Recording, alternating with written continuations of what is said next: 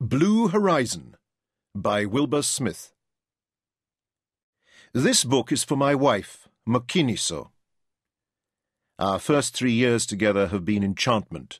I look forward eagerly to the next thirty. The three stood at the very edge of the sea and watched the moon laying a pathway of shimmering iridescence across the dark waters. Full of the moon in two days, Jim Courtney said confidently. The big reds will be hungry as lions. A wave came sliding up the beach and foamed around his ankles. Let's get her launched instead of standing here jabbering, his cousin Mansur Courtney suggested. His hair shone like newly minted copper in the moonlight, his smile sparkling as brightly. Lightly he elbowed the black youth who stood beside him, wearing only a white loincloth. Come on, Zama! They bent to it together. The small craft slid forward reluctantly, and they heaved again, but this time it stuck fast in the wet sand.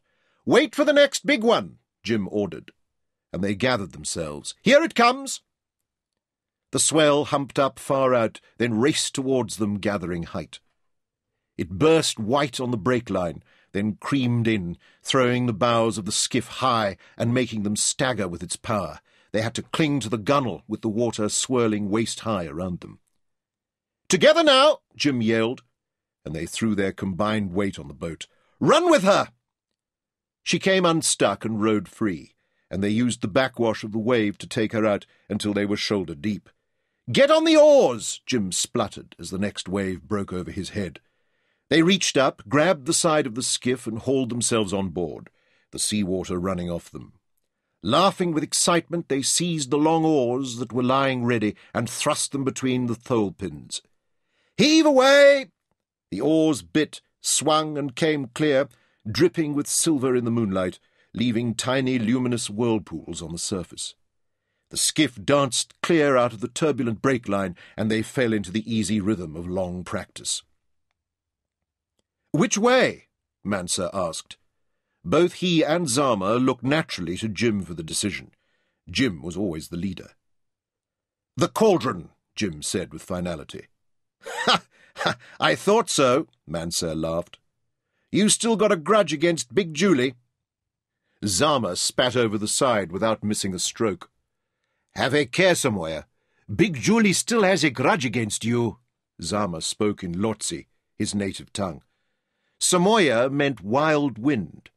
It was the name that Jim had been given in childhood for his temper. Jim scowled at the memory.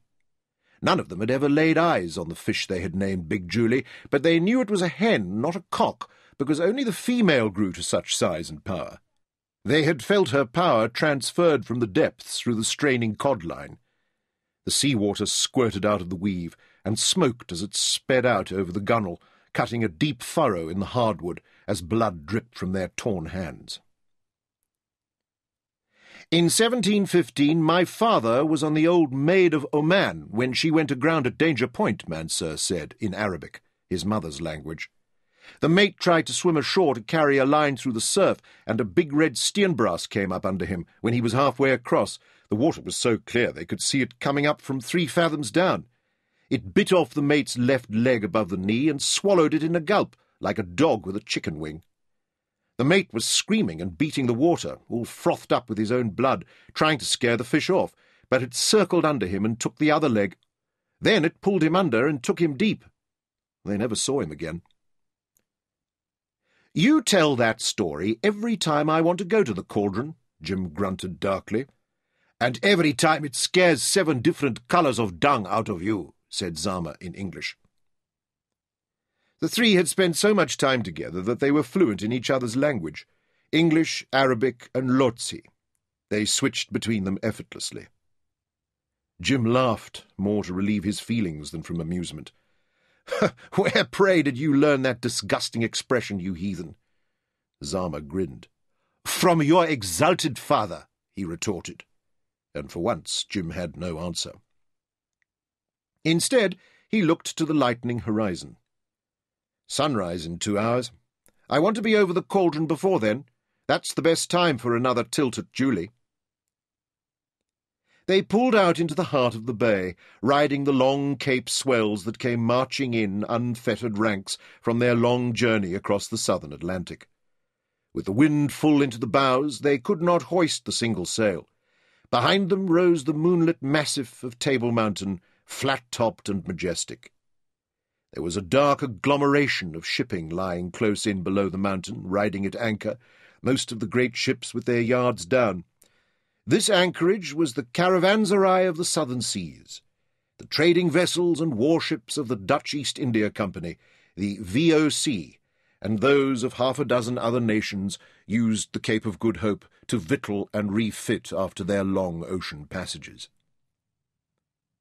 At this early hour few lights showed on the shore, only dim lanterns on the walls of the castle, and in the windows of the beachfront taverns where the crews off the ships in the bay were still revelling. Jim's eyes went naturally to a single prick of light, separated by over a sea mile of darkness from the others. That was the go-down and office of the Courtney Brothers Trading Company, and he knew the light shone from the window of his father's office on the second floor of the sprawling warehouse. Ha ha! Papa is counting the shekels again, he laughed to himself. Tom Courtney, Jim's father, was one of the most successful traders at Good Hope. There's the island coming up, Mansur said, and Jim's attention came back to the work ahead. He adjusted the tiller rope, which was wrapped around the big toe of his bare right foot. They altered course slightly to port, heading for the north point of Robben Island. Robben was the Dutch word for the seals that swarmed over the rocky outcrop. Already they could smell the animals on the night air. The stench of their fish-laden dung was chokingly powerful. Closer in, Jim stood up on the thwart to get his bearing from the shore, checking the landmarks that would enable him to place the skiff accurately over the deep hole they had named the cauldron. Suddenly he shouted with alarm and dropped back onto the thwart. Look at this great oaf! He's going to run us down! Pull, damn you, pull! A tall ship flying a great mass of canvas had come silently and swiftly around the north point of the island. Driven on the northwester, it was bearing down on them with terrifying speed. Bloody cheese-headed Dutchman, Jim swore as he heaved on the long oar. Murderous, land-lubbing son of a tavern whore, he's not even showing a light. And where, pray, did you learn such language? Mansur panted between desperate strokes. You're as big a clown as the stupid Dutchman, Jim told him grimly. The ship loomed over them, her bow wave shining silver in the moonlight. Hail her! There was a sudden edge to Mansur's voice as the danger became even more apparent. Eh, don't waste your breath, Zama retorted. They are fast asleep. They won't hear you. Pull! The three strained on the oars, and the little vessel seemed to fly through the water. But the big ship came on even faster. We will have to jump? There was a question in Mansur's strained tone. Good, Jim grunted. We're right over the cauldron. Test your father's story. Which of your legs will Big Julie bite off first? They rode in a silent frenzy, sweat bursting out and shining on their contorted faces in the cool night. They were heading for the safety of the rocks, where the big ship could not touch them, but they were still a full cable's length out, and now the high sails towered over them, blotting out the stars.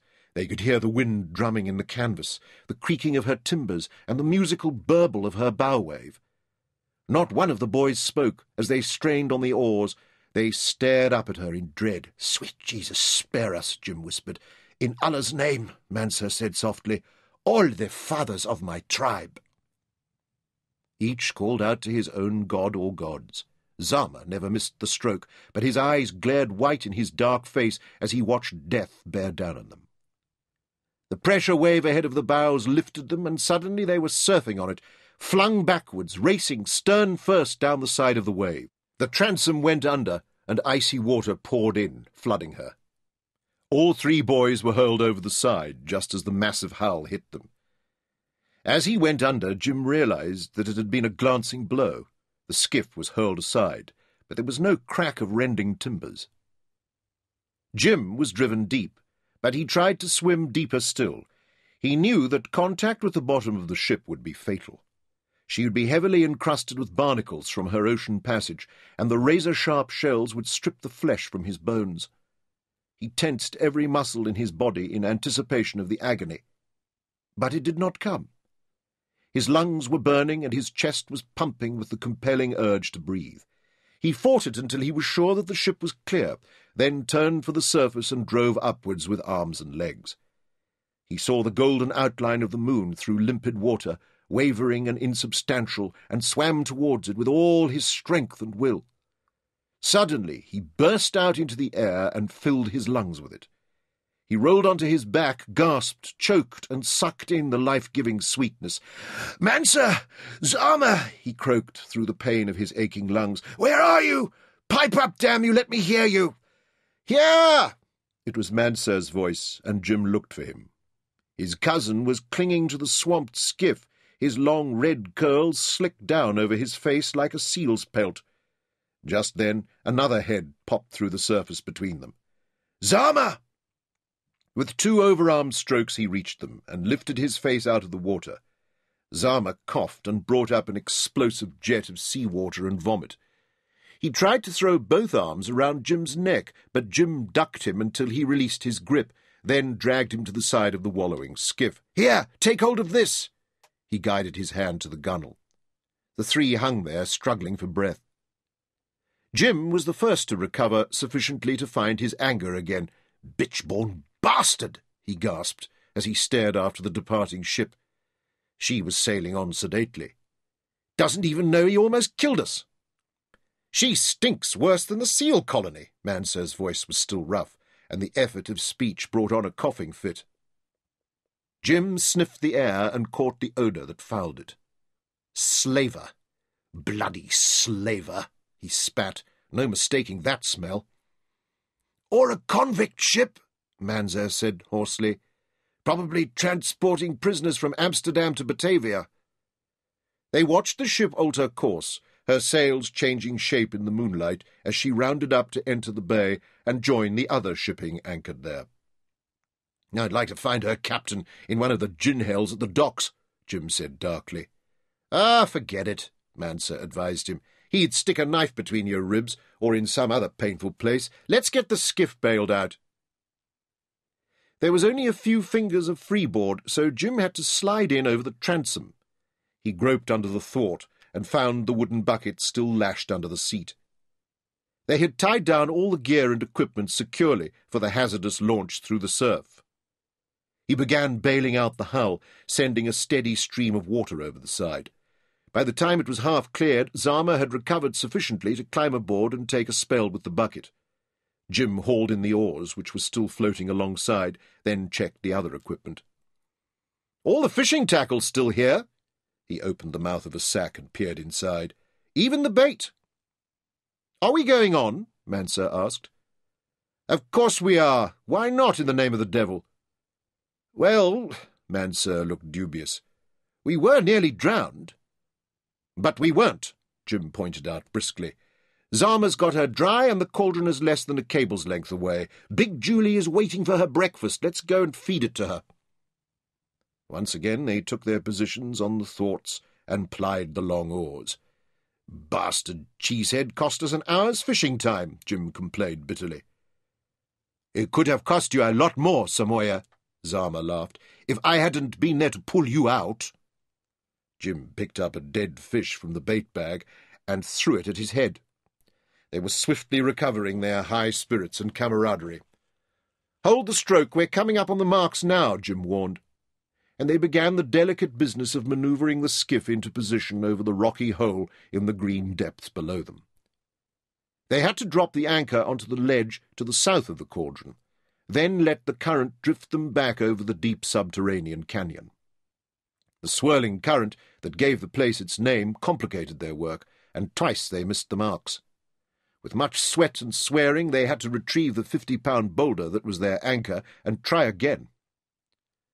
The dawn was sneaking in from the east, stealthily as a thief, before Jim plumbed the depth with an unbaited cod line to make certain they were in the perfect position. He measured the line between the span of his open arms as it streamed over the side. Thirty-three fathoms! he exclaimed, as he felt the lead sinker bump the bottom. Nearly two hundred feet. We're right over Big Julie's dining room.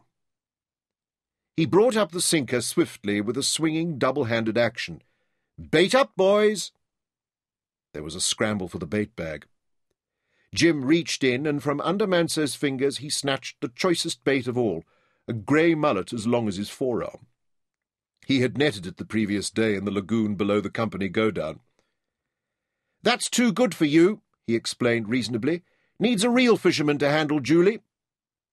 He threaded the point of the steel shark hook through the mullet's eye sockets.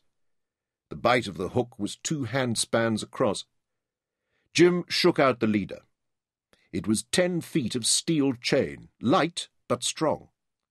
Alf, his father's blacksmith, had hand-forged it especially for him. Jim was certain it would resist the efforts of even a great King Steenbras to share it against the reef. He swung the bait around his head, letting the heavy cod line pay out with each swing, until at last he released it and sent it with the chain leader to streak far out across the green surface. As the bait sank into the depths, he let the line stream after it. Right down Big Julie's throat, he gloated. This time she isn't going to get away. This time she's mine. When he felt the lead sinker hit the bottom, he laid out a coil of the line on the deck and stood firmly on it with his bare right foot.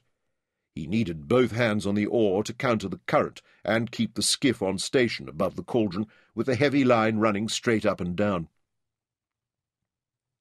Zama and Mansur were fishing with lighter hooks and lines, using small chunks of mackerel as bait. Almost immediately they were hauling in fish. Rosy red stump nose, wriggling silvery bream, spotted tigers that grunted like piglets as the boys twisted out the hook and threw them into the bilges. Baby fish for little boys, Jim mocked them.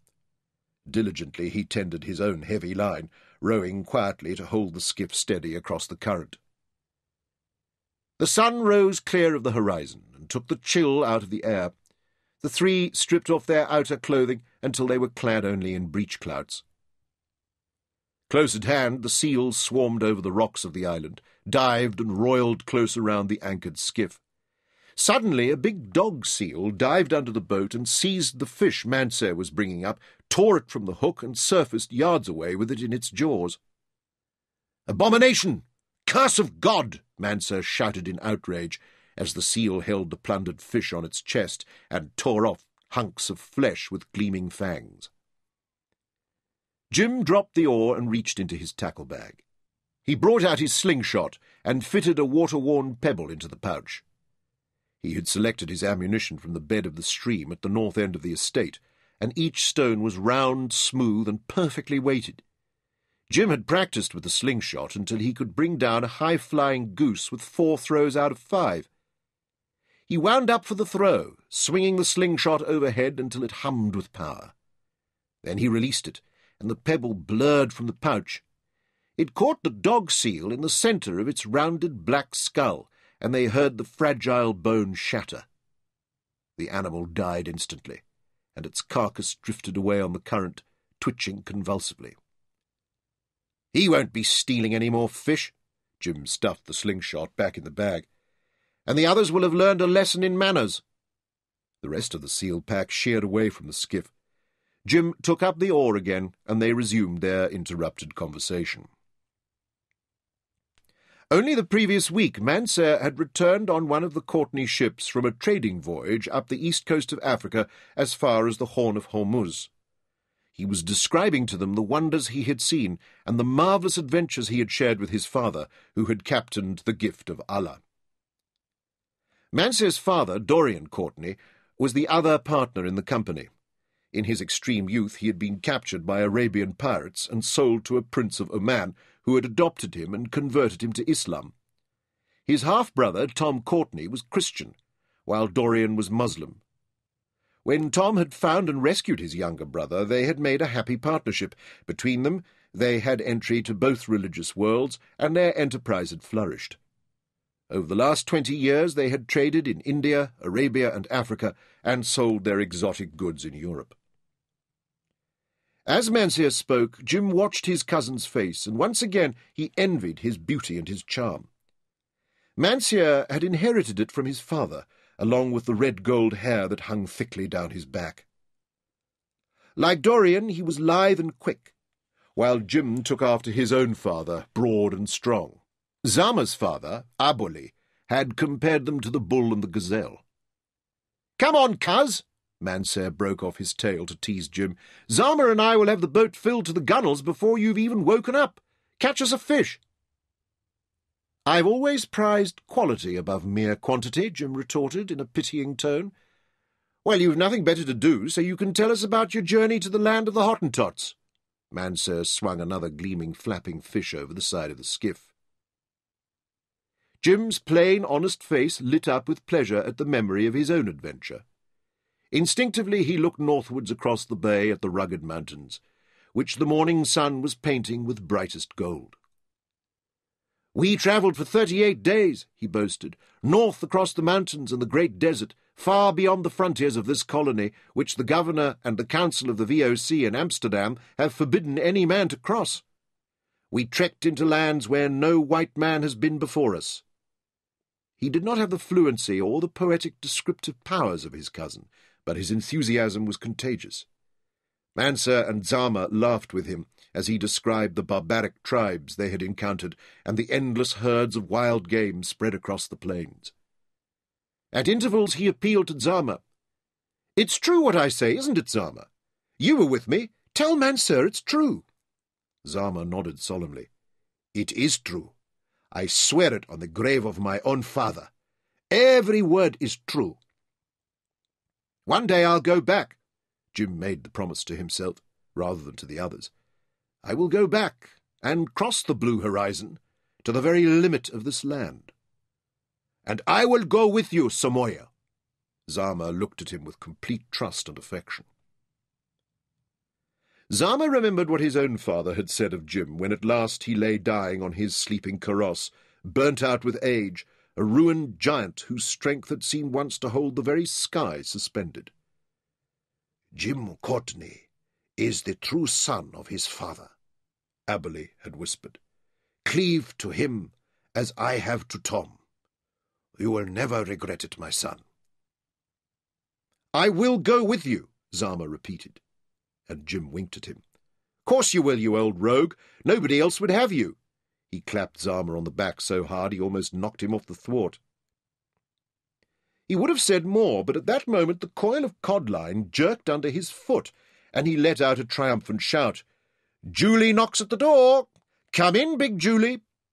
He dropped the oar and snatched up the line.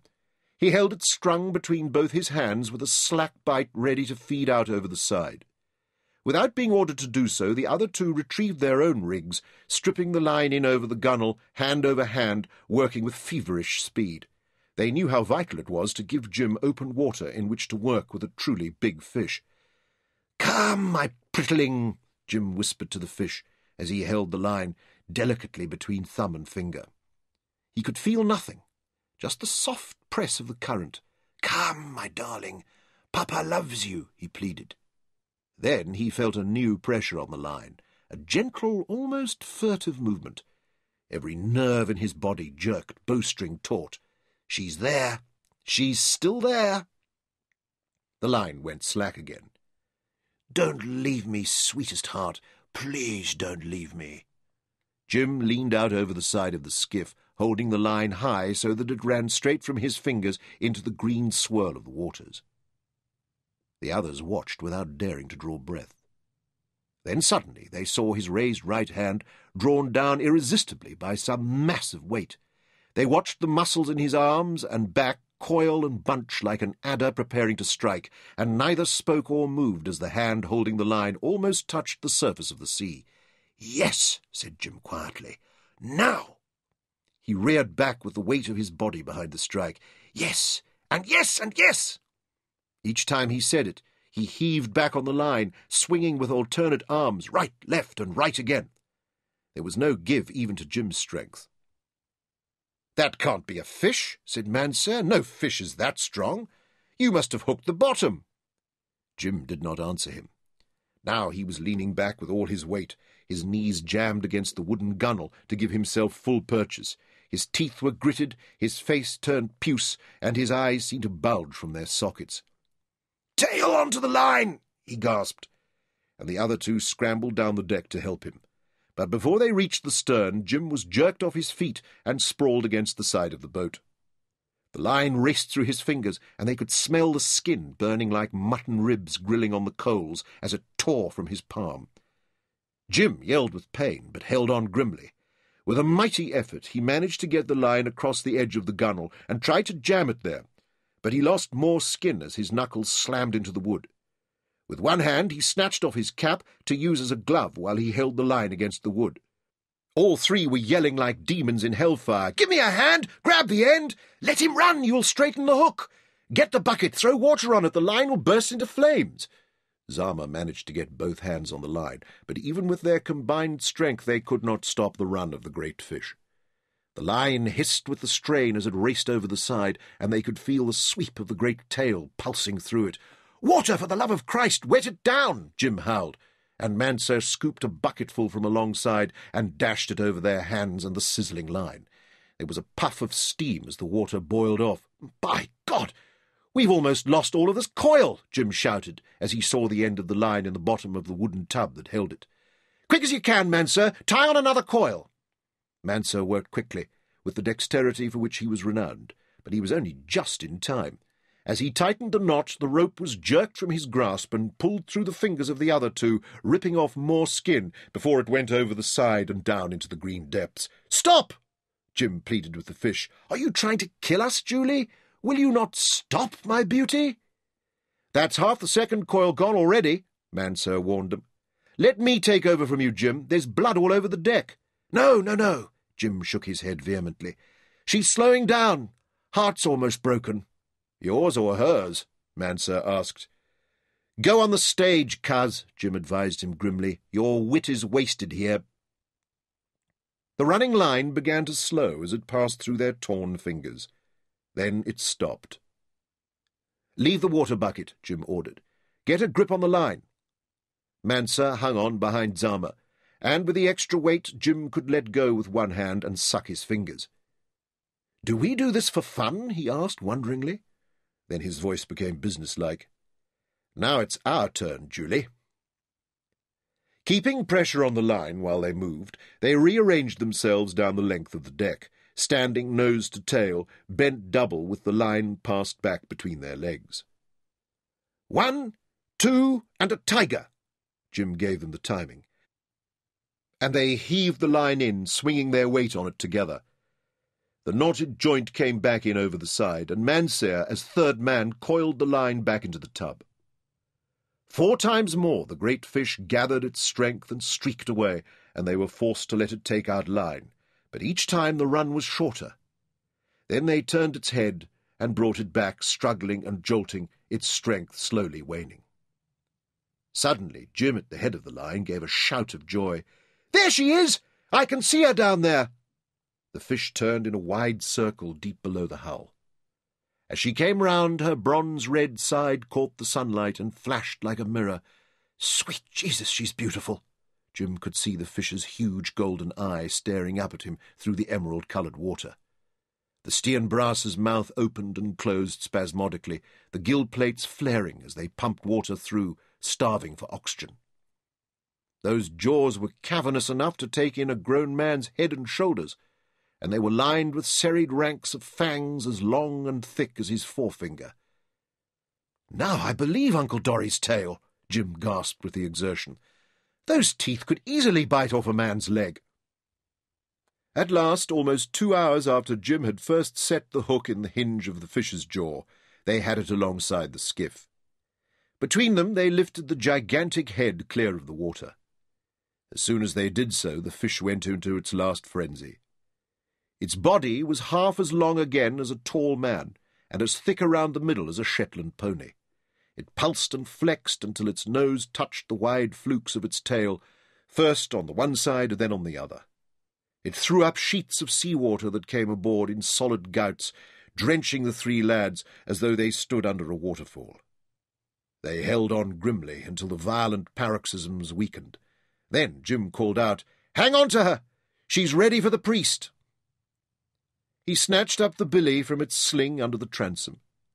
The end of the club was weighted with lead, balanced and heavy in his big right hand.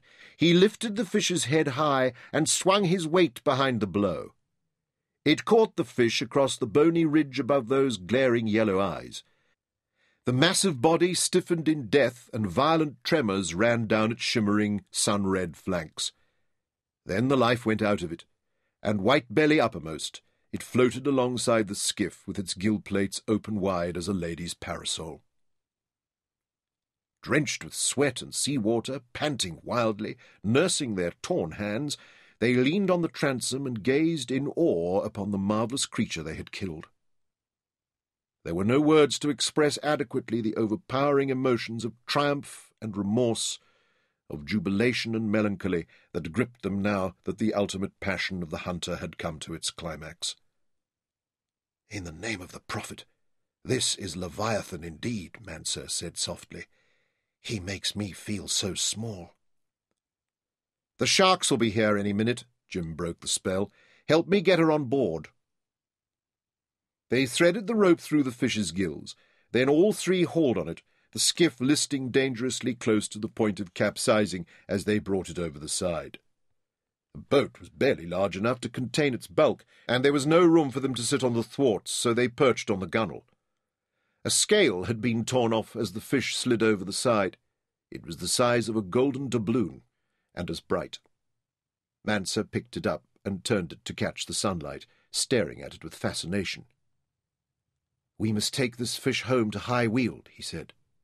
Why? Jim asked brusquely. To show the family, my father and yours. By nightfall he will lost his colour, his scales will be dry and dull, and his flesh will start to rot and stink. Jim shook his head. I want to remember him like this, in all his glory. What are you going to do with him, then? Sell him to the purser of the VOC ship. Such a wonderful creature? Sell him like a sack of potatoes? That seems like sacrilege, Mansur protested. I give you of the beasts of the earth and the fish of the sea. Kill, eat, Jim quoted. Genesis, God's very words. How could it be sacrilege? Your God, not mine, Mansur contradicted him. He's the same God, yours and mine. We just call him different names. He is my God also. Zama was not to be left out. Kulu Kulu, the greatest of the great ones. Jim wrapped a strip of cloth around his injured hand. In the name of Kulu Kulu, then. This Steenbras is the means to get aboard the Dutch ship. I'm going to use it as a letter of introduction to the purser. It's not just one fish I'm going to sell him.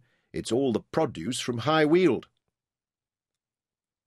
With the northwesterly breeze blowing ten knots behind them, they could hoist the single sail, which carried them swiftly into the bay.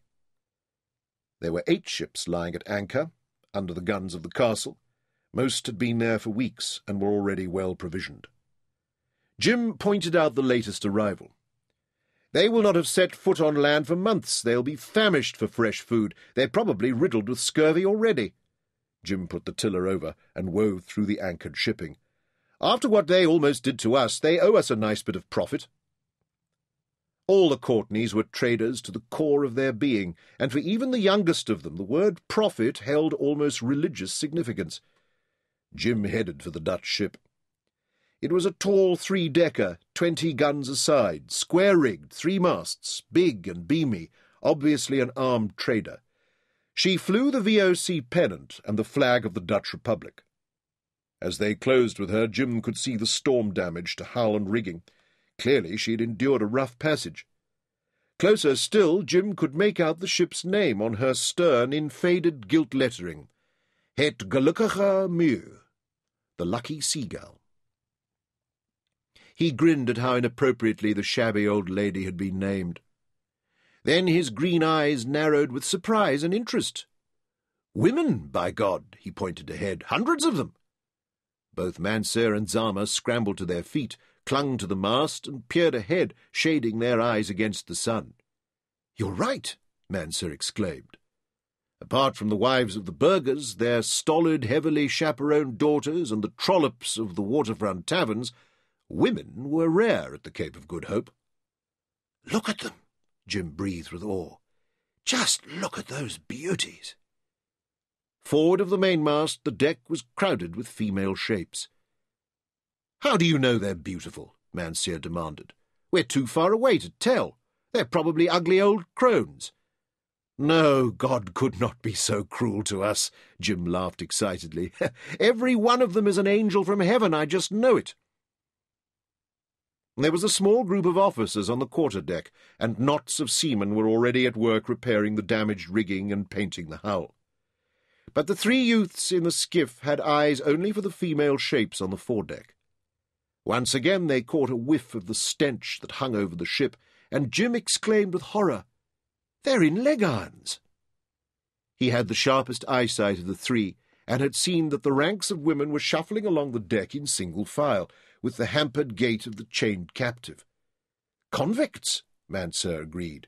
Your angels from heaven are female convicts, uglier than sin. They were close enough now to make out the features of some of the bedraggled creatures the grey, greasy hair, the toothless mouths, the wrinkled pallor of ancient skin, the sunken eyes, and on most of the miserable faces the ugly blotches and bruises of scurvy. They stared down on the approaching boat with dull, hopeless eyes, showing no interest, no emotion of any kind. Even Jim's lascivious instincts were cooled. These were no longer human beings, but beaten, abused animals. Their coarse canvas shifts were ragged and soiled. Obviously they had worn them ever since leaving Amsterdam, without water to wash their bodies, let alone their clothing. There were guards armed with muskets stationed in the mainmast bitts, and the forecastle overlooking the deck. As the skiff came within hail, a petty officer in a blue pea jacket hurried to the ship's side and raised a speaking trumpet to his lips. Stand clear, he shouted in Dutch. This is a prison ship. Stand off, or we will fire into you. He means it, Jim, Mansur said. Let's get away from her. Jim ignored the suggestion and held up one of the fish. Farce! Fresh fish, he yelled back. Straight out of the sea, caught an hour ago. The man at the rail hesitated, and Jim sensed his opportunity. Look at this one! He pointed at the huge carcass that filled most of the skiff. Steenbras, finest eating fish in the sea. There's enough here to feed every man on board for a week. Wait! the man yelled back and hurried across the deck to the group of officers. There was a brief discussion. Then he came back to the rail. Good, then, come, but keep clear of our bows. Hook on to the stern chains. Mansur dropped the tiny sail, and they rowed under the side of the ship. Three seamen stood at the rail, aiming their muskets down into the skiff. Don't try anything clever, the petty officer warned them, unless you want a ball in your belly. Jim grinned up at him ingratiatingly and showed his empty hands. We mean no harm, mynheer. We are honest fishermen.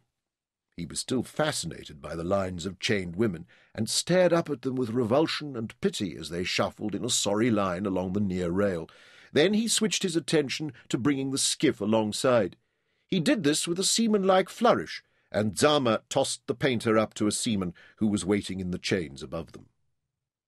The ship's purser, a plump, bald man, stuck his head over the side and peered down into the skiff to inspect the wares on offer.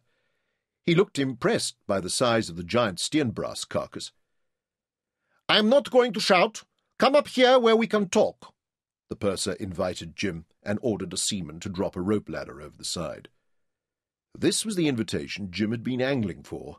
He shinned up and over the high tumble home of the ship's side like an acrobat and landed on the deck beside the purser with a slap of his bare feet.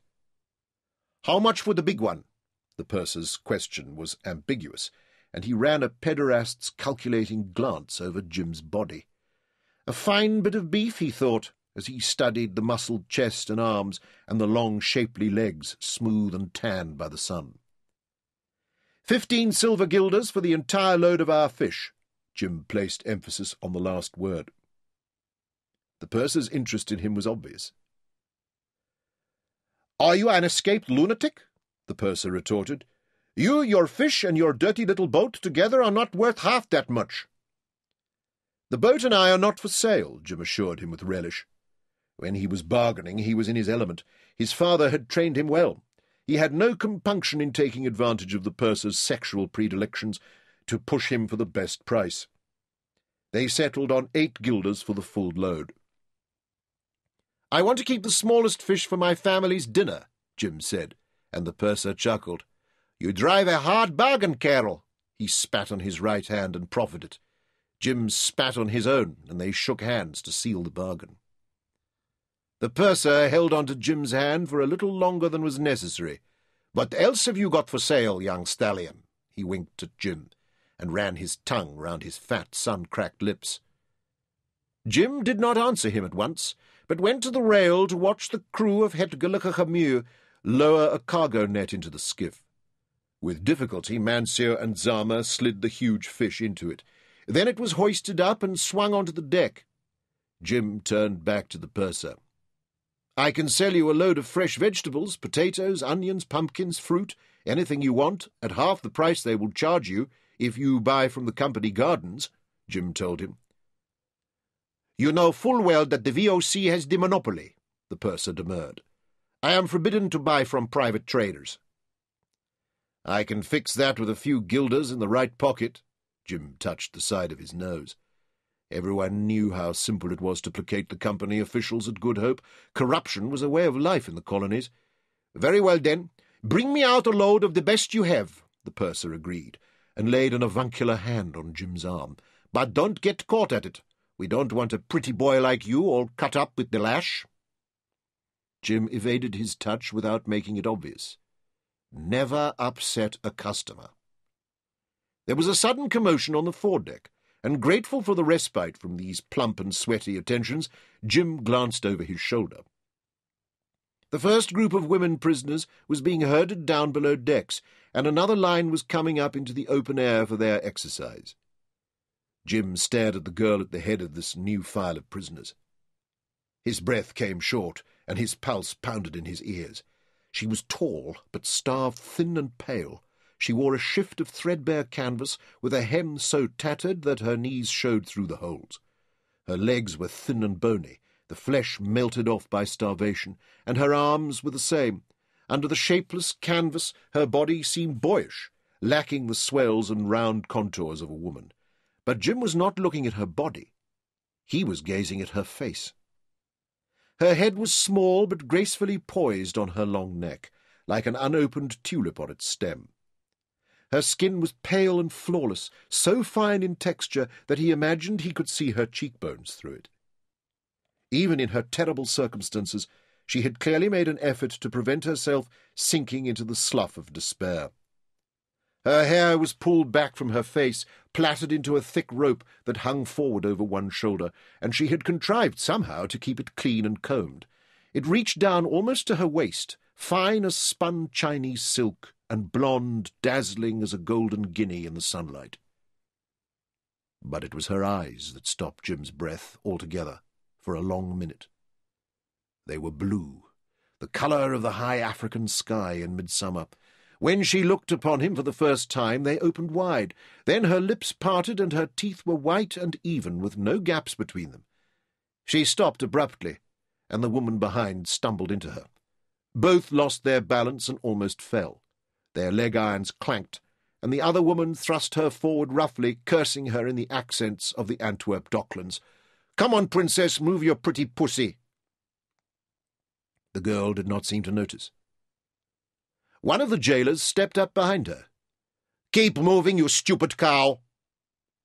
With the length of knotted rope, he hit her across the top of her thin bare arm, raising a vivid red welt. Jim fought to stop himself rushing to protect her, and the nearest guard sensed the movement. He swung the muzzle of his musket towards Jim, who stepped back. He knew that at that range the buckshot would have disemboweled him, but the girl had seen his gesture too, recognized something in him. She stumbled forward, her eyes filled with tears of pain from the lash, massaging the crimson welt with her other hand. She kept those haunting eyes on his face as she passed where Jim stood, rooted to the deck. He knew it was dangerous and futile to speak to her, but the words were out before he could bite down on them, and there was pity in his tone. They've starved you. A pale travesty of a smile flickered across her lips. But she gave no other sign of having heard him. Then the harridan in the line behind her shoved her forward. No young cock for you today, your highness. You will have to use your finger. Keep moving. The girl went on down the deck away from him. Let me give you some advice, kerel, said the purser at his shoulder. Don't try anything with any of those bitches. That's the shortest way to hell. Jim mustered a grin. I'm a brave man, but not a stupid one. He held out his hand, and the purser counted eight silver coins into his palm. He swung a leg over the rail. I'll bring out a load of vegetables for you tomorrow. Then perhaps we can go ashore together and have a grog in one of the taverns. As he dropped down into the skiff, he muttered, Or I could break your neck and both your fat legs. He took his place at the tiller. Cast off, hoist the sail, he called to Zama, and brought the skiff onto the wind. They skimmed down the side of the Mew. The port lids on the gun ports were open to let light and air into the gun decks. Jim looked into the nearest as he came level. The crowded, fetid gun deck was a vision from hell, and the stench was like a pigsty or cesspit. Hundreds of human beings had been crowded into that low, narrow space for months without relief. Jim tore away his gaze and glanced up at the ship's rail high above his head. He was still looking for the girl, but he expected to be disappointed. Then his pulse leapt as those unbelievably blue eyes stared down at him. In the line of women prisoners, the girl was shuffling along the rail near the bows. Your name! What's your name? he called urgently.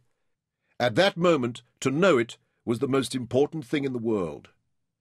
Her reply was faint on the wind, but he read it on her lips. Louisa! I'll come back, Louisa, be of good cheer, he shouted recklessly, and she stared at him expressionlessly.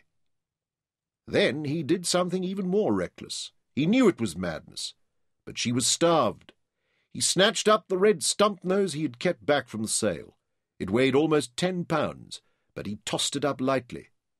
Louisa reached out and caught it in both hands with a hungry, desperate expression on her face. The grotesque trull in the line behind her jumped forward and tried to wrest it out of her grasp. Immediately, three or four other women joined the struggle, fighting over the fish like a pack of she-wolves. Then the jailers rushed in to break up the melee, flogging and lashing the shrieking women with the knotted ropes. Jim turned away, sick to the guts, his heart torn with pity, and with some other emotion he did not recognize, for he had never experienced it before. The three sailed on in grim silence, but every few minutes Jim turned to look back at the prison ship. There's nothing you can do for her, Mansur said at last. Forget her, cuz. She's out of your reach. Jim's face darkened with anger and frustration. Is she? You think you know everything, Mansur Courtney. We shall see, we shall see. On the beach ahead, one of the grooms was holding a string of harnessed mules ready to help them beach the skiff. Don't just sit there like a pair of cormorants drying your wings on a rock. Get the sail down, Jim snarled at the other two, with the formless, undirected anger still dark upon him. They waited on the first line of the surf, hanging on the oars, waiting for the right wave. When Jim saw it coming, he shouted, Here we go! Give way together! Pull! It swept under the stern, and then suddenly, exhilaratingly, they were surfing on the brow of the curling green wave, racing onto the beach. The wave carried them high, then pulled back to leave them stranded. They jumped out, and when the groom galloped in with the team of mules, they hitched onto the trek chain. They ran beside the team, whooping to drive them on, dragging the skiff well above the high water mark, then unhitched it.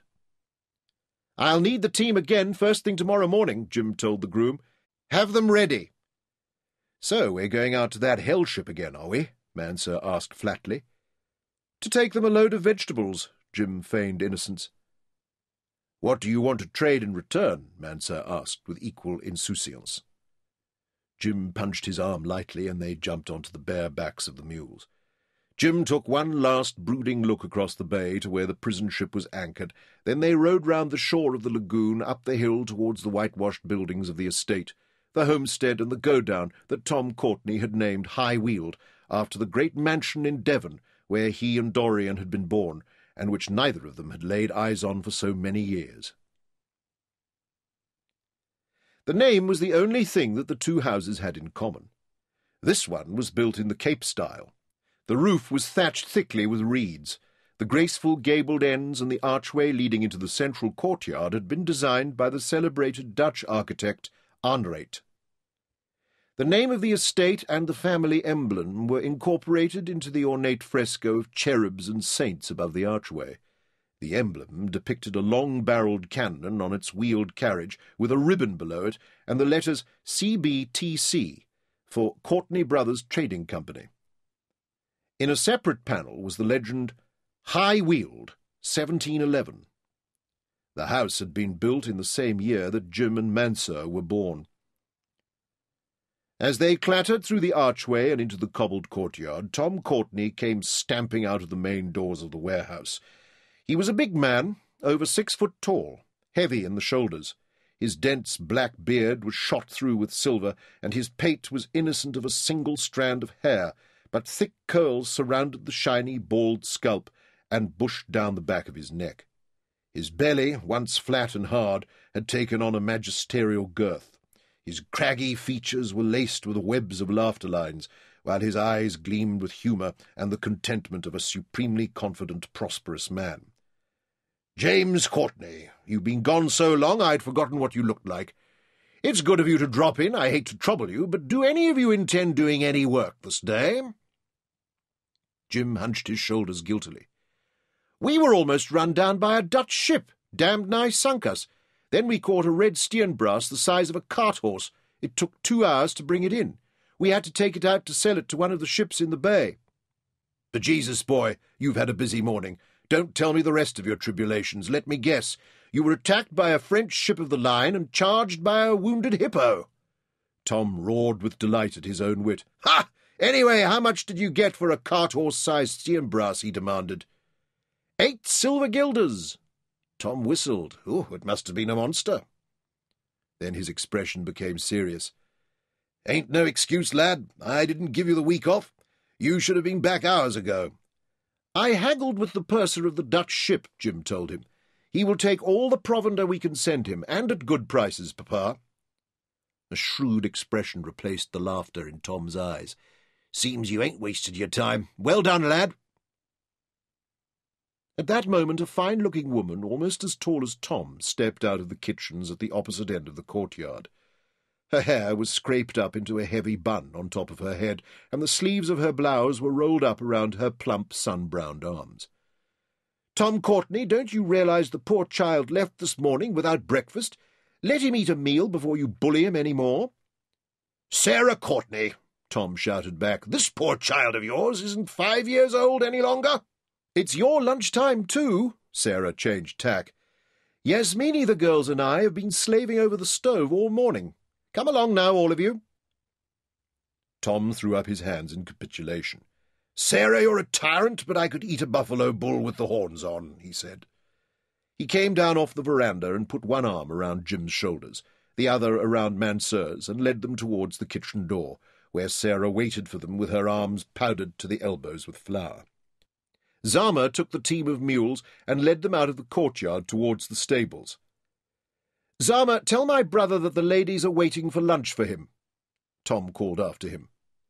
I will tell them, Obas. Zama used the most respectful term of address for the master of High Weald. As soon as you've finished eating, you get back here with all the men, Jim warned him. We have to pick and load a cargo of vegetables to take out to the Lucky Seagull tomorrow. The kitchen was bustling with women, most of them freed house slaves, graceful, golden-skinned Javanese women from Batavia. Jim went to embrace his mother. Sarah pretended to be put out. Don't be a great booby, James. But she flushed with pleasure as he lifted her and bussed her on both cheeks. Put me down at once and let me get on. If you don't love me, then at least Auntie Yazzie does, he went to the delicate, lovely woman who was wrapped in the arms of her own son. Come now, Mansur, it's my turn now. He lifted Yasmini out of Mansur's embrace. She wore a long ghagra skirt and a choli blouse of vivid silk. She was as slim and light as a girl, her skin a glowing amber, her slanting eyes dark as onyx. The snowy blaze through the front of her dense, dark hair was not a sign of age. She had been born with it, as had her mother and grandmother before her. With the women fussing over them, the men seated themselves at the top of the long yellow wood table, which was piled with bowls and platters. There were dishes of bobotie curry in the Malayan style, redolent with mutton and spices, rich with eggs and yoghurt, an enormous venison pie made with potatoes and the meat of the springbuck Jim and Mansur had shot out in the open veldt, loaves of bread still hot from the oven, pottery crocks of yellow butter, jugs of thick sour milk and small beer. Where's Dorian? Tom demanded from the head of the table. Late again? Did someone call my name? Dorian sauntered into the kitchen, still lean and athletic, handsome and debonair, his head a mass of copper curls to match his son's. He wore high riding boots that were dusty to the knees, and a wide-brimmed straw hat. He spun the hat across the room, and the women greeted him with a chorus of delight. Quiet, all of you! You sound like a flock of hens when a jackal gets into the coop, Tom bellowed. The noise subsided almost imperceptibly. Come on, sit down, Dorry, before you drive these women wild. We are to hear the tale of the giant Steenbras the boys caught, and the deal they have done with the VOC ship lying out in the bay. Dorian took the chair beside his brother and sank the blade of his knife through the crust of the venison pie. There was a sigh of approval from all of the company as a fragrant cloud of steam rose to the high stinkwood beams of the ceiling. As Sarah spooned the food onto the blue willow pattern plates, the room was filled with banter from the men, giggles and spontaneous demonstrations of affection from the women. What's wrong with Jim Boy? Sarah looked across the table and raised her voice above the pandemonium. Nothing, said Tom, with the next spoonful halfway to his mouth. He looked sharply at his only son. Is there? Slowly, silence settled over the table, and everyone stared at Jim. Why aren't you eating? Sarah demanded with alarm. Jim's vast appetite was a family legend. What you need is a dose of sulphur and molasses. I'm fine, just not hungry. Jim glanced down at the pie he had barely touched, then at the circle of faces. Don't look at me like that. I'm not going to die. Sarah was still watching him. What happened today? Jim knew she could see through him, as though he was made of glass. He jumped to his feet. Please excuse me, he said, pushed back his stool and stalked out of the kitchen into the yard. Tom lumbered to his feet to follow him, but Sarah shook her head. Leave him be, husband, she said. Only one person could give Tom Courtney orders, and he subsided obediently onto his stool. In contrast to the mood of only moments before, the room was plunged into a heavy, fraught silence. Sarah looked across the table. What happened out there today, Mansur? Jim went aboard the convict ship in the bay. He saw things that upset him. What things? she asked. The ship is filled with women prisoners. They'd been chained, starved, and beaten. The ship stinks like a pigsty. Mansur said, repugnance and pity in his voice. Silence descended again as they visualized the scene Mansur had described. Then Sarah said softly, And one of the women on board was young and pretty. How did you know that? Mansur stared at her with astonishment.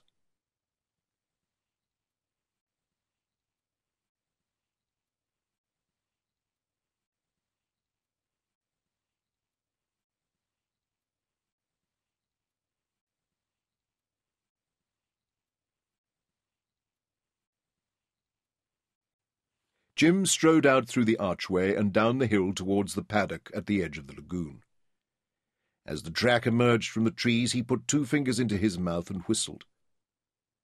The stallion was a little separated from the rest of the herd, grazing on the green grass at the edge of the water.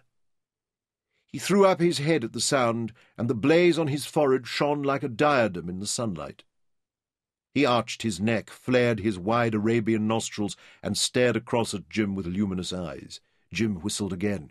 Come, Drumfire, he called. Come to me. Drumfire glided from a standstill into a full gallop in a few strides. For such a large animal, he moved with the grace of an antelope. Just watching him, Jim felt his black mood begin to evaporate. The animal's coat gleamed like oiled mahogany, and his mane streamed out over his back like a war banner. His steel-shod hoofs tore chunks out of the green turf with the thunder of rapid fire from a massed battery of cannon, the sound for which Jim had named him.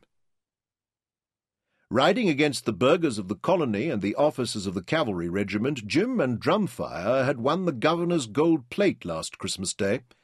In doing so, Drumfire had proved he was the fastest horse in Africa, and Jim had spurned an offer of two thousand guilders for him from Colonel Stephanus Kaiser, the commander of the garrison. Horse and rider had won honour but no friends that day. Drumfire swept down the track running straight at Jim. He loved to try and make his master flinch. Jim stood his ground, and at the very last instant Drumfire swerved so close that the wind of his passing ruffled Jim's hair. Then he came to a dead stop on braced front legs, nodding and neighing wildly. You great showman, Jim told him, behave yourself. Suddenly, docile as a kitten, Drumfire came back and nuzzled his chest, snuffling at the pockets of his coat until he smelt the slice of plum cake. Cupboard love, Jim told him firmly. Drumfire pushed him with his forehead, gently at first, but then so demandingly that Jim was lifted off his feet. You don't deserve it, but... Jim relented and held out the cake.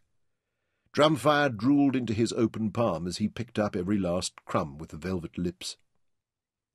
Jim wiped his hand on the shining neck, then laid one hand on the horse's withers and leapt lightly onto his back.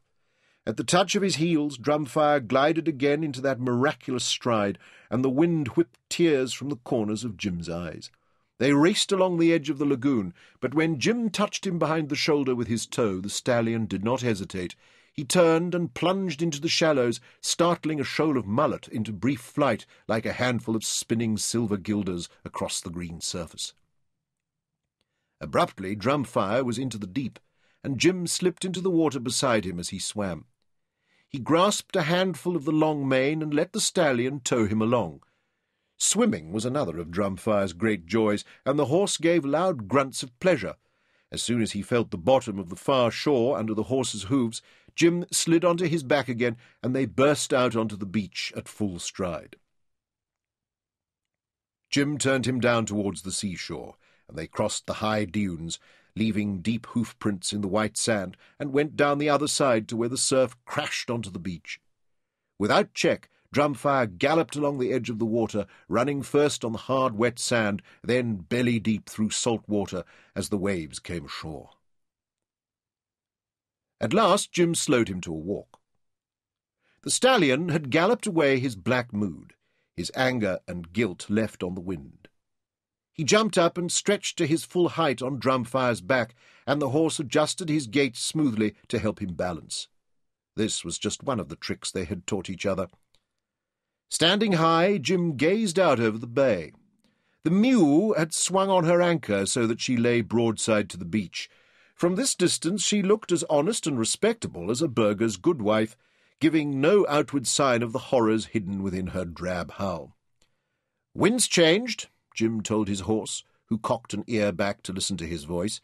It'll blow up a hell of a storm in the next few days.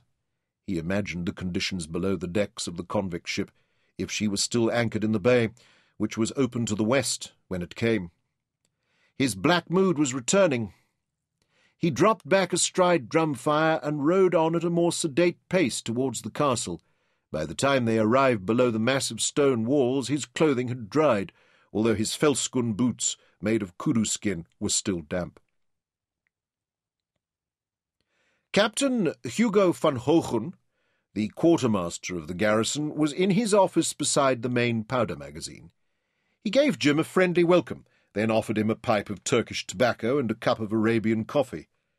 Jim refused the pipe, but drank the dark, bitter brew with relish. His aunt Yasmini had introduced them all to it. Jim and the quartermaster were old accomplices, it was accepted between them that Jim was the unofficial go-between of the Courtney family.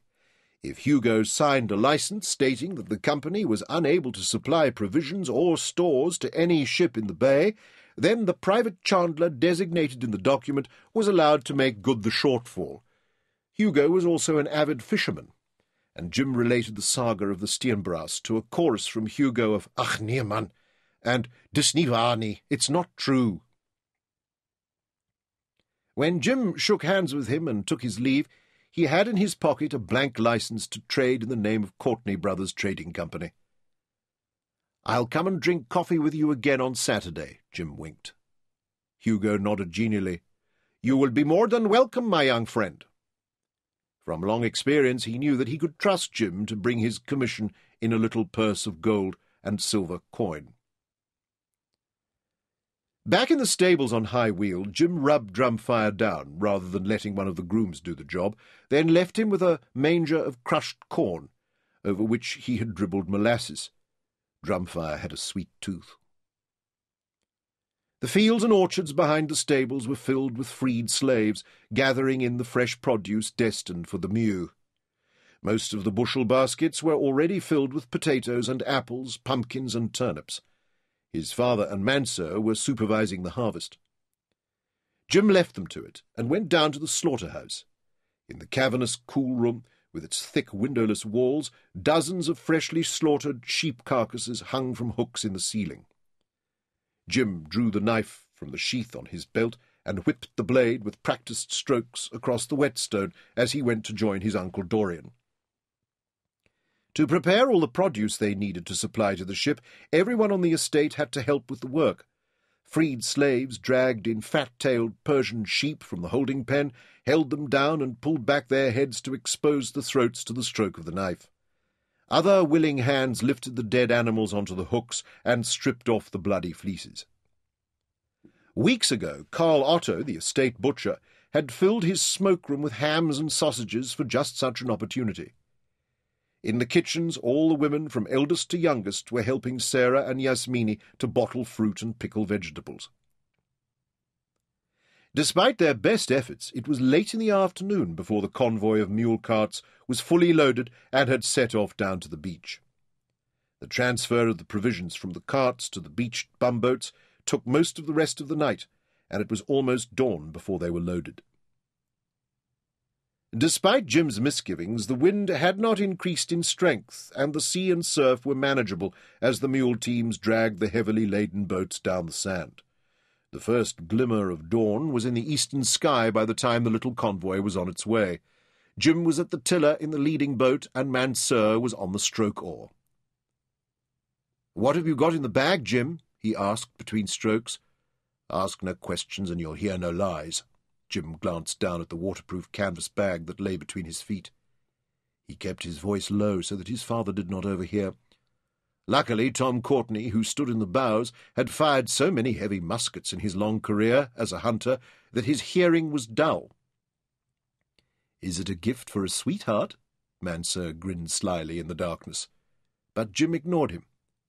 That arrow was too near the bull's-eye for comfort. Jim had carefully packed into the bag a bundle of salted, sun-dried venison, the ubiquitous biltong of the Cape Boers, ten pounds of hard ship's biscuit wrapped in a cloth, a folding knife, and a triangular bladed file that he had pilfered from the estate workshop, a tortoise-shell comb, which belonged to his mother, and a letter written on a single sheet of paper in Dutch. They came up to the Mew, and Tom Courtney hailed her in a bull bellow. Longboat with supplies! Permission to hook on!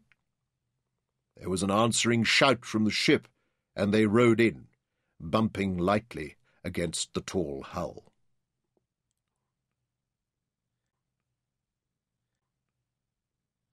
With her long legs folded under her, Louisa Leuven sat on the hard deck in the noisome semi-darkness that was lit only by the feeble light of the fighting lanterns. Her shoulders were covered with a single thin cotton blanket of the poorest quality. The gun ports were closed and bolted. The guards were taking no chances. With the shore so close, some of the women might take the risk in the cold green currents, undeterred by the possibility of drowning or being devoured by the monstrous sharks that were attracted to these waters by the swarming seal colony on Robben Island. While the women had been on deck that afternoon, the cook had thrown overboard a bucket of guts from the red steenbras. The head jailer had pointed out to his prisoners the triangular fins of the sharks as they sped in to snatch these bloody morsels. Don't any of you filthy slatterns get any ideas of escape, he cautioned them. At the beginning of the voyage, Louisa had claimed for herself this berth under one of the huge bronze cannon. She was stronger than most of the other wizened, undernourished convicts, and, of necessity, she had learned how to protect herself. Life on board was like being in a pack of wild animals. The women around her were every bit as dangerous and merciless as wolves, but shrewder and more cunning. At the beginning, Louisa knew she had to procure a weapon, so she had managed to prise loose a strip of the bronze beading from under the carriage of the cannon. She'd spent long hours of the night stropping this against the cannon barrel until it had a sharp double stiletto edge. She tore a strip of canvas from the hem of her shift and wrapped it round the hilt to make a handle. She carried the dagger day and night in the pouch she wore strapped around her waist under the canvas shift. So far she had been forced to cut only one of the other women. Nedda was a Frieslander, with heavy thighs and bottom, fat arms, and a pudding face covered with freckles. She had once been a notorious whore mistress for the nobility.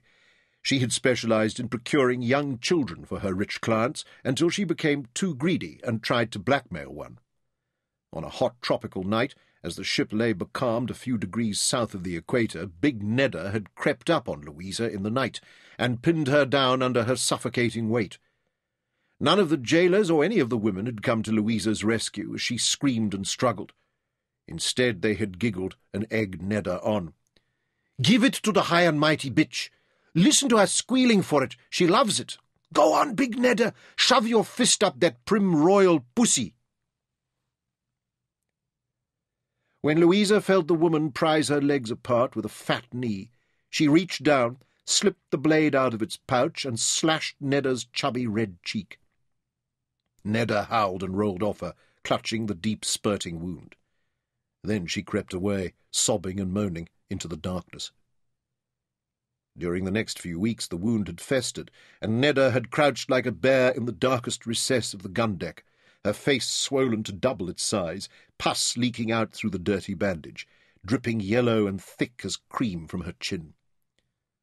Since then, Nedda had kept well clear of Louisa, and the other women had learned from her example. They left her well alone. For Louisa, this dreadful voyage seemed to have lasted all her life. Even during this respite from the open sea, while the Mew lay at anchor in Table Bay, the magnitude of the ordeal she had undergone still haunted her. She cowered further into her refuge under the cannon, and shuddered as each of the separate memories pricked her like thorns. The throng of humanity was pressed close about her, they were packed so tightly into every inch of the deck that it was almost impossible to escape the touch of other filthy bodies crawling with lice. In rough weather, the latrine buckets slopped over and the sewage ran down the crowded deck. It soaked the women's clothing and their thin cotton blankets where they lay. During the occasional spells of calm weather, the crew pumped seawater down the hatches, and the women went down on their knees to scrub the planks with the coarse holystones. It was in vain, for during the next storm the filth splashed over them again. In the dawn, when the hatches were taken off the companionways, they took turns to carry the reeking wooden buckets up the ladders to the deck and empty them over the side, while the crew and the guards jeered at them. Every Sunday, in any kind of weather, the prisoners were mustered on deck while the guards stood over them with loaded muskets. The women in their leg irons and ragged canvas shifts shivered and hugged themselves with their thin arms, their skin blue and pimpled with the cold, while the Dutch reformed dominie harangued them for their sins. When this ordeal was over, the crew set up canvas screens on the foredeck, and in groups the prisoners were forced behind them, while streams of sea water were sprayed over them from the ship's pumps. Louisa and some of the more fastidious women stripped off their shifts and tried as best they could to wash off the filth. The screens fluttered in the wind and afforded them almost no privacy, and the seamen on the pumps or in the rigging overhead whistled and called ribald comments. Look at the dugs on that cow! You could sail a ship of the line up that great hairy harbour. Louisa learned to use her wet shift to cover herself, as she crouched low, screening herself behind the other women. The few hours of cleanliness were worth the humiliation, but as soon as her shift dried and the warmth of her body hatched the next batch of nits, she began to scratch again. With her bronze blade she whittled a splinter of wood into a fine tooth-comb, and spent hours each day under the gun carriage, combing the nits out of her long golden hair, and from the tufts of her body hair. Her pathetic attempts at bodily hygiene seemed to highlight the slovenliness of the other women, which infuriated them. Look at her royal bloody highness at it again, combing her bushy hairs.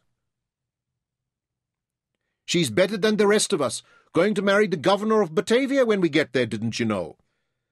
You going to invite us to the wedding, princess? Nedda here will be your bridesmaid, won't you, Nedda Leafling? The livid scar down Nedda's fat cheek twisted into a grotesque grin, but her eyes were filled with hatred in the dim lantern light.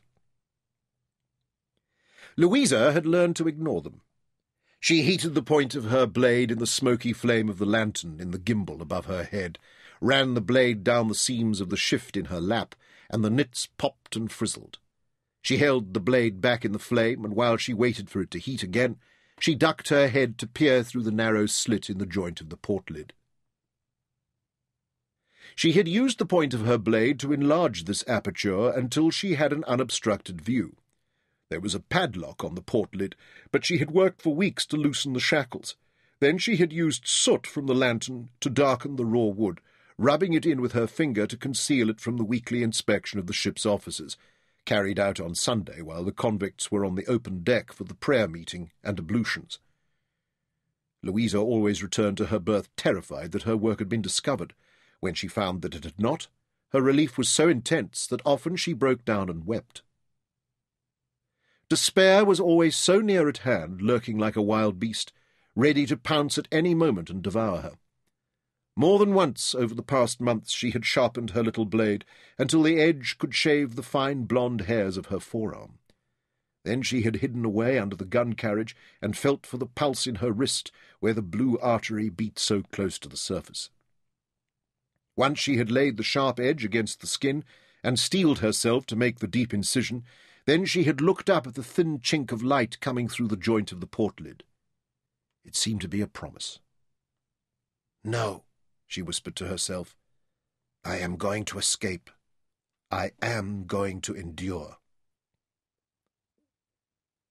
To bolster her determination, she spent hours during those terrible, endless days when the ship crashed through the high, turbulent storms of the southern Atlantic, daydreaming of the bright, happy days of her childhood, which now seemed to have been in another hazy existence. She trained herself to retreat into her imagination and to shut out the reality in which she was trapped. She dwelt on the memory of her father, Hendrik Leuven, a tall, thin man with his black suit buttoned high. She saw again his crisp white lace stock, the stockings that covered his scrawny shanks, lovingly darned by her mother, and the pinchbeck buckles on his square-toed shoes, polished until they shone like pure silver. Under the wide brim of his tall black hat, the lugubriousness of his features was given the lie by mischievous blue eyes. She had inherited hers from him. She remembered all of his funny, fascinating, and poignant stories. Every night when she was young, he had carried her up the stairs to her cot. He had tucked her in and sat beside her, reciting them to her while she tried desperately to fight off sleep. When she was older, she had walked with him in the garden, her hand in his, through the tulip fields of the estate, going over the day's lessons with him. She smiled secretly now as she recalled his endless patience with her questions, and his sad, proud smile when she arrived at the right answer to a mathematical problem with only a little prompting. Hendrik Leuven had been tutor to the van Ritters family, one of the preeminent merchant families of Amsterdam. Mynheer Koen van Ritters was one of Het Seventeen, the board of directors of the VOC. His warehouses ran for a quarter of a mile along both banks of the inner canal, and he traded around the world with his fleet of fifty-three fine ships. His country mansion was one of the most magnificent in Holland. During the winter, his numerous household lived in Huis Brabant, the huge mansion overlooking the canal. Louisa's family had three rooms at the top of the house to themselves, and from the window of her tiny bedroom she could look down on the heavily laden barges and the fishing boats coming in from the sea. However, the spring was the time she loved the most. That was when the family moved out into the country, to Mooi Uitzig, their country estate. In those magical days, Hendrik and his family lived in a cottage across the lake from the big house. Louisa remembered the long skeins of geese coming up from the south as the weather warmed. They landed with a great splash on the lake, and their honking woke her in the dawn. She cuddled under her eiderdown and listened to her father's snores from the next room. She had never again felt so warm and safe as she did then. Louisa's mother, Anne, was English. Her father had brought her to Holland when she was a child. He had been a corporal in the bodyguard of William of Orange after he had become King of England. When Anne was sixteen, she had been engaged as a junior cook in the Van Ritters household and had married Hendrik within a year of taking up her post. Louisa's mother had been plump and jolly, always surrounded by an aura of the delicious aromas of the kitchen, spices and vanilla, saffron and baking bread. She had insisted that Louisa learn English, and they always spoke it when they were alone. Louisa had an ear for language. In addition, Anne taught her cooking and baking, embroidery, sewing, and all the feminine skills. Louisa had been allowed as a special concession by Mynheer van Ritters to take her lessons with his own children, although she was expected to sit at the back of the classroom and keep quiet. Only when she was alone with her father could she ask the questions that had burned all day on the tip of her tongue. Very early she had learned deferential manners. Only twice in all the years had Louisa laid eyes on Mevrouw van Ritters. On both occasions she had spied on her from the classroom window as she stepped into the huge black-curtained carriage, assisted by half a dozen servants. She was a mysterious figure, clad in layers of black brocaded silks and a dark veil that hid her face. Louisa had overheard her mother discussing the chatelaine with the other servants. She suffered from some skin disease which made her features as monstrous as a vision of hell. Even her own husband and children were never allowed to see her unveiled. On the other hand, Mynheer van Ritters sometimes visited the classroom to check on his offspring's progress. He often smiled at the pretty demure little girl who sat at the back of the room. Once he even paused beside Louisa's desk to watch her writing on her slate in a neat and well-formed script. He smiled and touched her head, what lovely hair you have, little one, he murmured. His own daughters tended towards plump and plain. Louisa blushed. She thought how kind he was, and yet as remote and powerful as God. He even looked rather like the image of God in the huge oil painting in the banquet hall. It had been painted by the famous artist Rembrandt Harmenszoon van Rijn, a protege of the Van Ritters family. It was said that Mynheer's grandfather had posed for the artist. The painting depicted the day of resurrection, with the merciful Lord lifting the saved souls into paradise, while in the background the condemned were herded into the burning pit by demons. The painting had fascinated Louisa, and she spent hours in front of it. Now, in the reeking gun deck of the Mew, combing the nits from her hair, Louisa felt like one of the unfortunates destined for Hades. She felt tears near the surface, and tried to put the sad thoughts from her mind, but they kept crowding back. She had been just ten when the Black Plague had struck Amsterdam again, beginning as before in the rat-infested docks, then sweeping through the city. Mynheer van Ritters had fled with all his household from Huis Brabant, and they had taken refuge at Mooi Uitzig, he ordered that all the gates to the estate were to be locked and armed sentries placed at each to deny access to strangers. However, when the servants unpacked one of the leather trunks they had brought from Amsterdam, a huge rat leapt out and scuttled down the staircase. Even so, for weeks they believed themselves safe, until one of the housemaids collapsed in a dead faint while she was waiting on the family at dinner. Two footmen carried the girl into the kitchen and laid her on the long table. When Louisa's mother opened the top of her blouse, she gasped as she recognized the necklace of red blotches around the girl's throat, the stigmata of the plague, the ring of roses. She was so distressed that she took little notice of the black flea that sprang from the girl's clothing onto her own skirts. Before sunset the following day, the girl was dead. The next morning, two of the van Ritter's children were missing when Louisa's father called the classroom to order. One of the nursery maids came into the room and whispered in his ear. He nodded, then said, Corbus and Tinus will not be joining us today. Now, little ones, please open your spelling books at page five. No, Petronella, that is page ten. Petronella was the same age as Louisa, and she was the only one of the Van Ritter's children who had been friendly to her. They shared a double desk at the back of the room. She often brought small gifts for Louisa, and sometimes invited her to play with her dolls in the nursery. On Louisa's last birthday, she had given her one of her favourites. Of course, her nurse had made Louisa give it back. When they walked along the edge of the lake, Petronella held Louisa's hand. Tinus was so sick last night, she whispered. He vomited. It smelt awful. Halfway through the morning, Petronella stood up suddenly, and without asking permission, started towards the door. Where are you going, Petronella? Hendrik Leuven demanded sharply. She turned and stared at him with a bloodless face. Then, without a word, she collapsed onto the floor. That evening, Louisa's father told her, Mynheer van Ritters has ordered me to close the classroom. None of us is allowed up to the big house again until the sickness has passed. We are to stay here in the cottage. What will we eat, Papa? Louisa, like her mother, was always practical. Your mother is bringing down food for us from the pantries cheese, ham, sausages, apples, and potatoes. I have my little vegetable garden and a rabbit hutch and the chickens. You will help me work in the garden. We will continue your lessons. You will make swifter progress without the duller children to hold you back. It will be like a holiday. We will enjoy ourselves. But you are not allowed to leave the garden, do you understand? He asked her seriously, as he scratched the red flea bite on his bony wrist. For three days they had enjoyed themselves. Then the next morning, as Louisa was helping her mother prepare breakfast, Anne fainted over the kitchen stove and spilled boiling water down her leg. Louisa helped her father carry her up the stairs and lay her on the big bed. They wrapped her scalded leg in bandages soaked in honey. Then Hendrik unbuttoned the front of her dress and stared in terror at the ring of roses around her throat.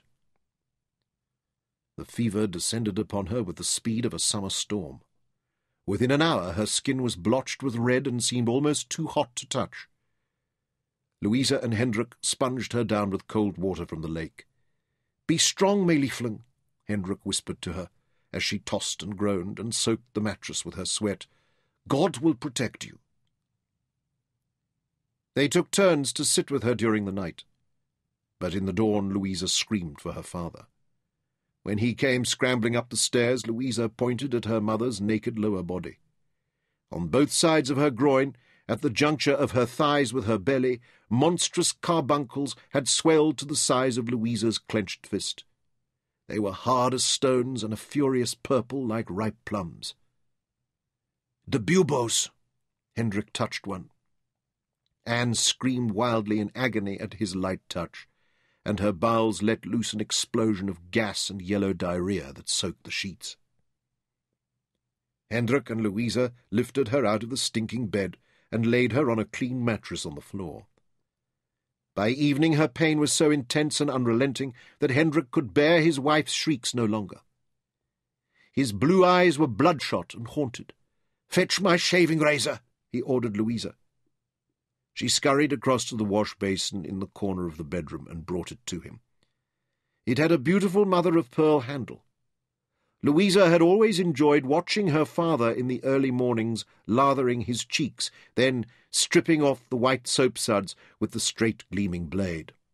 What are you going to do, Papa? she asked as she watched him sharpening the edge on the leather strop. We must let out the poison. It is killing your mother. Hold her still. Gently, Louisa took hold of her mother's wrists. It's going to be all right, Mamma. Papa is going to make it better.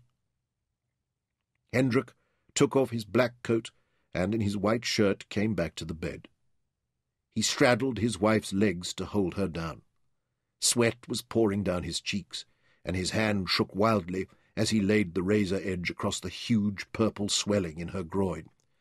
Forgive me, O oh merciful God, he whispered, then pressed down and drew the blade across the carbuncle, cutting deeply and cleanly. For a moment nothing happened. Then a tide of black blood and custard-yellow pus erupted out of the deep wound. It splattered across the front of Hendrik's white shirt and up to the low ceiling of the bedroom above his head. Anne's back arched like a longbow, and Louisa was hurled against the wall. Hendrik cringed into a corner, stunned by the violence of his wife's contortions.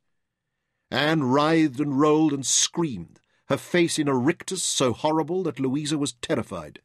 She clasped both hands over her own mouth to prevent herself screaming as she watched the blood spurt in powerful, regular jets from the wound. Gradually the pulsing scarlet fountain shriveled, and Anne's agony eased. Her screams died away, until at last she lay still and deadly pale in a spreading pool of blood. Louisa crept back to her side and touched her arm. Mamma, it's all right now. Papa has let all the poison out. You are going to be well again soon. Then she looked across at her father. She had never seen him like this. He was weeping, and his lips were slack and blubbery. Saliva dripped from his chin. Don't cry, Papa, she whispered. She will wake up soon. But Anne never woke again.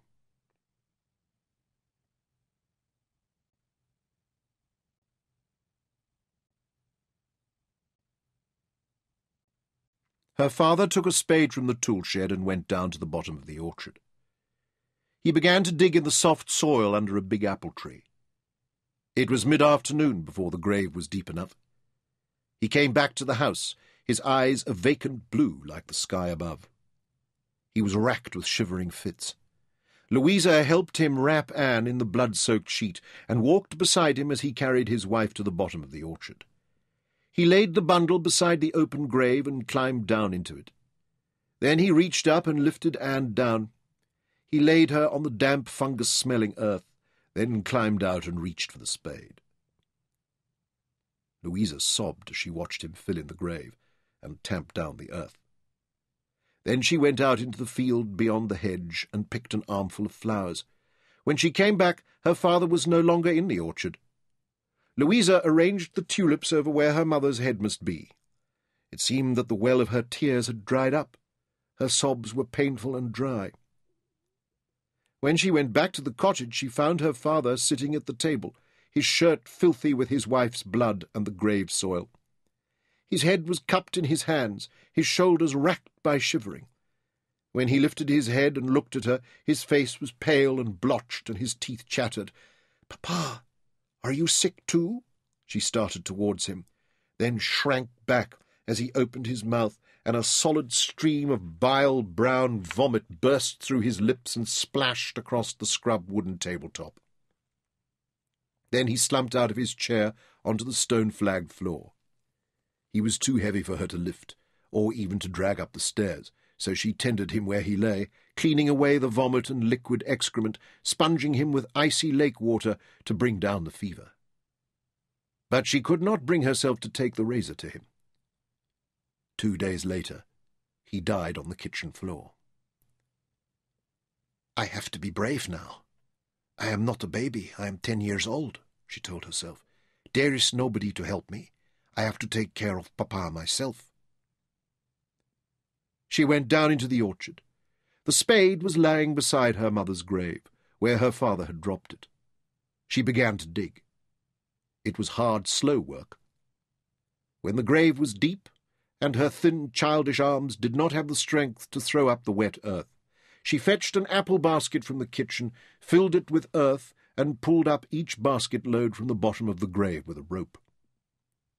When darkness fell, she worked on in the grave by lantern light. When it was as deep as she was tall, she went back to where her father lay and tried to drag him to the door. She was exhausted. Her hands were raw and blistered from the handle of the spade, and she could not move him. She spread a blanket over him to cover his pale, blotched skin and staring eyes, then lay down beside him and slept until morning. When she woke, sunlight was streaming through the window into her eyes.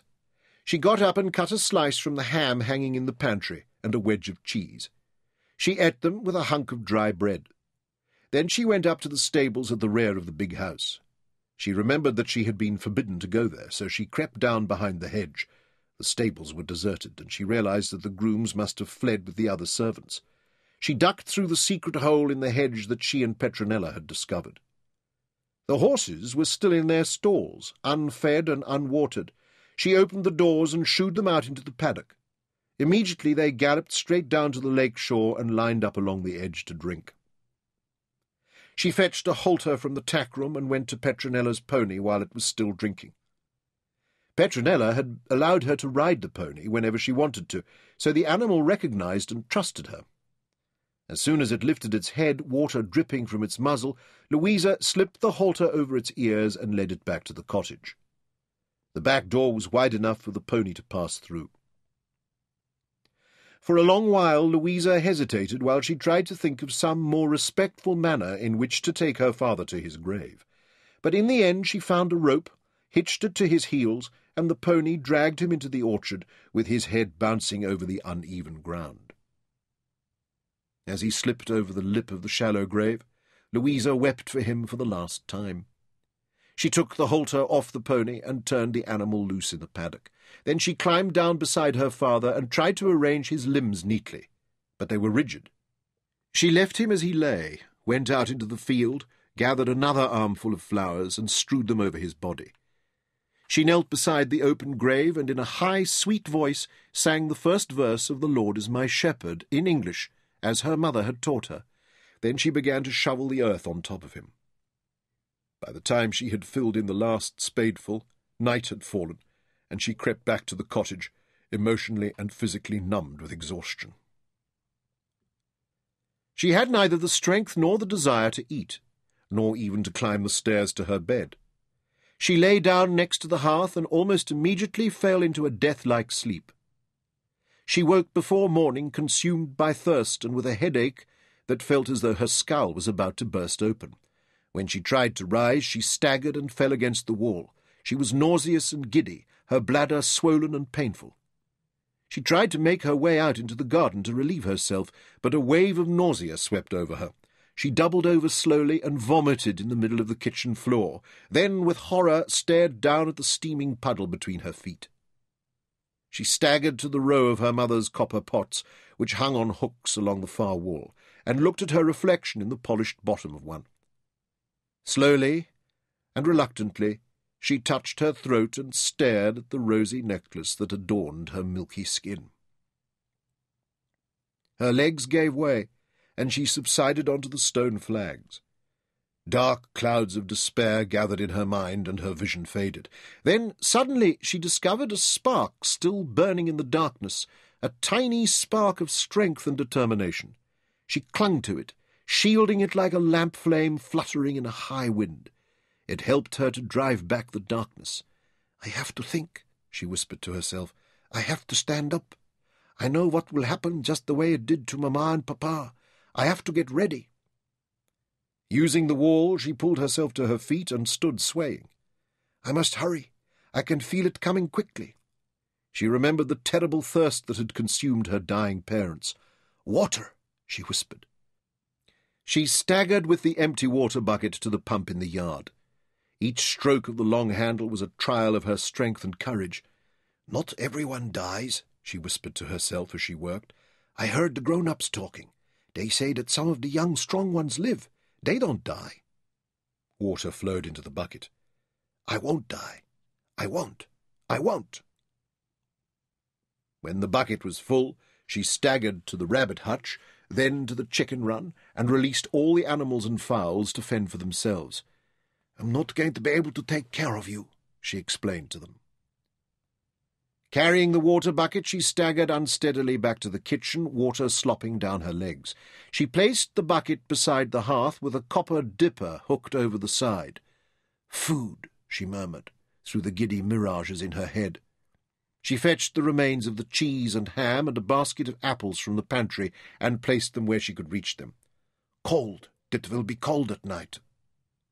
She dragged herself to the linen chest where her mother had kept what remained of her dowry took out a bundle of woolen blankets and a sheepskin rug and laid them out beside the hearth. Then she fetched an armful of firewood from the stack in the corner, and as the shivering fits began, she built up the fire. The door! Lock the door! She had heard that in the city starving pigs and dogs had broken into the houses where people lay too sick to defend themselves. The animals had eaten them alive. She closed the door and placed the locking bar in the brackets. She found her father's axe and a carving knife, and laid them beside her mattress. There were rats in the thatch and the walls of the cottage. She had heard them scurrying about in the night, and her mother had complained of their nocturnal depredations in her pantry. Petronella had described to Louisa how a huge rat had got into the nursery of the big house while the new nursemaid was drunk on gin. Her father had found the horrid beast in her little sister's cot, and had ordered the grooms to thrash the drunken nurse. The wretched woman's screams had penetrated the classroom, and the children had exchanged glances of delicious horror as they listened. Now Louisa's skin crawled at the thought of lying helpless under a rat's razor fangs. With the last of her strength, she brought down the largest of her mother's copper pots from its hook on the wall and placed it in the corner with the lid in place. She was a fastidious child, and the thought of fouling herself as her parents had done was abhorrent to her. That's all I can do, she whispered, and collapsed onto the sheepskin. Dark clouds swirled in her head, and her blood seemed to boil in her veins with the heat of fever. Our Father which art in heaven, she recited the prayer in English, as her mother had taught her. But the sweltering darkness overwhelmed her. Perhaps an eternity passed before she rose slowly to the surface of her mind, like a swimmer coming up from great depth. The darkness gave way to a blinding white light. Like sunlight on a snowfield, it dazzled and blinded her. The cold came out of the light, chilling her blood and frosting her bones, so she shivered wildly. Moving painfully, she drew the sheepskin over herself and rolled herself into a ball, hugging her knees to her chest. Then, fearfully, she reached behind. The flesh had wasted from her buttocks, leaving the bones poking through. She explored herself with a finger, dreading the feel of wet, slimy feces. But her skin was dry. She sniffed her finger tentatively. It was clean. She remembered overhearing her father talking to her mother. Diarrhea is the worst sign. Those who survive do not scour their bowels. It's a sign from Jesus, Louisa whispered to herself through chattering teeth. I did not dirty myself. I am not going to die. Then the scalding heat came back to burn away the cold and the white light. She tossed on the mattress in delirium, crying to her father and her mother and to Jesus. Thirst woke her. It was a fire in her throat, and her tongue filled her parched mouth like a sun-heated stone. She fought to raise herself on one elbow and reach for the water dipper. On the first attempt, she spilled most of it over her chest, then choked and gasped on what remained in the copper dipper. The few mouthfuls that she was able to swallow renewed her strength miraculously. On her next attempt, she forced down the entire contents of the dipper. She rested again, then drank another dipperful. She was satiated at last, and the fires in her blood for the moment seemed quenched. She curled under the sheepskin, her belly bulging with the water she had drunk. This time the sleep that overcame her was deep but natural. Pain roused her. She did not know where she was, or what had caused it. Then she heard a harsh ripping sound close at hand. She opened her eyes and looked down. One of her feet protruded from under the sheepskin. Hunched over her bare foot was something as big as a tomcat, grey and hairy. For a moment she did not know what it was, but then the tearing sound came again, and the pain. She wanted to kick out at it or scream, but she was frozen with terror. This was her worst nightmare come true. The creature lifted its head and peered at her with bright bead-like eyes. It wiggled the whiskers on its long pointed nose, and the sharp curved fangs that overlapped its lower lip were rosy pink with her blood. It had been gnawing at her ankle. The little girl and the rat stared at each other, but Louisa was still paralyzed with horror. The rat lowered its head and bit into her flesh again. Slowly, Louisa reached out for the carving knife beside her head. With the speed of a cat, she slashed out at the foul creature. The rat was almost as quick. It leapt high in the air, but the point of the knife split open its belly. It squealed and flopped over. Louisa dropped the knife and watched, wide-eyed, as the rat dragged itself across the stone floor, the slimy purple tangle of its entrails slithering after it. She was panting, and it took a long time for her heart to slow and her breathing to settle. Then she found that the shock had made her feel stronger. She sat up and examined her injured foot. The bites were deep. She tore a strip off her petticoat and wrapped it round her ankle. Then she realized she was hungry. She crawled to the table and pulled herself up. The rat had been at the ham.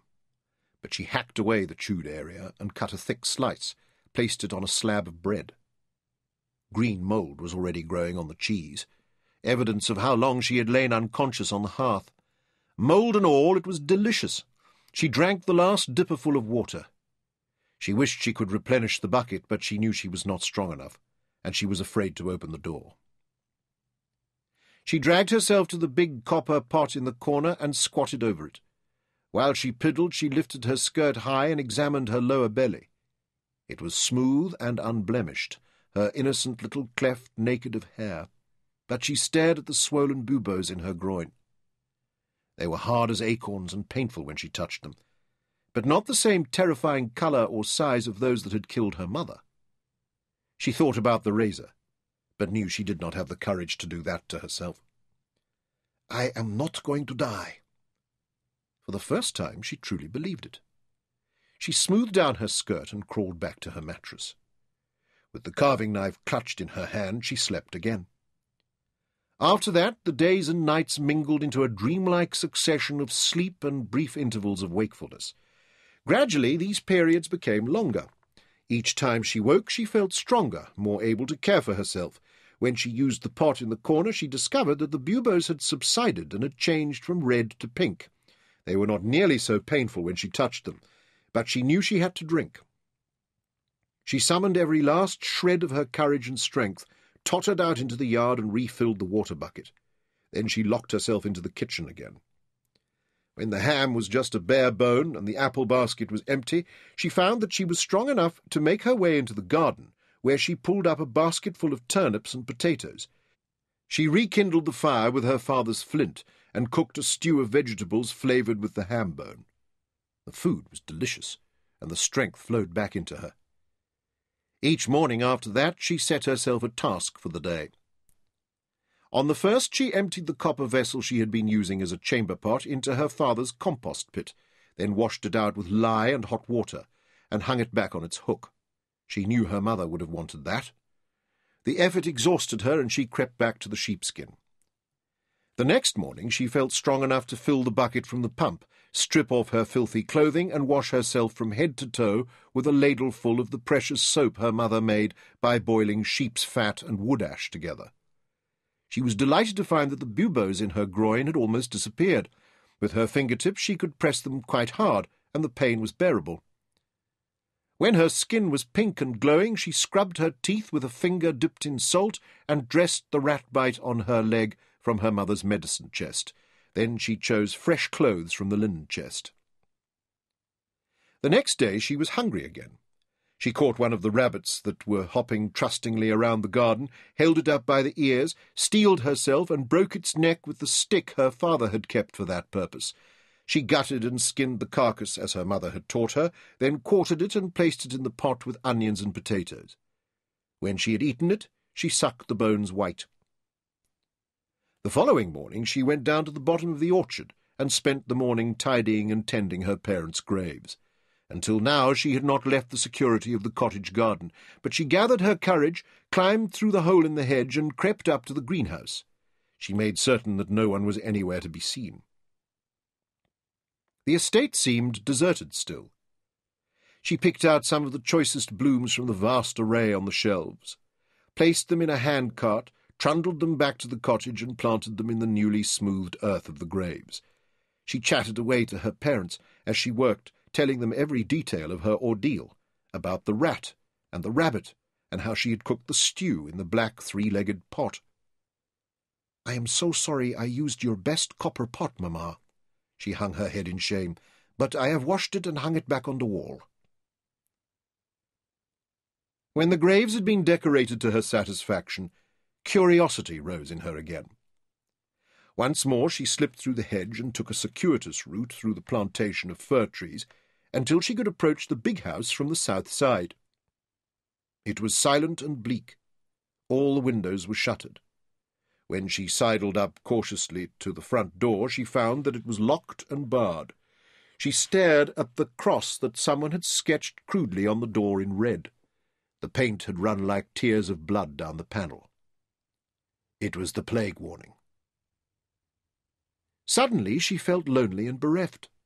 She sat down on the steps that led up to the doorway. I think I am the only person left alive in the world. All the others are dead. At last she stood up, and, made bold by desperation, ran round to the back door which led to the kitchen and the servants' quarters. She tried it. To her astonishment, it swung open. Hello, she called. Is anyone there? Stals? Hans? Where are you? The kitchen was deserted. She went through to the scullery and stuck her head through the door. Hello! There was no answer.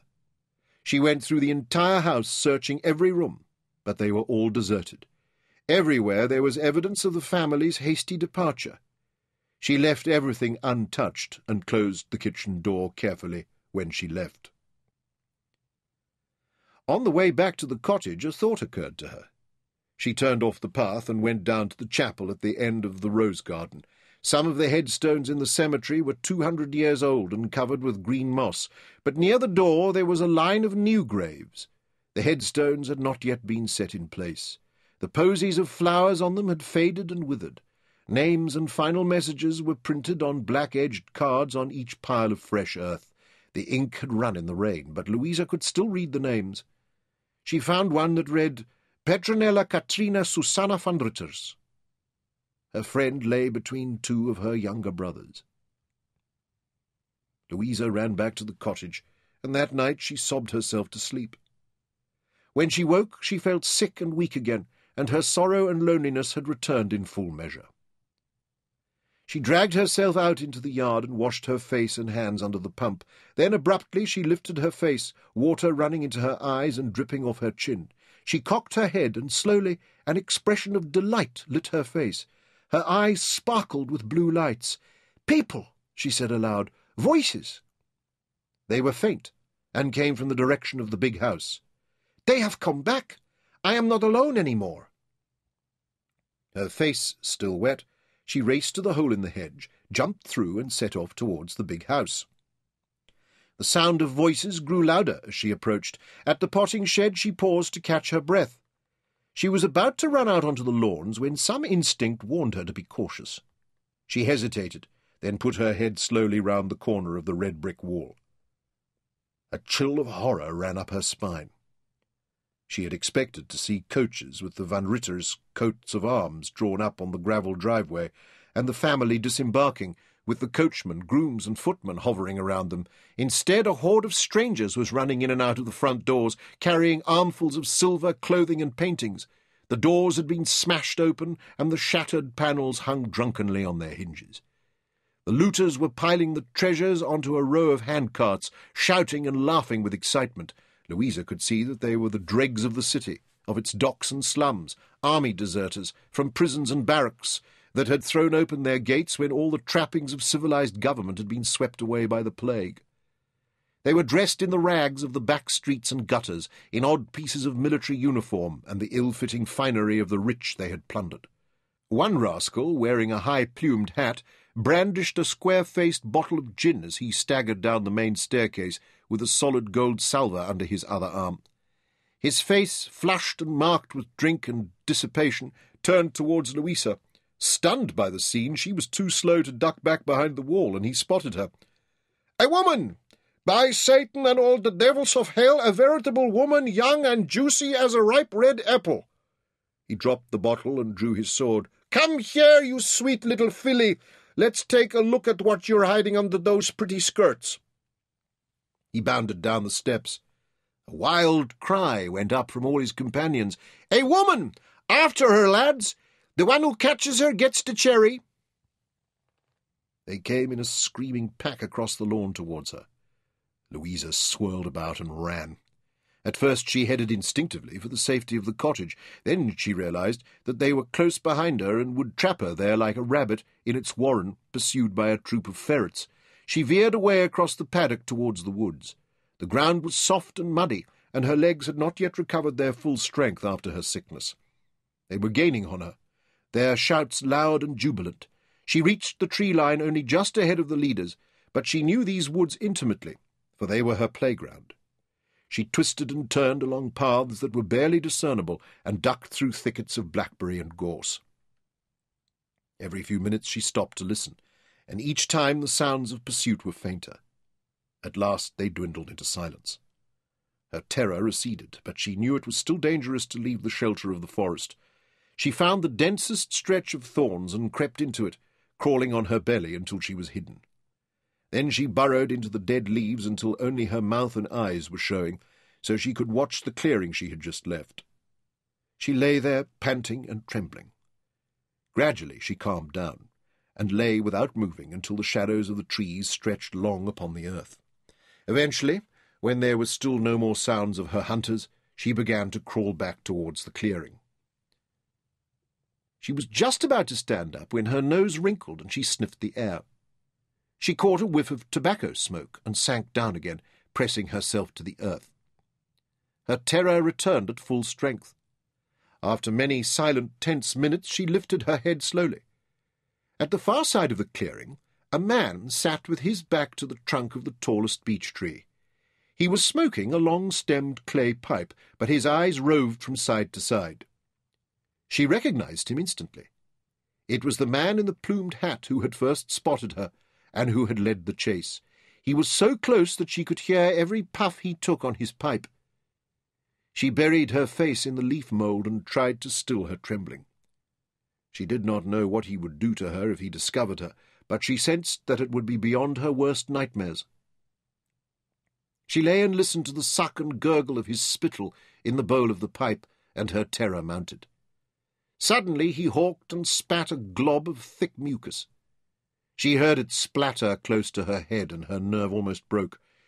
It was only by exerting all her courage and self-discipline that she stopped herself jumping to her feet and running again. Time seemed to stand still, but at last she felt the air turn cold on her bare arms. Still she did not lift her head. Then she heard rustling in the leaves and heavy footsteps coming directly towards her across the clearing. They stopped close by her head, and a great bull voice bellowed, so close to her that her heart seemed to clench and freeze. There you are, I can see you. I'm coming. Run, you'd better run. Her frozen heart came to life and hammered against her ribs, but she forced herself not to move. There was another long silence, then the footsteps walked away from where she lay. As he went, she could hear him muttering to himself, Dirty little hole. She's probably riddled with the pox anyway. She lay without moving until the darkness was complete, and she heard an owl hoot in the top of the beech tree. Then she stood up and crept through the woods, starting and trembling at every rustle and scurry of the small night creatures. She did not leave the cottage again for some days. During the day she immersed herself in her father's books, there was one in particular that fascinated her, and she read it from the first page to the last, then started again at the beginning.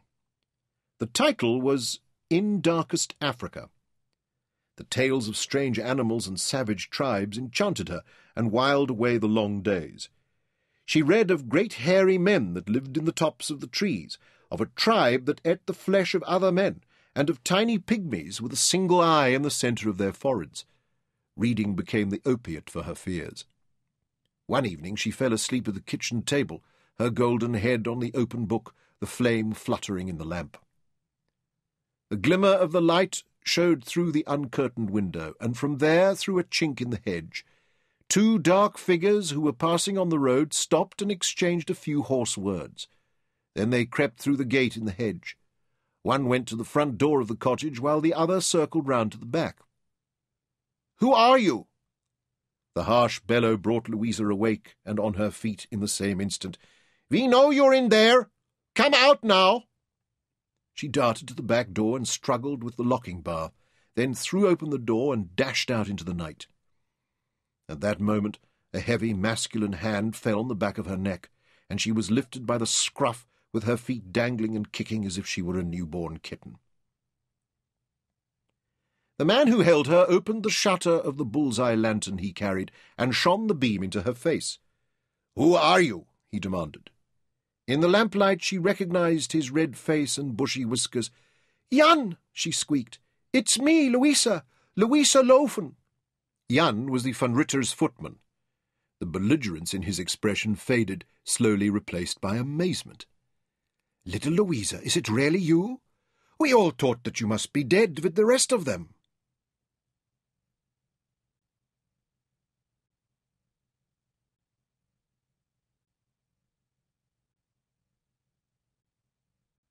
A few days later, Jan travelled with Louisa to Amsterdam in a cart containing some of the salvaged possessions of the Van Ritters family. When he led her into the kitchens of the Huis Brabant, the servants who had survived crowded round to welcome her. Her prettiness, her sweet manner, and sunny nature had always made her a favourite in the servants' quarters, so they grieved with her when they heard that Anne and Hendrik were dead. They could hardly believe that little Louisa, at just ten, had survived without her parents or friends, and had done so on her own resources and resolve. Elise, the cook, who had been a dear friend of her mother, immediately took her under her protection. Louisa had to tell her tale again and again as news of her survival spread, and the other servants, the workers and seamen from the Van Ritter's ships and warehouses, came to hear it. Every week, Stulz, the butler and major domo of the household, wrote a report to Mynheer Van Ritters in London, where he had taken refuge from the plague with the remainder of his family. At the end of one report, he mentioned that Louisa, the schoolmaster's daughter, had been rescued. Mynheer was gracious enough to reply, See that the child is taken in and set to work in the household. You may pay her as a scullery maid. When I return to Amsterdam, I shall decide what is to be done with her.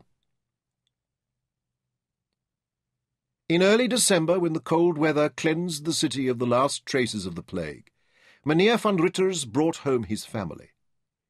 His wife had been carried away by the plague, but her absence would make no difference to their lives.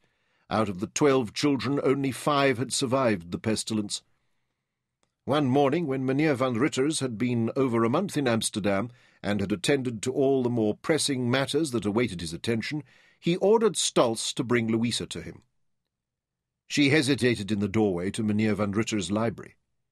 He looked up from the thick leather-bound ledger in which he was writing. Come in, child, he ordered. Come here where I can see you. Stulz led her to stand in front of the great man's desk.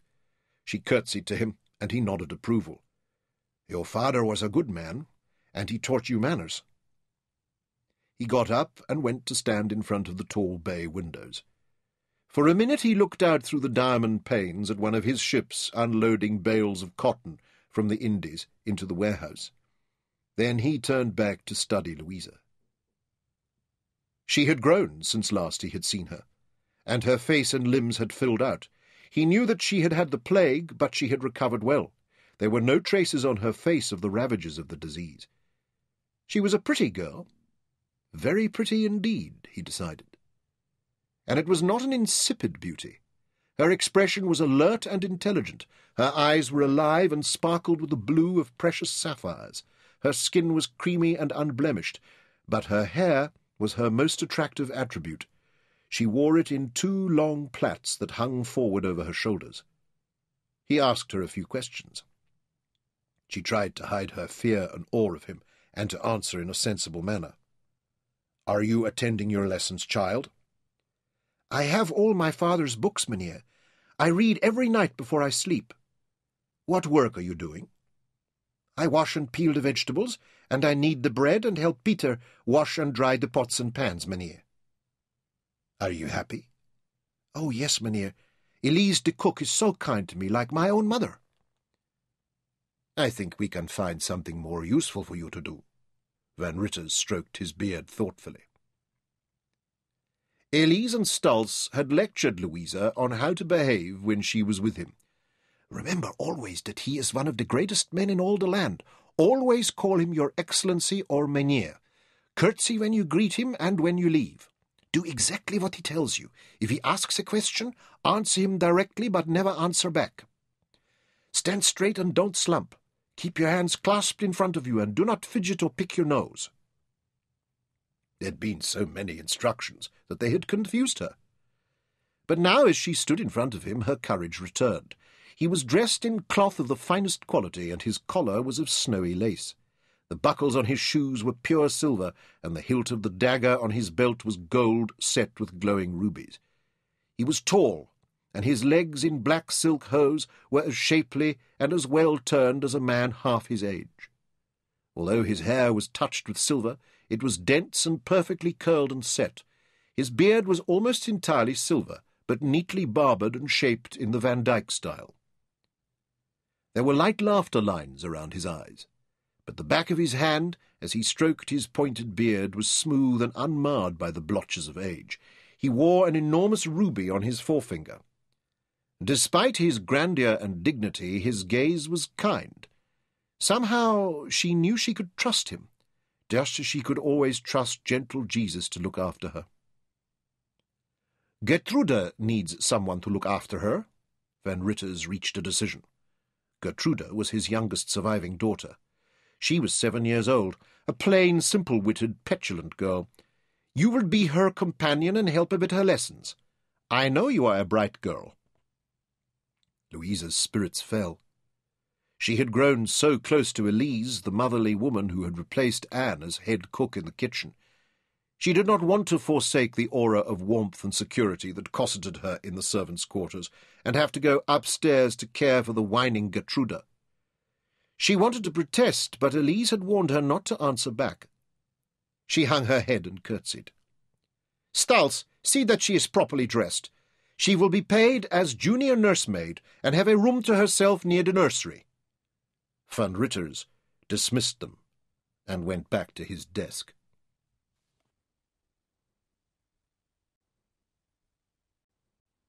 Louisa knew she would have to make the best of her circumstances. There was no alternative. Mynheer was the lord of her universe. She knew that if she tried to pit herself against his dictates, her suffering would be endless. She set herself to win over Gertrude. It was not easy, for the younger girl was demanding and unreasonable. Not content with having Louisa as a slave during the day, she would scream for her in the night when she woke from a nightmare, or even when she wanted to use the chamber pot. Always uncomplaining and cheerful, Louisa gradually won her over.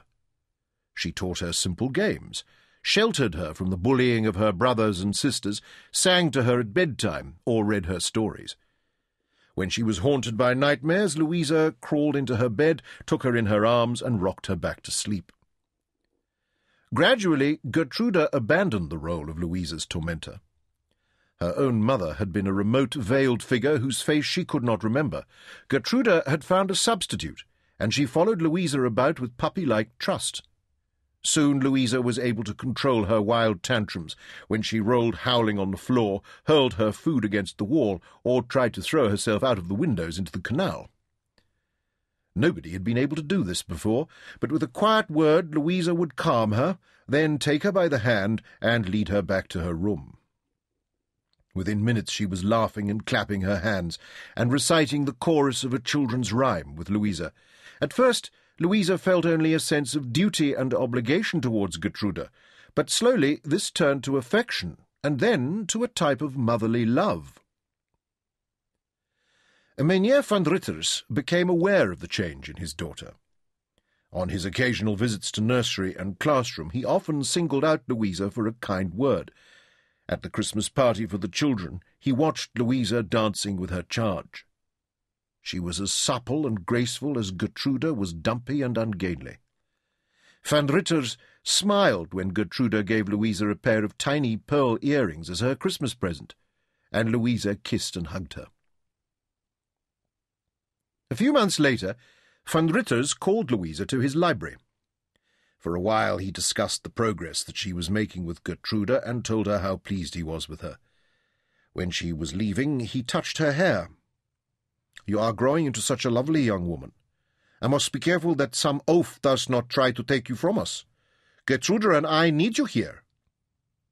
Louisa was almost overcome by his condescension. On Louisa's thirteenth birthday, Gertruda asked her father to give her a special birthday treat. Van Ritters was taking one of his elder sons to England, where he was to enter the great university at Cambridge, and Gertruda asked if she and Louisa might go with the party. Indulgently, Van Ritters agreed. They sailed on one of the Van Ritters' ships and spent most of that summer visiting the great cities of England. Louisa was enchanted by her mother's homeland and took every opportunity to practice the language. The Van Ritters party stayed for a week in Cambridge as Mynheer wanted to see his favourite son settled in. He hired all the rooms at the Red Boar, the finest tavern in the university town. As usual, Louisa slept on a bed in the corner of Gertruda's room. She was dressing one morning, and Gertruda was sitting on her bed chattering to her. Suddenly she reached out and pinched Louisa's bosom. Look, Louisa, you are growing titties. Gently, Louisa removed her hand. In the last few months she had developed the stony lumps under her nipples that heralded the onset of puberty. Her breast buds were swollen, tender, and sensitive. Gertrude's touch had been rough. You must not do that, Gertie, my chat. It hurts me, and that's an ugly word you used. I'm sorry, Louisa. Tears formed in the child's eyes. I didn't mean to hurt you. It's all right. Louisa kissed her. Now, what do you want for breakfast? Cakes. The tears were immediately forgotten. Lots of cakes with cream and strawberry jam. Then afterwards we can go to the Punch and Judy show, Louisa suggested. Oh, can we, Louisa? Can we really? When Louisa went to ask Mynheer van Ritter's permission for the outing, he decided on an impulse to accompany them. In the carriage, Gertrude, in her unpredictable fashion, returned to the morning's topic. She announced in a penetrating tone, Louisa has got pink titties. The tips stick out. Louisa lowered her eyes and whispered, I told you, Gertie, that's a rude word. You promised not to use it again. I am sorry, Louisa, I forgot. Gertrude looked stricken. Louisa squeezed her hand. I'm not cross-shut. I just want you to behave like a lady. Van Ritters seemed not to have overheard the exchange. He did not look up from the book that was open on his knee. However, during the puppet show, when the hook-nosed Punch was beating his shrieking wife about the head with a club, Louisa glanced sideways and saw that Mynheer was studying the tender swellings beneath her blouse. She felt the blood rush to her cheeks and drew her shawl more closely around her shoulders. It was autumn when they sailed on the return journey to Amsterdam. On the first night at sea, Gertruda was prostrate with seasickness. Louisa nursed her and held the basin for her as she retched. At last she fell into a deep sleep, and Louisa escaped from the fetid cabin. Longing for a breath of fresh sea air, she hurried up the companionway to the deck. She stopped in the hatchway as she spotted the tall, elegant figure of Van Ritters standing alone on the quarter-deck. The officers and crew had left the windward rail to him. As the ship's owner, this was his prerogative. She would have gone below again immediately, but he saw her and called her to him. How is my Gertie? Uh, she is sleeping, Mynheer. I am sure that she will feel much better in the morning. At that moment, a larger wave lifted the ship's hull, and she rolled sharply. Taken off balance, Louisa was thrown against him. He put an arm around her shoulders. I am so sorry, Mynheer. Her voice was husky. I slipped. She tried to draw back, but his arm held her firmly. She was confused, unsure what she should do next. She dared not pull away again. He made no move to release her, and then, she could hardly credit her senses, she felt his other hand close on her right breast. She gasped and shivered as she felt him roll her tender, swollen nipple between his fingers. He was gentle, unlike his daughter had been. He did not hurt her at all. With a terrible burning shame, she realized she was enjoying his touch. I am cold, she whispered. Yes, he said. You must go below before you catch a chill. He released her and turned back to lean on the rail. Sparks streamed from the tip of his cheroot and blew away in the wind.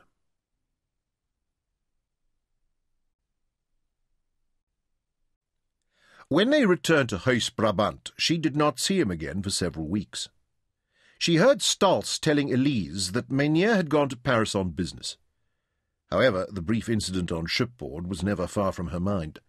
Sometimes she woke in the night and lay awake, burning with shame and remorse as she relived it. She felt that what had happened was her fault.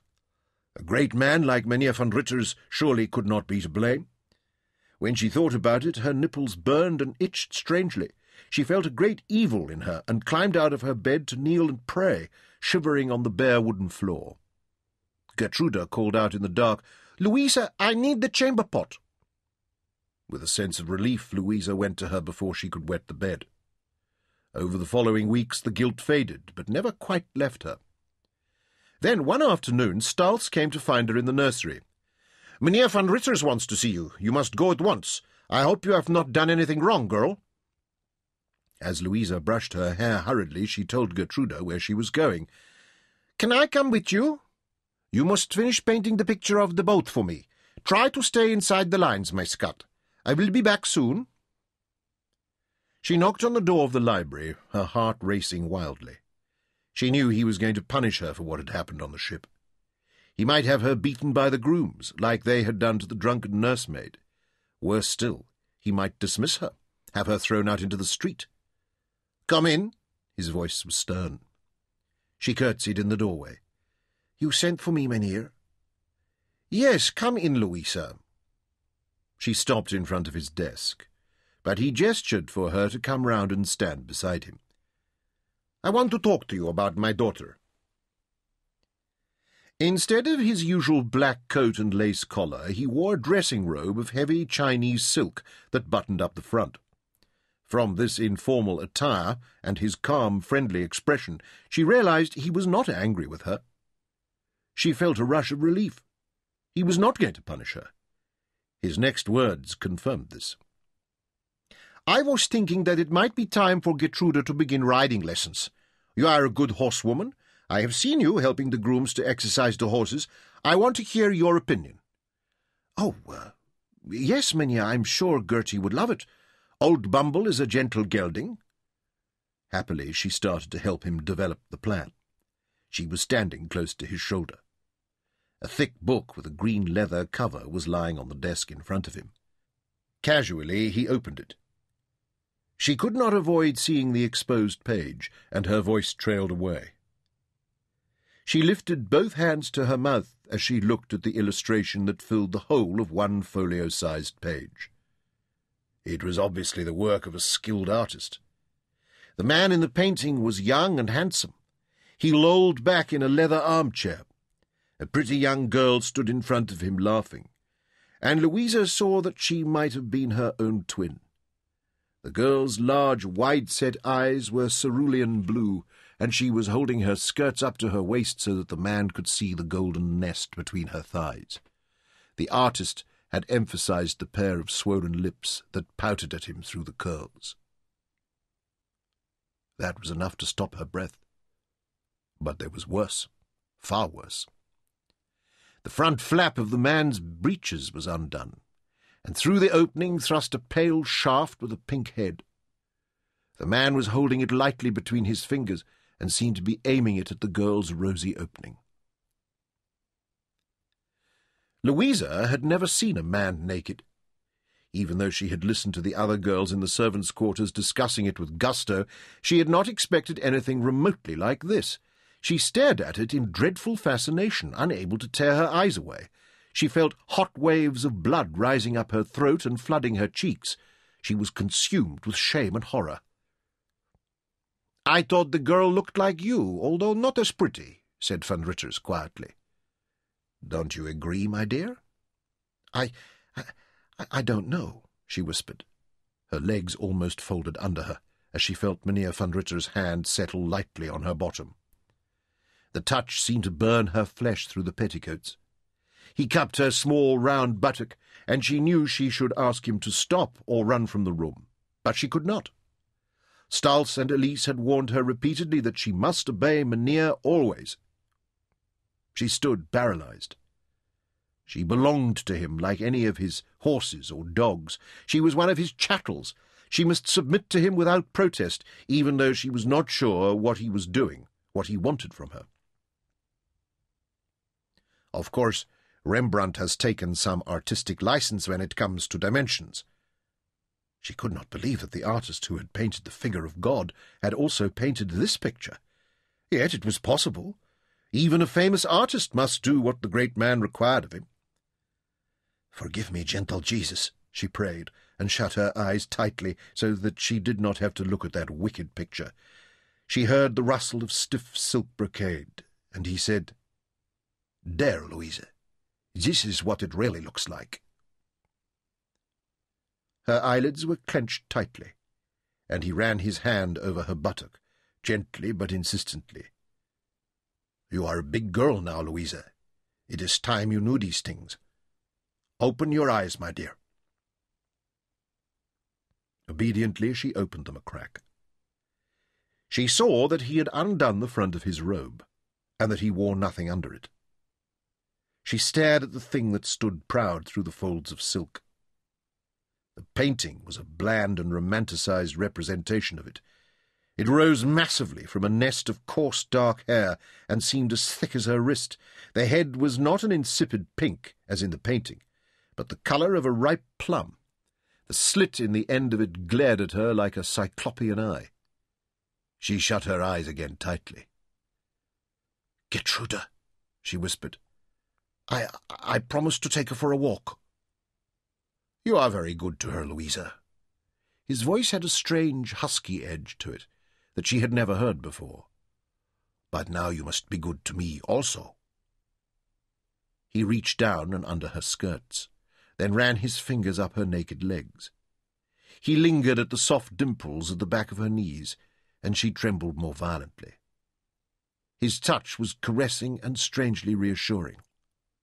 But she knew it was wrong. She was confused by these contrary emotions, and she felt as though she was suffocating. His fingers left the soft back of her knees and moved up her thigh. The touch was neither furtive nor hesitant, but authoritative, not something she could deny or oppose. You must be good to me, he had said, and she knew that he had every right to ask that of her. She owed him everything. If this was being good to him, then she had no choice yet she knew it was wicked, and that Jesus would punish her. Perhaps he would cease to love her for what they were doing.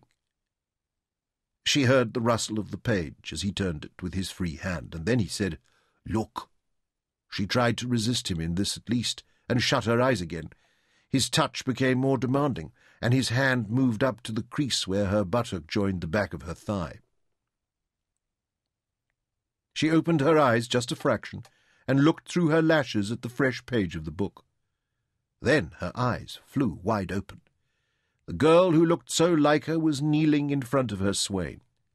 Her skirts had hiked up behind her, and her exposed bottom was round and buttery. Both she and the boy were gazing down into his lap. The girl's expression was fond, as though she were looking down at a beloved pet, a kitten, perhaps. She held it clasped in both her small hands, but her dainty fingers were not able to encompass its girth. Is it not a beautiful picture? he asked. And despite the wickedness of the subject, she felt a strange empathy towards the young couple. They were smiling, and it seemed as though they loved each other and were enjoying what they were doing. She forgot to close her eyes again. You see, Louisa, that God has made men and women differently. On their own they are incomplete, but together they make a whole. She was not sure exactly what he meant, but sometimes she had not understood what her father had told her, or the sermon preached by the dominie. That is why the couple in the painting are so happy, and why you can see that they feel full of love for each other.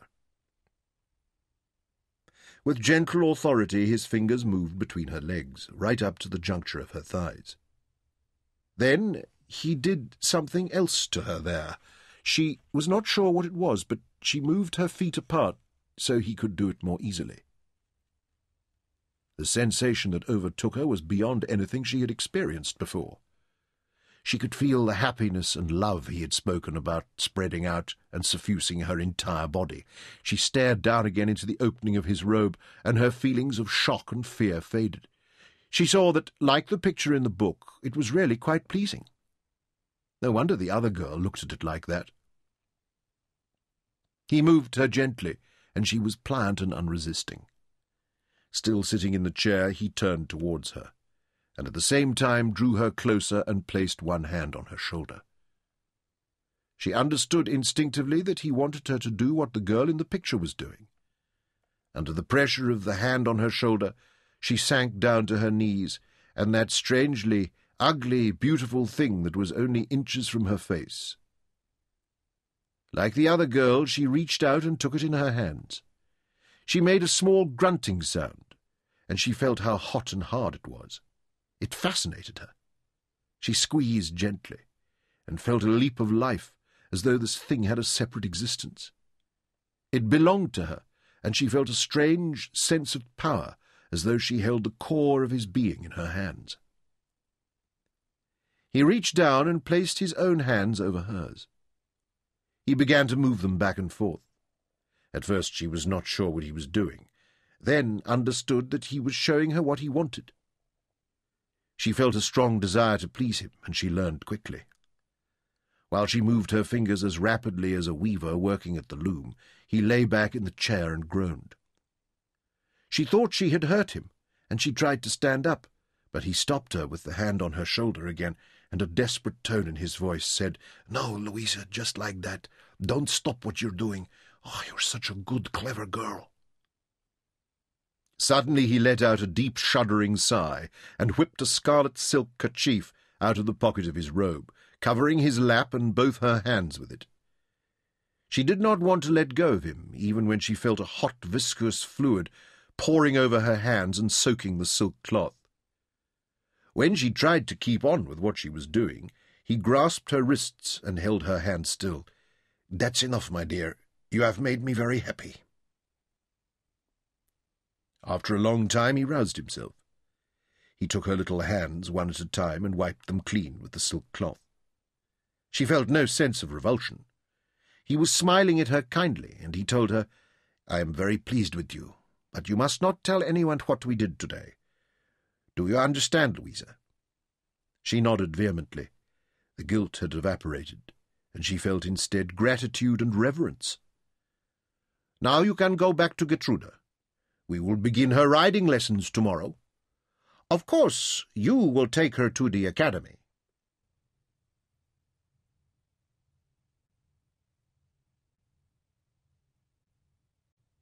Over the next few weeks, Louisa saw him only once, and at a distance. She was halfway up the staircase on her way to Gertruda's room when a footman opened the doors to the banquet room and Mynheer van Ritters led out a procession of his guests.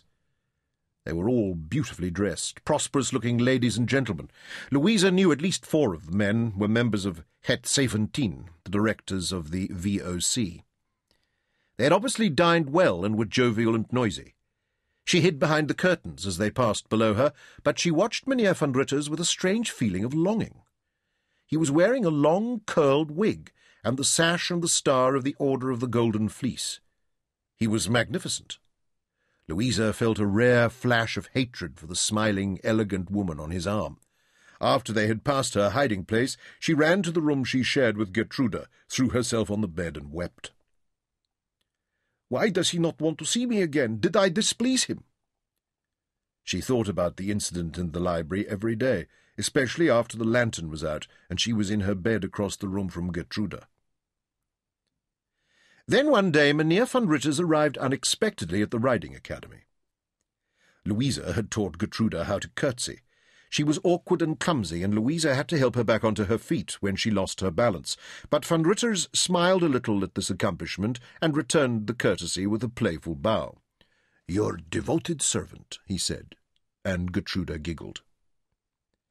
He did not speak directly to Louisa, and she knew better than to address him uninvited. He watched Gertruda make a circuit of the ring on the lead rein. Louisa had to walk beside the pony, and Gertruda's pudding face was screwed up with terror. Then van Ritters left as abruptly as he had appeared. Another week passed, and Louisa was torn with opposing emotions. At times the magnitude of her sin returned to plague her. She had allowed him to touch and play with her, and she had taken pleasure in handling that monstrous thing of his. She had even begun to have the most vivid dreams about it, and she woke in confusion, her newly fledged breasts and her private parts burning and itching. As though in punishment for her sins, her breasts had swelled until they strained the buttons of her blouse. She tried to hide them, keeping her arms crossed over her chest, but she had seen the stable boys and the footman looking at them. She wanted to talk to Elise about what had happened to her, and asked her advice, but Mynheer van Ritters had warned her against this, so she kept silent. Then, unexpectedly, Stolz told her, You are to move to your own room. It is the Mynheer's order. Louisa stared at him in astonishment. But what about Gertruda? She can't sleep alone. The master thinks it's time she learned to do so. She, too, will have a new room, and you will have the one beside her. She will have a bell to call you if she needs you in the night. The girls' new apartments were on the floor below the library and the Mynheer's bedroom suite. Louisa made a game of the move and stilled Gertruda's misgivings. They took all her dolls up and held a party for them to introduce them to their new quarters. Louisa had learned to speak in a different voice for each toy, a trick that never failed to reduce Gertruda to shrieks of laughter. When each of her dolls in turn had told Gertruda how happy they were with their new home, she was convinced. Louisa's own room was light and spacious. The furnishings were quite splendid, with velvet curtains and gilt chairs and bedstead. There was a feather mattress on the bed and thick blankets. There was even a fireplace with a marble surround, although Stolz cautioned her that she would be rationed to a single bucket of coal a week. But wonder of wonders, there was a tiny cubicle that contained a commode with a lid that lifted to reveal a carved seat and the porcelain chamber pot under it. Louisa was in a haze of delight as she crept into bed that first night. It seemed that she had never been warm in her life until this evening.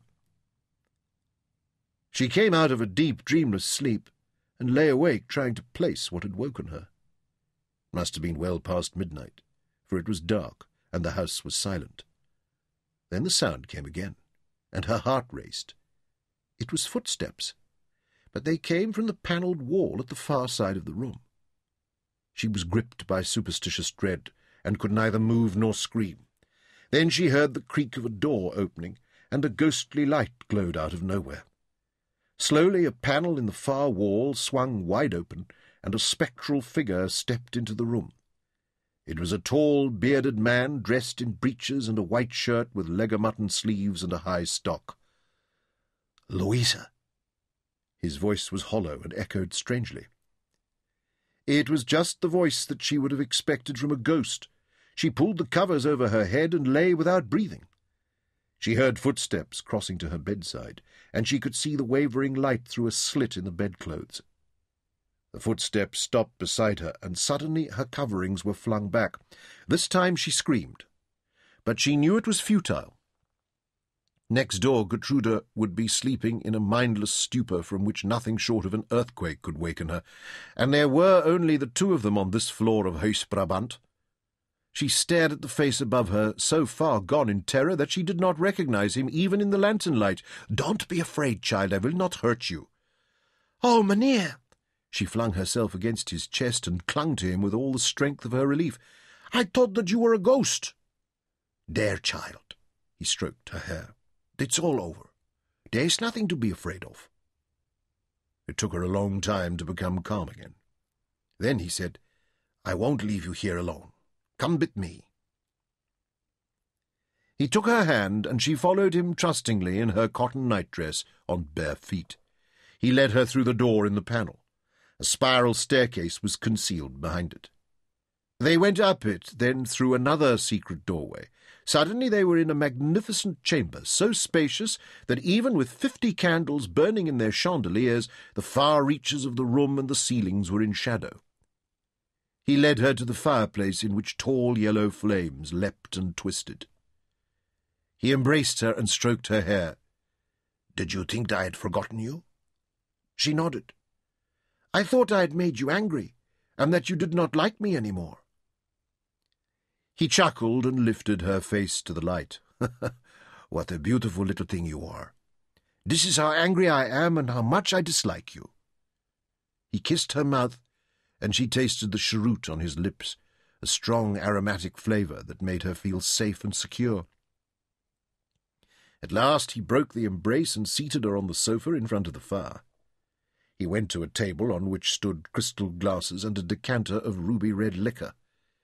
He poured a glass and brought it to her. Drink this. It will chase away the bad thoughts. She choked and coughed at the sting of the liquor, but then a marvellous glow spread through her, to her toes and fingertips, he sat beside her, stroked her hair, and spoke to her softly, telling her how pretty she was, what a good girl, and how he had missed her. Lulled by the warmth in her belly, and his mesmeric voice, she leaned her head on his chest. He lifted the hem of her nightdress over her head, and she wriggled out of it. Then she was naked. In the candlelight, her childlike body was pale and smooth as cream in a jug. She felt no shame as he fondled her and kissed her face. She turned this way and that at the gentle urging of his hands. Suddenly he stood up, and she watched him as he pulled off his shirt and breeches. When he came back to the sofa and stood in front of her, he did not have to guide her hands, and she reached for him naturally. She gazed at his sex, as she slid back the loose skin to reveal the shiny plum-coloured head, as he had taught her. Then he reached down, removed her hands, and sank to the floor in front of her. He pushed apart her knees and laid her back on the velvet-covered sofa. He lowered his face, and she felt his moustache tickling the inside of her thighs, then moving higher. "'What are you doing?' she cried with alarm. He had not done this before and she tried to sit up. He held her down, and suddenly she cried out and sank her fingernails into his shoulders. His mouth had settled on her most secret parts. The sensation was so intense that she feared for a moment she might faint.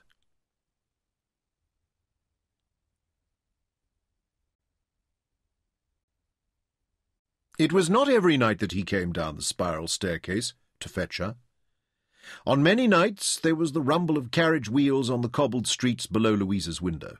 She blew out her candle and peeped through the curtains to watch Mynheer van Ritter's guests arriving for another banquet or fashionable soiree. Long after they had left, she lay awake, hoping to hear his footsteps on the staircase. But she was usually disappointed. For weeks or even months at a time he was gone, sailing on one of his fine ships to places with strange and evocative names. While he was gone, she was restless and bored. She found that she was even impatient with Gertruda and unhappy with herself. When he came back, his presence filled the great house, and even the other servants were enlivened and excited by it. Suddenly, all the waiting and pining were as if they had never happened, as she heard him descending the staircase, and leapt from her bed to meet him as he stepped through the secret door in the panelling. After that, he devised a signal to summon her to his chamber, so that he no longer had to come down to fetch her. At dinner time, he would send a footman to deliver a red rose to Gertruda. None of the servants who delivered the bloom thought it odd. They all knew that Mynheer had an inexplicable affection for his ugly, slow-witted daughter, but on those nights the door at the top of the spiral staircase was unlocked, and when Louisa stepped through, he was waiting for her. These meetings were never the same. Every time he invented some new game for them to act out. He made her dress in fantastic costumes. Play the role of milkmaid, stable boy, or princess. Sometimes he made her wear masks, the heads of demons and wild animals. On other evenings they would study the pictures in the Green Book and then enact the scenes they depicted. The first time he showed her the picture of the girl lying under the boy and his shaft buried in her to the hilt. She did not believe it was possible. But he was gentle, patient, and considerate, so that when it happened there was little pain, and only a few drops of her virgin blood on the sheets of the wide bed. Afterwards she felt a great sense of accomplishment, and when she was alone she studied her lower body with awe. It amazed her that the parts she had been taught were unclean and sinful could be the seat of such delights. She was convinced now that there was nothing more that he could teach her. She believed that she had been able to pleasure him and herself in every conceivable way. But she was wrong. He went away on one of his seemingly interminable voyages, this time to a place called St. Petersburg in Russia, to visit the court of Pyotr Alexeyevich, whom other men called Peter the Great, and to expand his interests in the trade in precious furs. When he returned, Louisa was in a fever of excitement, and this time she did not have long to wait for his summons. That evening a footman delivered a single red rose to Gertruda, while Louisa was cutting up her roasted chicken. Why are you so happy, Louisa? Gertruda demanded as she danced around the bedroom. Because I love you, Gertie, and I love everybody in the world, Louisa sang. Gertruda clapped her hands. And I love you too, Louisa. Now it's time for your bed, and here is a cup of hot milk to make you sleep tight. That evening, when Louisa stepped through the secret doorway into Mynheer van Ritter's bedchamber, she stopped dead in astonishment. This was a new game, and she was at once confused and frightened. This was too real, too terrifying. Mynheer van Ritter's head was concealed with a tight-fitting black leather hood, with round cut-out eye-holes and a crude gash for a mouth. He wore a black leather apron and shiny black boots that reached to the top of his thighs. His arms were folded across his chest, and his hands were covered with black gloves.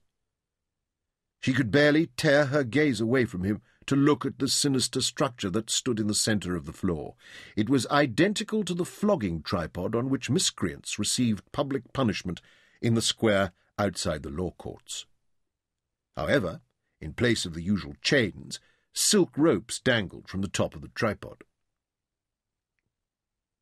She smiled at him with trembling lips, but he stared back at her impassively through the eye holes in the black hood. She wanted to run, but he seemed to anticipate her intentions. He strode to the door and locked it. Then he placed the key in the front pocket of his apron. Her legs gave way under her, and she sank to the floor. I am sorry, she whispered. Please don't hurt me. You have been sentenced for the sin of harlotry to twenty strokes of the whip. His voice was stern and harsh. Please let me go. I don't want to play this game. This is no game. He came to her, and though she pleaded with him for mercy, he lifted her and led her to the tripod. He tied her hands high above her head with the silken ropes, and she peered back at him over her shoulder, with her long yellow hair hanging over her face. What are you going to do to me? He went to the table against the far wall, and with his back turned to her, picked up something. Then, with theatrical slowness, he turned back with the whip in his hand. She whimpered and tried to free herself from the silken bonds that pinioned her wrists, twisting and turning as she hung on the tripod. He came to her and placed one finger into the opening of her nightdress and ripped it down to the hem. He stripped away the tatters, and she was naked. He came to stand in front of her, and she saw a huge bulge under his leather apron, evidence of his arousal. Twenty strokes, he repeated in the cold, hard voice of a stranger, and you will count each one as it falls. Do you understand, you wanton little whore? She winced at the word. Nobody had ever called her that before.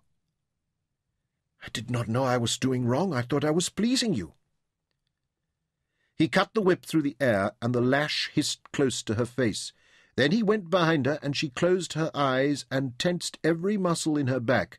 But still the pain of the stroke defied her belief, and she shrieked aloud. Count! he ordered, and through white quivering lips she obeyed. One! she screamed. It went on and on without pity or respite until she fainted. He held a small green bottle under her nose, and the pungent fumes revived her. Then it started again. Count! he ordered. At last she was able to whisper, Twenty. And he laid the whip back on the table. He was loosening the strings of his leather apron as he came back to her. She hung on the silk ropes, unable to lift her head or support herself. Her back, her buttocks, and the tops of her legs felt as though they were on fire. He came up behind her, and she felt his hands on her lower body, drawing her red throbbing buttocks apart. Then there was a pain more dreadful than any that had gone before it.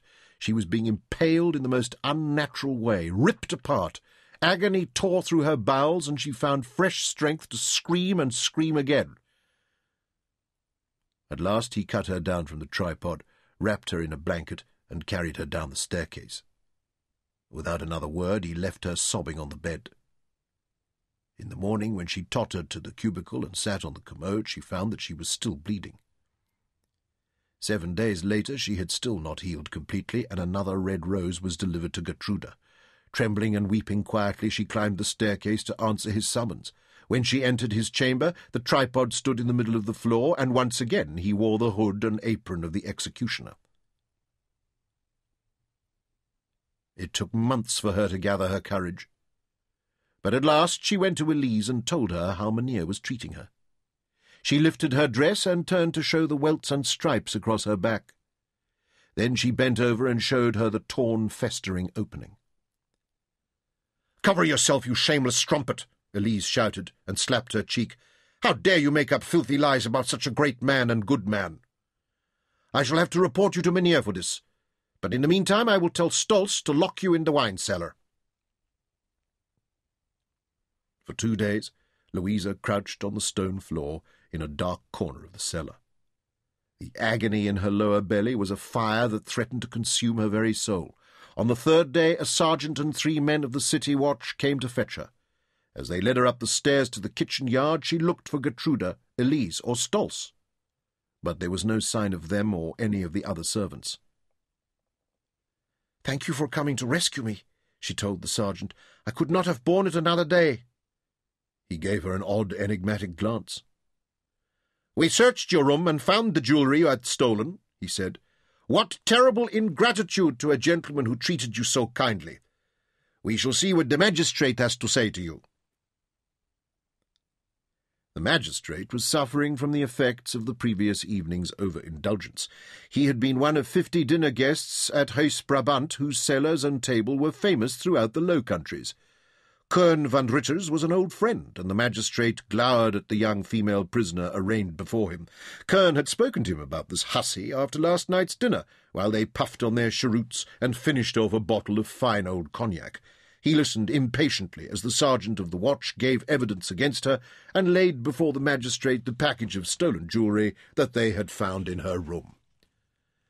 Prisoner is to be transported to the penal colony in Batavia for life, the magistrate ordered. Het Gelukkige Meeuw was lying in the harbour almost ready to sail. They marched Louisa from the courtroom directly to the docks. At the top of the gangplank she was met by the head jailer. He entered her name in the register, then two of his men locked leg irons on her ankles and shoved her down the hatchway to the gun deck.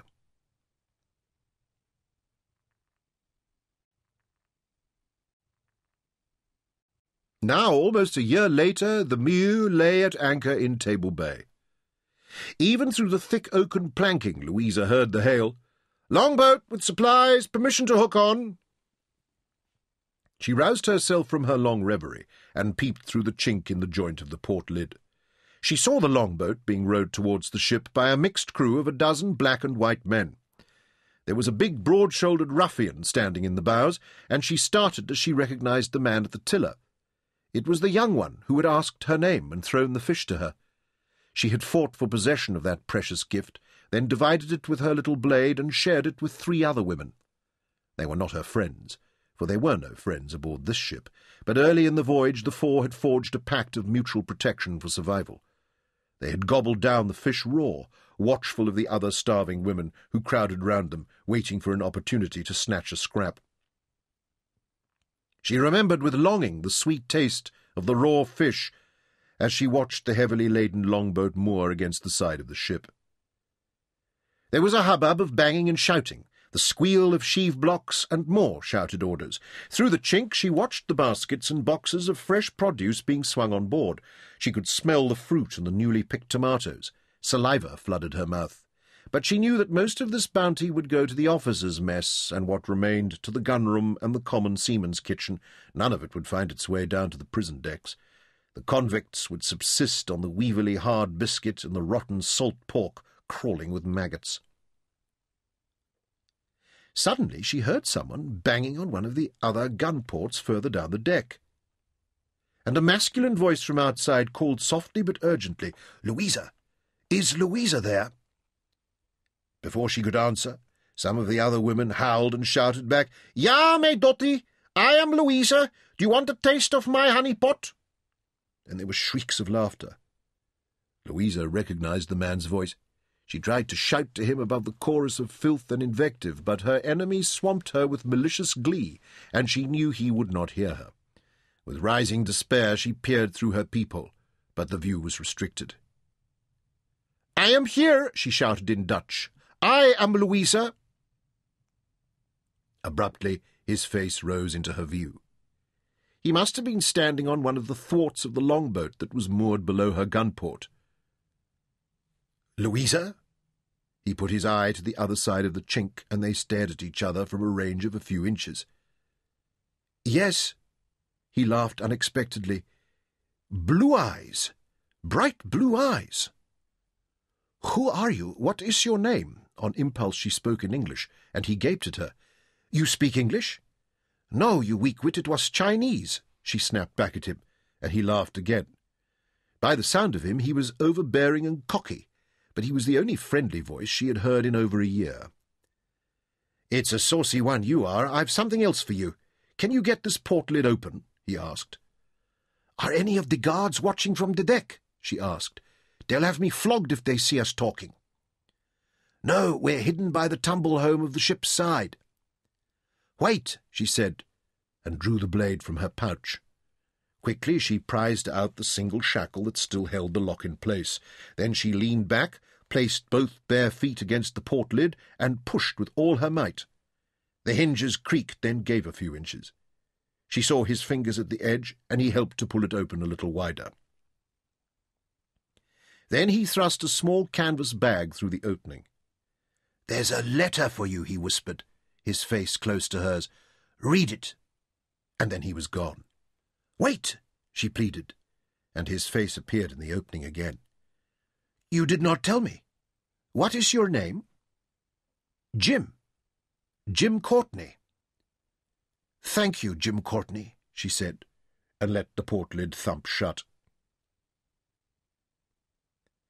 The three women crowded round her in a tight circle of protection as she opened the bag. Quickly they divided up the dried meat and the packets of hard biscuit, and gnawed at the unappetizing fare with desperate hunger. When she found the comb, tears came to Louisa's eyes. It was carved from dappled honey-coloured tortoiseshell. She stroked it through her hair, and it glided smoothly, not pulling painfully like the ugly hand-whittled thing she'd been reduced to. Then she found the file and the knife wrapped together in a scrap of canvas. The knife was horn-handled, and the blade, when she tested it on her thumb, was keen, a fine weapon. The sturdy little file had three cutting edges. She felt a lift of hope, the first in all those long months. She looked down at the irons on her ankles. The skin beneath the cruel bonds were calloused. Knife and file were invaluable gifts, but it was the comb that touched her deepest. It was an affirmation that he had seen her as a woman, not as jail dregs from the slums and the gutter. She rummaged in the bottom of the bag for the letter he had promised. It was a single sheet of cheap paper folded cunningly to form its own envelope. It was addressed to Louisa, in a bold but fair hand. She unfolded it, careful not to tear it. It was in poorly spelt Dutch, but she was able to make out the gist of it. Use the file on your chains. I'll have a boat under the stern tomorrow night. When you hear the ship's bell strike two bells in the middle watch, jump. I will hear the splash. Have courage. Her pulse raced. At once she knew that the chances of success were negligible. A hundred things could go wrong, not least a musket ball or a shark. What matters was that she had found a friend, and with it new hope of salvation, no matter how remote. She tore the note into shreds and dropped them into the reeking latrine bucket. None of the guards would try to retrieve it from there. Then she crept back under the cannon, into the darkness that was her only privacy, and sat with her legs folded under her so she could easily reach the links of her leg irons. With the first stroke of the little file she cut a shallow but bright notch and a few grains of iron filtered down to the deck. The shackles had been forged from untempered steel of poor quality, but it would take time and a heart-breaking perseverance to cut through a single link. I have a day and a night, until two bells into middle watch tomorrow night, she encouraged herself, and laid the file into the notch she had already cut. At the next stroke, more iron filings dusted the deck.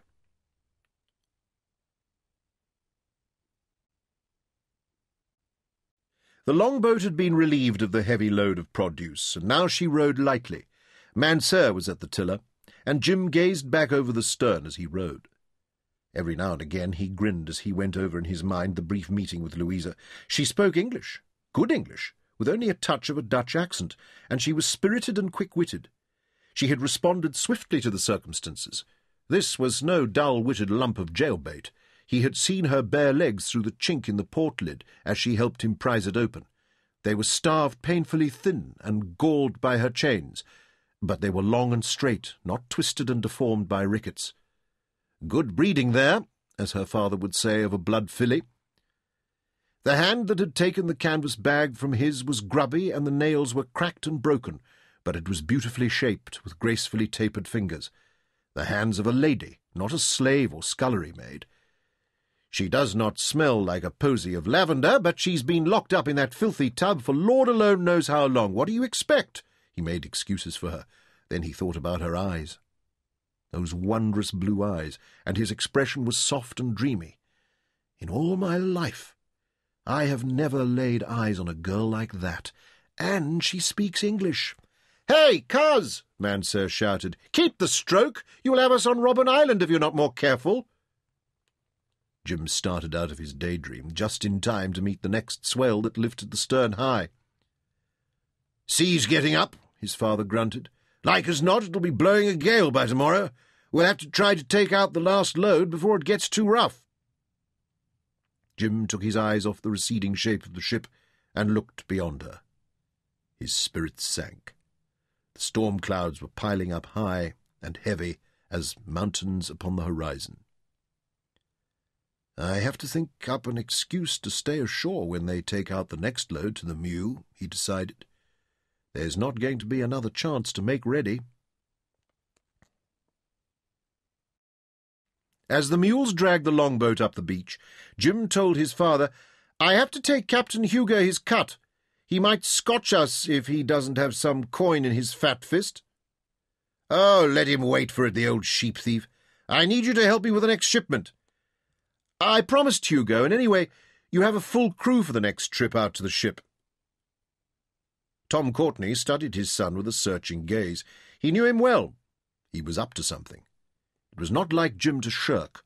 On the contrary, he was a rock on which Tom could depend. It was he who had established good terms with the purser on the convict ship. He had obtained the license to trade from Hugo, and he had supervised the loading of the first shipment. He could be trusted. Well, I don't know. Tom stroked his chin dubiously. Mansur stepped in quickly. Let Jim go, Uncle Tom. I can take over from him for the time being. Very well, Jim. Go and visit your friend Hugo, Tom acquiesced. but be back on the beach to help with the boats when we return. Later, from the top of the dunes, Jim watched the longboats rowing back towards the Meeuw with the final load of produce. It seemed to him that the swells were higher than they had been that morning, and the wind was starting to claw off the tops in a parade of leaping white horses. God spare us, he said aloud. If the storm comes up, I'll not be able to get the girl off until it passes. Then he remembered his instructions to her. He had told her to jump overboard at precisely two bells in the middle watch. He could not get another message to her to stop her doing that. Would she have the good sense to stay on board if there was a full gale blowing, realizing that he had not been able to keep the rendezvous, or would she throw herself overboard regardless and perish in the darkness? The thought of her drowning in the dark waters struck him like a fist in his belly, and he felt nauseous. He turned Drumfire's head towards the castle and pressed his heels into the horse's sides. Captain Hugo was surprised but pleased to have his commission paid so promptly. Jim left him without ceremony, refusing even a mug of coffee, and galloped back along the beach. He was thinking furiously as he rode. There had been so little time to lay his plans. It was only in the last few hours that he had been sure the girl had the spirit to chance such a hazardous escape. The first consideration, if he succeeded in getting her ashore, would be to find a safe hiding place for her. As soon as her escape was discovered, the entire castle garrison would be sent out to find her, a hundred infantry and squadron of cavalry. The company troops in the castle had little enough employment, and a manhunt, or better still, a woman hunt, would be one of the most exciting events in years. Colonel Keyser, the garrison commander, would be hot for the honour of capturing an escaped convict. For the first time he allowed himself to consider the consequences if this hare-brained scheme fell to pieces. He worried that he might be making trouble for his family. The strict law laid down by the directors of the VOC, the almighty Seventeen, in Amsterdam, was that no foreigner was permitted to reside or carry on a business in the colony. However, like so many other strict laws of the directors in Amsterdam, there were special circumstances by which they could be circumvented. Those special circumstances always involved a monetary token of esteem to His Excellency Governor van der Witten. It had cost the Courtney brothers twenty thousand guilders to obtain a license to reside and trade in the colony of Good Hope. Van der Witten was unlikely to revoke that license. He and Tom Courtney were on friendly terms, and Tom contributed generously to Van der Witten's unofficial pension fund. Jim hoped that if he and the girl simply disappeared from the colony, there would be nothing to implicate the rest of his family. There might be suspicions, and at the worst it might cost his father another gift to Van der Witten, but in the end it would blow over just as long as he never returned. There were only two avenues of escape from the colony. The natural and best was the sea, but that meant a boat. The Courtney brothers owned two armed traders, handy and fleet schooners with which they traded as far as Arabia and Bombay. However, at the present time both these vessels were at sea, and were not expected back until the monsoon changed, which would not be for several months yet. Jim had saved up a little money, perhaps enough to pay for a passage for the girl and himself on one of the ships lying in Table Bay at the moment, but the first thing Colonel Keyser would do as soon as the girl was reported missing was to send search parties aboard every ship. He could try to steal a small boat, a pinnace, perhaps, something seaworthy enough in which he and the girl could reach the Portuguese ports on the Mozambique coast, but every captain was alert for piracy. The most likely reward for his efforts would be a musket ball in his belly. Even in his most optimistic expectations, he had to face the fact that the sea route was closed to them. There was only one other still open, and he turned and looked northwards at the far mountains on which the last of the winter snows had not yet thawed. He pulled up Drumfire and thought about what lay out there. Jim had not travelled more than fifty leagues beyond those peaks, but he had heard of others who had gone further into the hinterland and returned with a great store of ivory. There was even a rumour of the old hunter who had picked a shiny pebble out of a sandbank of a nameless river far to the north and had sold the diamond in Amsterdam for a hundred thousand guilders. He felt his skin prickle with excitement. On countless nights he had dreamed of what lay beyond that blue horizon. He had discussed it with Mansur and Zama, and they had promised each other that one day they would make the journey. Had the gods of adventure overheard his boasts, and were they conspiring now to drive him out there into the wilderness? Would he have a girl with golden hair and blue eyes riding at his side? He laughed at the thought and urged Drumfire on. With his father, his uncle Dorian, and almost all the servants and freed slaves out of the way for the next few hours, he had to work quickly. He knew where his father kept the keys to both the strong room and the armory. He selected six strong mules out of the herd in the kraal, pack saddled them, and took them on a lead rein up to the rear doors of the godown. He had to choose carefully as he selected goods from the warehouse to make up the loads. A dozen best tower muskets and canvas ball pouches, kegs of black powder, and lead bars and moulds to cast more ball, axes, knives, and blankets, beads and cloth to trade with the wild tribes they might meet, basic medicines, pots and water bottles, needles and thread, and all the other necessities of existence in the wilderness, but no luxuries. Coffee was not a luxury, he consoled himself, as he added a sack of beans. When they were loaded, he led the string of mules away to a quiet place beside a stream in the forest almost two miles from High Weald. He relieved the animals of their packs so they could rest, and left them with knee halters to allow them to graze on the lush grass on the stream bank. By the time he returned to High Weald, the longboats were on their way back from the Meeuw. He went down to meet his father, Mansur, and the returning crews as they came back over the dunes. He rode along with them and listened to their desultory conversation. They were all drenched with sea water and almost exhausted, for it had been a long haul back from the Dutch ship in the heavy seas. Mansur described it to him succinctly. You were lucky to get out of it. The waves were breaking over us like a waterfall. Did you see the girl? Jim whispered, so his father would not overhear. What girl? Mansur gave him a knowing glance. You know what girl? Jim punched his arm. Mansur's expression turned serious. They had all the convicts locked up and battened down. One of the officers told Uncle Tom that the captain is anxious to sail as soon as he can finish reprovisioning and filling his water butts. By tomorrow at the very latest. He does not want to be pinned down by the storm on this lee shore. He saw Jim's despairing expression and went on sympathetically. Sorry, cuz, but like as not the ship will be gone by noon tomorrow. She would have been no good for you anyway, a convict woman. You know nothing about her. You don't know what crime she's committed. Murder, perhaps. Let her go, Jim. Forget about her. There's more than one bird in the blue sky, more than a single blade of grass on the plains of Camdeboo. Jim felt anger flare, and bitter words rose to his lips, but he held them back. He left the others and turned Drumfire towards the top of the dunes. From the height he looked out across the bay. The storm was mounting even as he watched, bringing on the darkness prematurely. The wind moaned and ruffled his hair and whipped Drumfire's mane into a tangle. He had to shield his eyes against the sting of flying sand and spume. The surface of the sea was a welter of breaking white spray, and tall heaving swells that rose up and crashed down on the beach. It was a wonder that his father had been able to bring the boats in through that turmoil of wind and water. But Tom Courtney was a master mariner. Almost two miles out, the Meeuw was an indistinct grey shape that rolled and pitched with swinging bare masts, and disappeared as each fresh squall swept across the bay. Jim watched until the darkness hid her completely. Then he galloped down the back of the dune towards High Weald.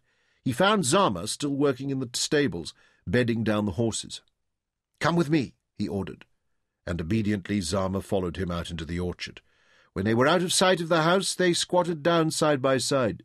They were silent for a while. Then Jim spoke in Lotzi, the language of the forests, so that Zama would know there were deadly serious matters to discuss. I am going, he said. Zama stared into his face, but his eyes were hidden by the darkness. Where, Somoya? he asked. Jim pointed with his chin towards the north. When will you return? I do not know. Perhaps never, said Jim. Then I must take leave of my father. You're coming with me? Jim asked. Zama glanced at him pityingly. No answer was needed to such a fatuous question. Aboli was a father to me also, Jim stood up and placed an arm around his shoulder. Let us go to his grave. They climbed the hill in the intermittent lightning flashes, but they both had the night vision of youth, so they went swiftly. The grave was on the eastern slope, sited deliberately to face each morning's sunrise. Jim remembered every detail of the funeral. Tom Courtney had slaughtered a black bull, and Aboli's wives had stitched the old man's corpse into the wet hide. Then Tom had carried Aboli's once great body, shrunken now with age like a sleeping child, down into the deep shaft. He had sat him upright, then laid out all his weapons and his most treasured possessions around him. Lastly, the entrance to the shaft was sealed with a round boulder. It had taken two full spans of oxen to drag it into position. Now, in the darkness, Jim and Zama knelt before it and prayed to the tribal gods of the Lotzi, and to Aboli, who in death had joined that dark pantheon. The rolling thunder counterpointed their prayers. Zama asked his father for his blessing on the journey that lay ahead of them. Then Jim thanked him for teaching him the way of the musket and the sword, and reminded Aboli of when he had taken him to hunt his first lion. Protect us, your sons, as you shielded us that day, he asked, for we go upon a journey we know not where. Then the two sat with their backs against the gravestone, and Jim explained to Zama what he must do. I've loaded a string of mules. They are tethered by the stream. Take them up into the mountains to Majuba, the place of doves, and wait for me there. Majuba was the rude hut hidden in the foothills that was used by the shepherds who took the Courtney flocks up to the high pastures in the summer, and by the men of the Courtney family when they went out to hunt the quagga, the eland, and the bluebuck. It was deserted at this season of the year, they said their last farewells to the old warrior who sat eternally in the darkness behind the boulder, and went down to the clearing beside the stream in the forest. Jim took a lantern from one of the packs, and by its light helped Zama load the mules with the heavy packs. Then he set him on the path that led northwards into the mountains.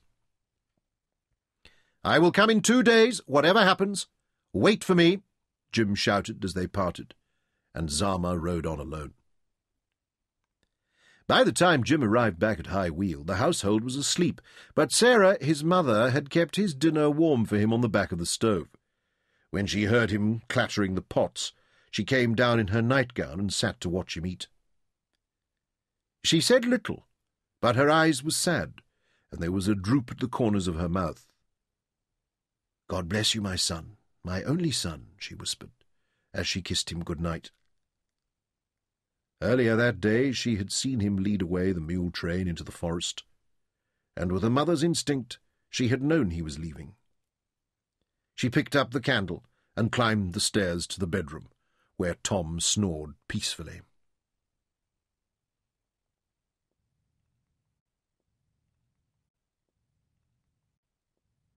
Jim slept little that night, while the wind buffeted the house and rattled the window frames. He was up long before the rest of the household. In the kitchen he poured a mug of bitter black coffee from the enamel kettle that always stood on the back of the stove. It was still dark as he went down to the stables and led out Drumfire. He rode down to the seashore, and as he and the horse topped the dunes, the full force of the wind came at them out of the darkness like a ravening monster. He took Drumfire back behind the shelter of the dunes and tethered him to a low salt bush, then climbed again on foot to the crest. He wrapped his cloak closer around his shoulders and pulled his wide-brimmed hat low over his eyes as he squatted and waited for the first show of dawn. He thought about the girl. She had shown herself to be quick-witted, but was she sensible enough to realize that no small boat could come out to the anchorage in the bay until this storm abated?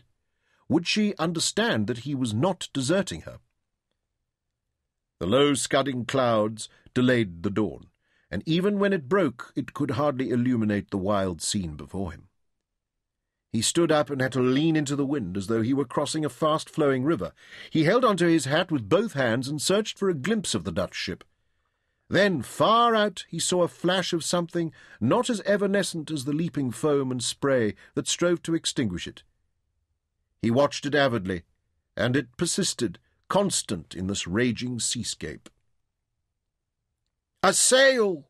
he cried, and the wind tore the words from his lips.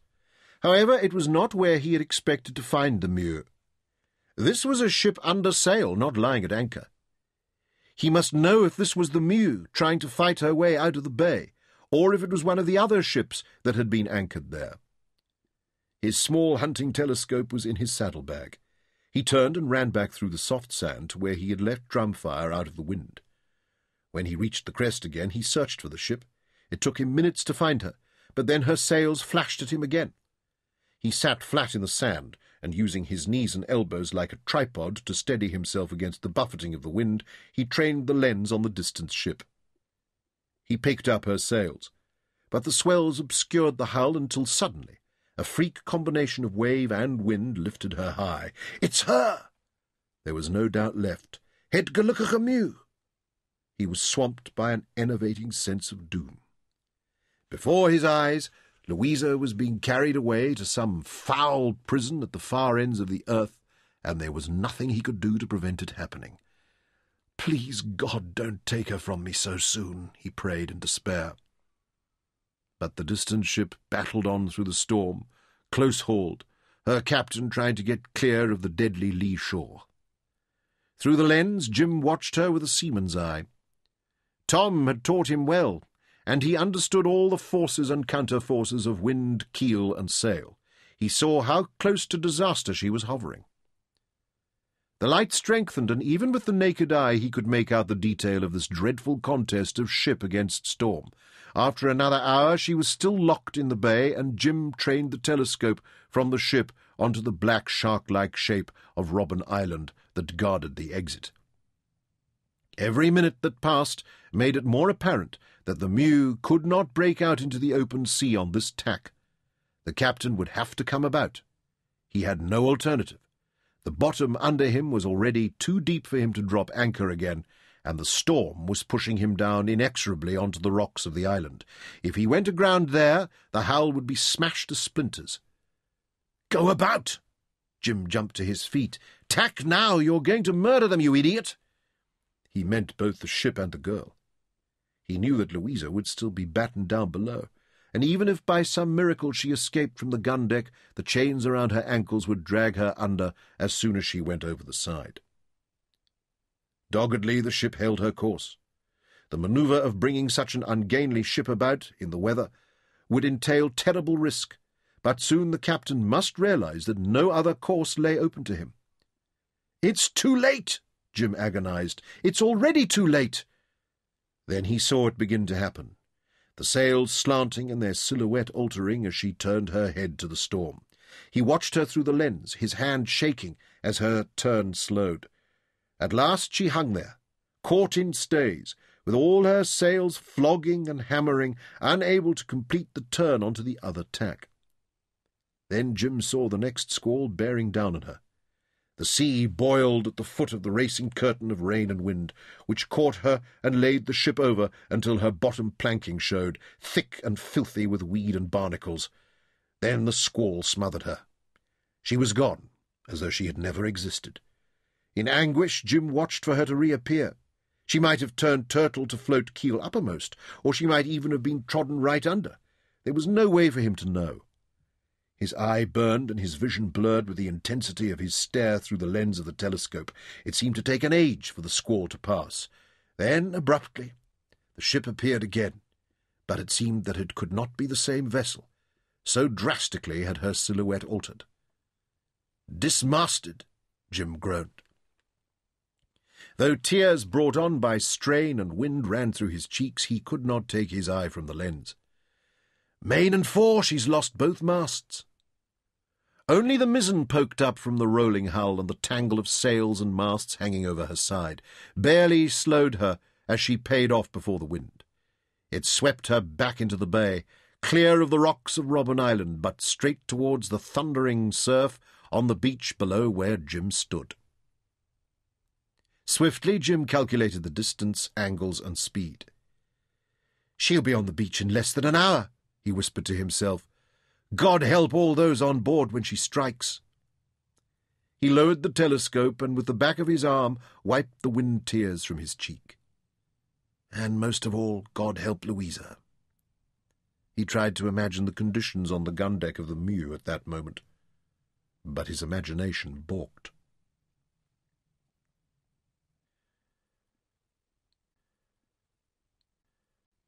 Louisa had not slept all that night. For hour after hour, while the Meeuw rolled and surged and snubbed against her anchor cable, and the storm howled relentlessly through the rigging, she had crouched under the gun carriage, working away with the file. She had padded the chain links with the canvas bag to deaden the scraping sound of metal against metal, but the file handle had raised a blister in her palm. When it burst, she had to use the bag to cushion the raw flesh.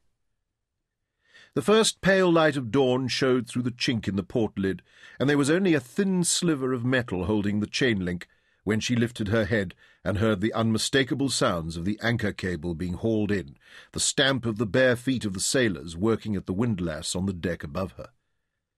Then, faintly, she heard the shouted orders of the officers on the main deck and the rush of feet to the masts as men went aloft in the storm. We're sailing, the word was passed along the gun deck, and women cursed their misfortune, or shouted abuse at the captain and his crew on the deck above, or at God, as their mood dictated. The respite was over. All the tribulations of making passage in this hell ship were about to begin again. They felt the altered motion of the hull as the anchor flukes broke out of the mud bottom, and the ship came alive to begin her struggle with the raging elements. A dark, bitter anger swept over Louisa. Salvation had seemed so close. She crept to the chink in the port lid. The light was too poor, and the spray and rain were too thick to allow her more than a dim glimpse of the distant land. It is still close, she told herself. By God's grace I might reach it. But in her heart she knew that across those miles of storm-driven sea the shore was far beyond her reach. Even if she managed to shed her leg irons, climb out through the gun port and leap overboard, there was no chance of her surviving more than a few minutes before she was driven under. She knew that Jim Courtney could not be there to rescue her. Better to go quickly by drowning, she told herself, than to rot away in this lice-infested hell. Frenziedly, she sawed at the last sliver of steel that held the chain link closed. Around her, the other prisoners were screaming and howling as they were thrown about mercilessly. Close hauled against the gale, the ship pitched and rolled wildly. Louisa forced herself not to look up from her work. Just a few strokes more of the file, the link parted, and her chains fell to the deck. Louisa wasted only a minute to massage her swollen, galled ankles. Then she crawled back under the cannon and took out the horn-handled knife from where she had hidden it. Nobody must try to stop me, she whispered grimly. She crawled back to the gun port and prized loose the shackle of the lock. Then she tucked the knife into the pouch under her skirt. She wedged her back against the gun carriage and tried to force open the port lid. The ship was on the starboard tack, and the heel of the deck was against her. With all her strength behind it, she could push the heavy port lid open only a few inches, and when she achieved this, a solid jet of salt water spurted through the crack. She had to let it slam closed again. Help me! Help me get the port lid open! she called desperately to her three allies among the prisoners. They stared back at her with dull, bovine expressions. They would rouse themselves to help her only if their own survival depended on it. Between waves, Louisa stole another quick glance through the chink of the port lid and saw the dark shape of the island not far ahead. We will be forced to tack now, she thought, or we will be driven aground. Over the months aboard, she had picked up a working knowledge and understanding of the ship's navigation and handling. On the other tack, I will have the heel of the hull to help me get it open. She crouched, ready, and at last felt the bows coming up into the wind. The motion of the hull changed under her. Even above the keening of the wind, she heard from the deck above the faint bellowing of orders and the running of frantic feet. She braced herself for the heel of the deck onto the opposite tack. But it did not happen, and the ship rolled with a heavy, slack motion, dead in the water. One of the other prisoners, whose putative husband had been a boatswain on a VOC Indiaman, shouted with rising panic, Stupid pig of a captain has missed stays! Sweet Jesus, we're in irons! Louisa knew what that meant. Head to the wind, the ship had lost her way through the water, and now she could not pay off on the other tack. She was pinned down helplessly before the storm. Listen! the woman screamed. Then, above the din of the storm, they all heard it coming. Squall! She's going to lay us over! They crouched helplessly in their chains and listened to it grow louder. The shriek of the approaching squall deafened them, and when it seemed that it could not rise higher, it struck the ship. She reeled and staggered and went over like a bull elephant shot through the heart. They were stunned by the crackling uproar of breaking rigging, then the cannon shot of the mainstay parting under the strain. The howl went on over until the gun deck was vertical, and tackle, gear, and human beings slid down the slope until they piled up against the hull. Loose iron cannonballs slammed into the piles of struggling prisoners. Women were shrieking with pain and terror. One of the iron balls came rolling down the slanting deck towards where Louisa clung to her gun carriage. At the last moment she threw herself aside, and the cannonball hit the woman who crouched beside her. Louisa heard the bones in both her legs shatter. The woman sat and stared at the tangle of her own limbs with an expression of astonishment. One of the great guns, nine tons of cast bronze, broke out of its tackle and came hurtling down the deck. It crushed the struggling women who lay in its path as though they were rabbits under the wheels of a chariot. Then it struck the hull. Even the massive oaken planking could not check its charge. It burst through and was gone. The sea poured through the splintered opening and swamped the gun deck under an icy green wave. Louisa held her breath and clung to the gun carriage as she was engulfed. Then she felt the hull begin to right itself as the squall raced past and relinquished its grip on the ship. The water poured out through the gaping hole in the side of the hull and sucked out a struggling, screaming knot of women. As they dropped into the sea, their chains dragged them under instantly. Still clinging to her gun carriage, Louisa could look out of the gaping wound in the ship's side as though it were an open doorway. She saw the broken mast, the tangled ropes and canvas hanging down into the churning water from the deck above. She saw the bobbing heads of the seamen who had been swept over the side with the wreckage. Then beyond it, she saw the shore of Africa and the high surf bursting upon its beaches like volleys of cannon fire. The crippled ship was drifting down upon it, driven on by the gale. She watched the inexorable progress, terror mingled with burgeoning hope. With every second that passed, the shore was drawing closer, and the runaway cannon had smashed open an escape hatch for her. Even through the driving rain and spray, she could make out features on the shore trees bending and dancing in the wind, a scattering of whitewashed buildings set back from the beach. Closer and closer the stricken ship drifted in, and now she could make out tiny human figures. They were coming from the town scurrying along the edge of the beach, some waving their arms, but if they were shouting, their voices could not carry against that terrible wind. Now the ship was close enough for Louisa to tell the difference between man, woman, and child in the gathering throng of spectators. It took an immense effort for her to force herself to leave her place of safety behind the gun carriage, but she began to crawl along the heaving deck over the shattered human bodies and sodden equipment. Cannonballs still rolled aimlessly back and forth, heavy enough to crush her bones, and she dodged those that trundled towards her. She reached the hole in the hull. It was wide enough for a horse to gallop through. She clung to the splintered planks and peered through the spray and the breaking surf at the beach. Her father had taught her to tread water and to swim in a doggy paddle in the lake at Mooi Uitzicht. With his encouragement as he swam beside her, she had once succeeded in crossing from one side of the lake to the other. This was different. She knew she could keep afloat only for a few seconds in this maelstrom of crazed surf. The shore was so close now that she could make out the expressions of the spectators who waited for the ship to strike. Some were laughing with excitement. Two or three children were dancing and waving their arms above their heads. None showed any compassion or pity for the death struggle of a great ship and the mortal predicament of those aboard her. For them this was a Roman circus, with the prospect of profit from salvaging the wreckage as it washed ashore. From the direction of the castle she saw a file of soldiers come down the beach at a dog trot. A mounted officer in a fine uniform was leading them. She could see his insignia glinting in his green and yellow jacket, even in this dull light. She knew that even if she succeeded in reaching the shore, the soldiers would be waiting for her. There was a fresh chorus of screams and heart-stopping cries from the women around her as they felt the vessel touch the bottom. The ship tore herself free and drifted on, only to touch again, the impact shivering the timbers of the hull. This time she stuck fast, pinned down on the sands, and the waves charged at her like rank after rank of a monstrous cavalry.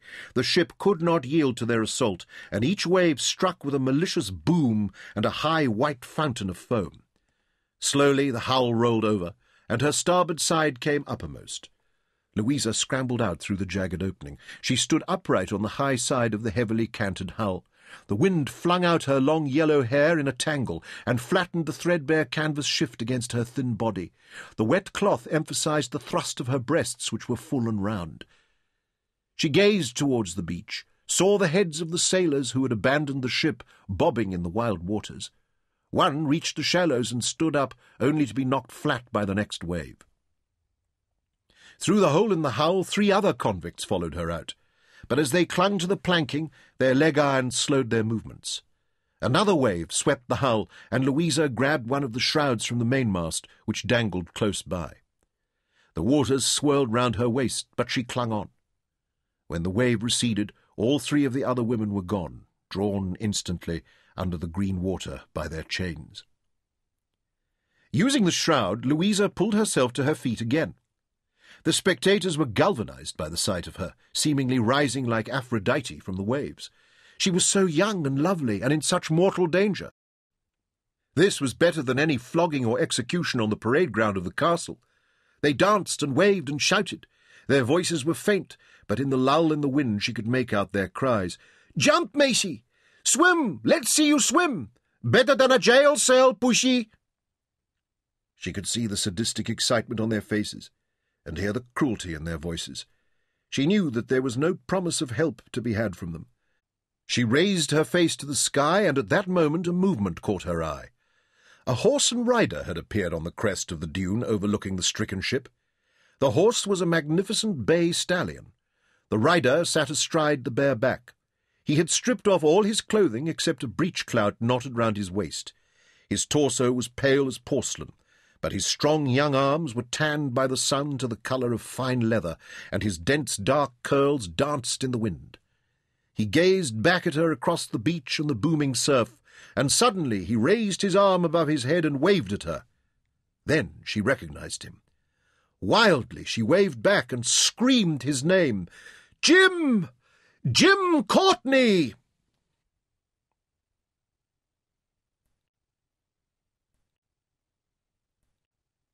With mounting horror, Jim had watched the final moment of the Het Gelukkige Meeuw's agony.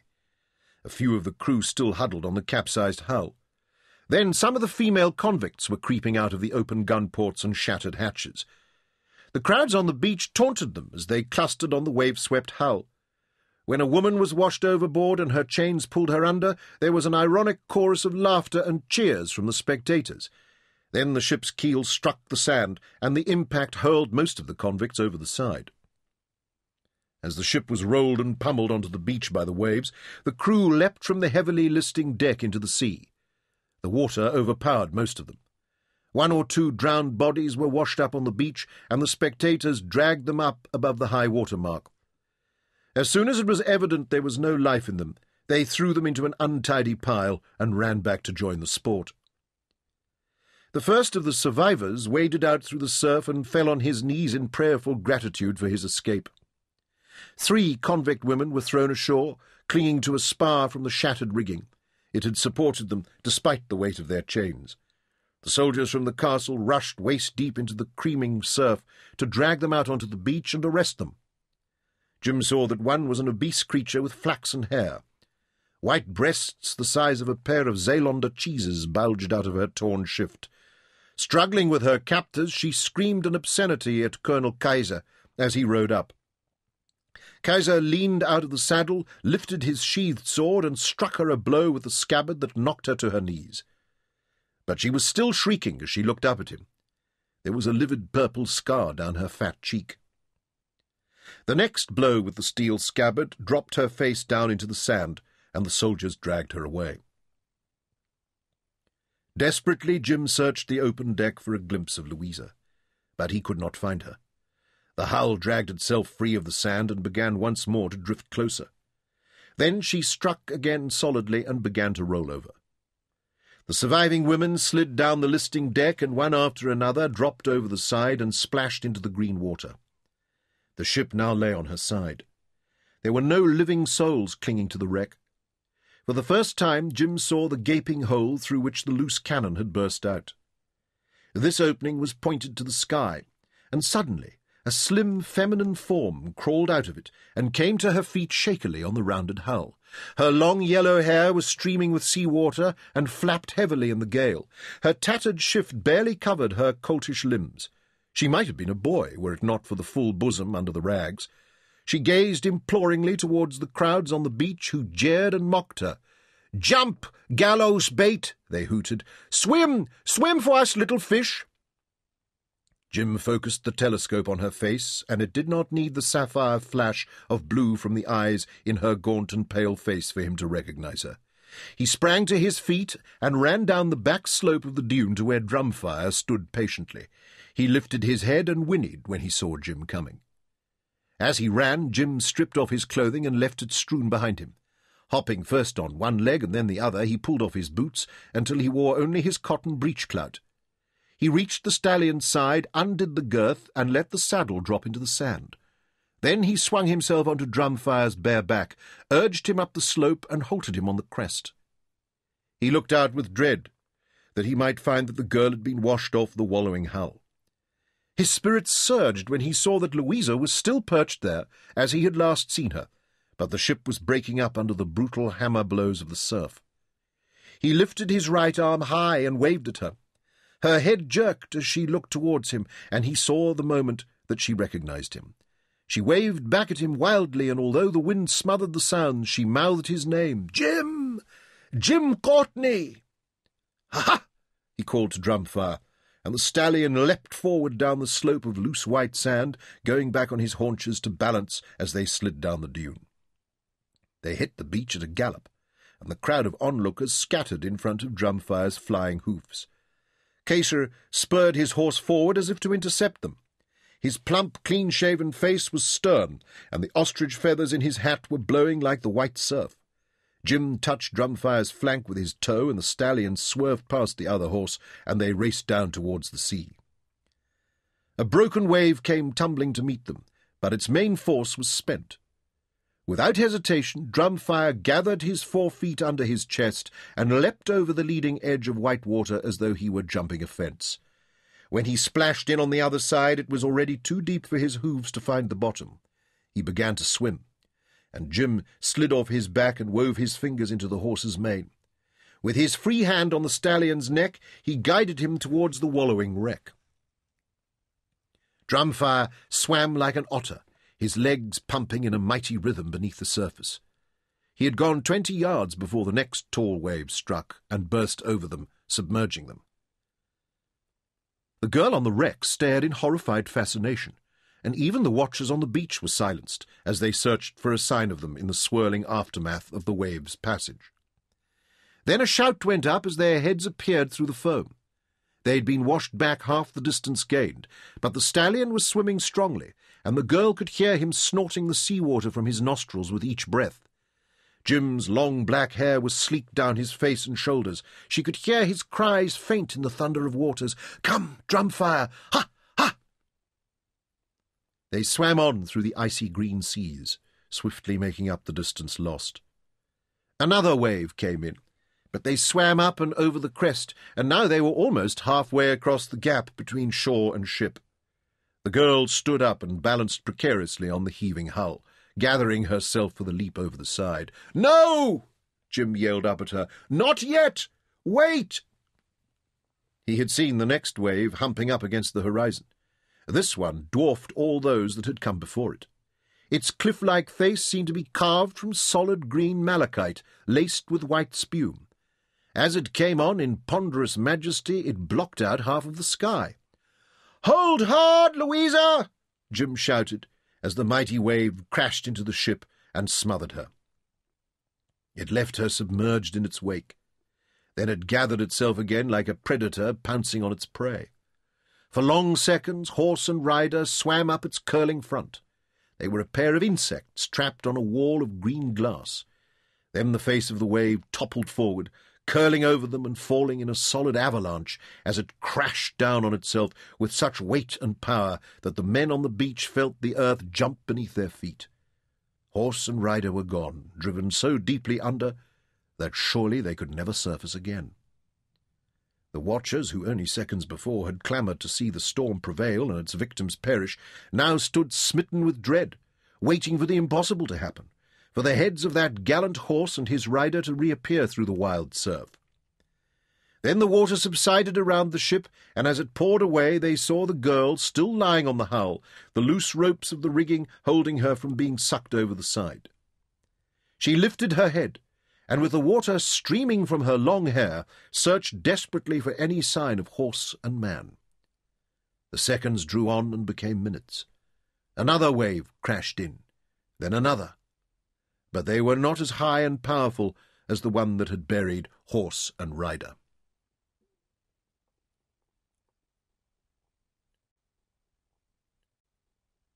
Louisa felt despair settle on her.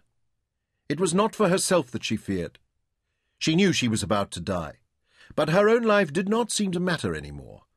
Instead, she grieved for the young stranger who had given his own trying to save her. Jim, she pleaded, please don't die. As if in response to her call, the two heads burst out through the surface. The undertow of the great wave that had pinned them under had also sucked them back almost to where they had disappeared. Jim! she screamed, and leapt to her feet. He was so close that she could see the agony that contorted his face in the effort to draw breath. But he looked up at her and tried to say something. Perhaps it was a farewell. But then she knew in her heart that this was not a man who would ever surrender, not even to death. He was trying to shout a command, but his breath only whistled and gurgled in his throat. The horse was swimming again, but when it tried to turn its head back towards the beach, she saw Jim's hand in its mane guide it back towards her. Jim was still choking and could not use his voice, but he made a gesture with his free hand, and now he was close enough for her to see the determination in his eyes. Jump! she shouted against the wind. Shall I jump? He nodded his sodden curls emphatically, and she could just make out the hoarse croak of his voice. Come! She glanced over her shoulder and saw that even in his distress he had picked the slack between the waves to call her on. She threw aside the piece of rope that had saved her, took three running strides across the shattered deck, and leapt over the side with her shift ballooning around her waist and her arms windmilling. She hit the water and went under, to reappear almost immediately. She struck out the way her father had taught her and swam to meet them. Jim reached out and seized her wrist. His grip was so powerful that she thought it might crush her bones, and after what she had suffered at Huis Brabant, she had thought that she would never allow a man to touch her again but there was no time to think of that now. The next wave broke over her head, but his grip never slackened. They came up again, and she was spluttering and gasping for breath, yet she seemed to feel strength flowing into her through his fingers. He guided her hand to the horse's mane, and now he had recovered some of his voice. Don't hamper him! She understood what he meant, for she knew horses. She tried not to put her weight on the stallion's back, but to swim beside him. Now they were heading towards the beach, and each wave that came up behind them carried them forward. Louisa heard voices, faint at first, but growing louder every second. The spectators on the beach were caught up in the excitement of the rescue, and fickle as any mob, they were cheering them on. They all knew this horse. Most of them had seen him win on Christmas Day. Jim Courtney was a well-known figure in the town. Some envied him as the son of a rich man. Some thought him too brash, but they all were forced to pay him respect. This was a famous battle he was waging against the sea, and most of them were sailors. Their hearts went out to him. Courage, Jim! Power to you, lad! Good on you! Swim, Jim boy, swim!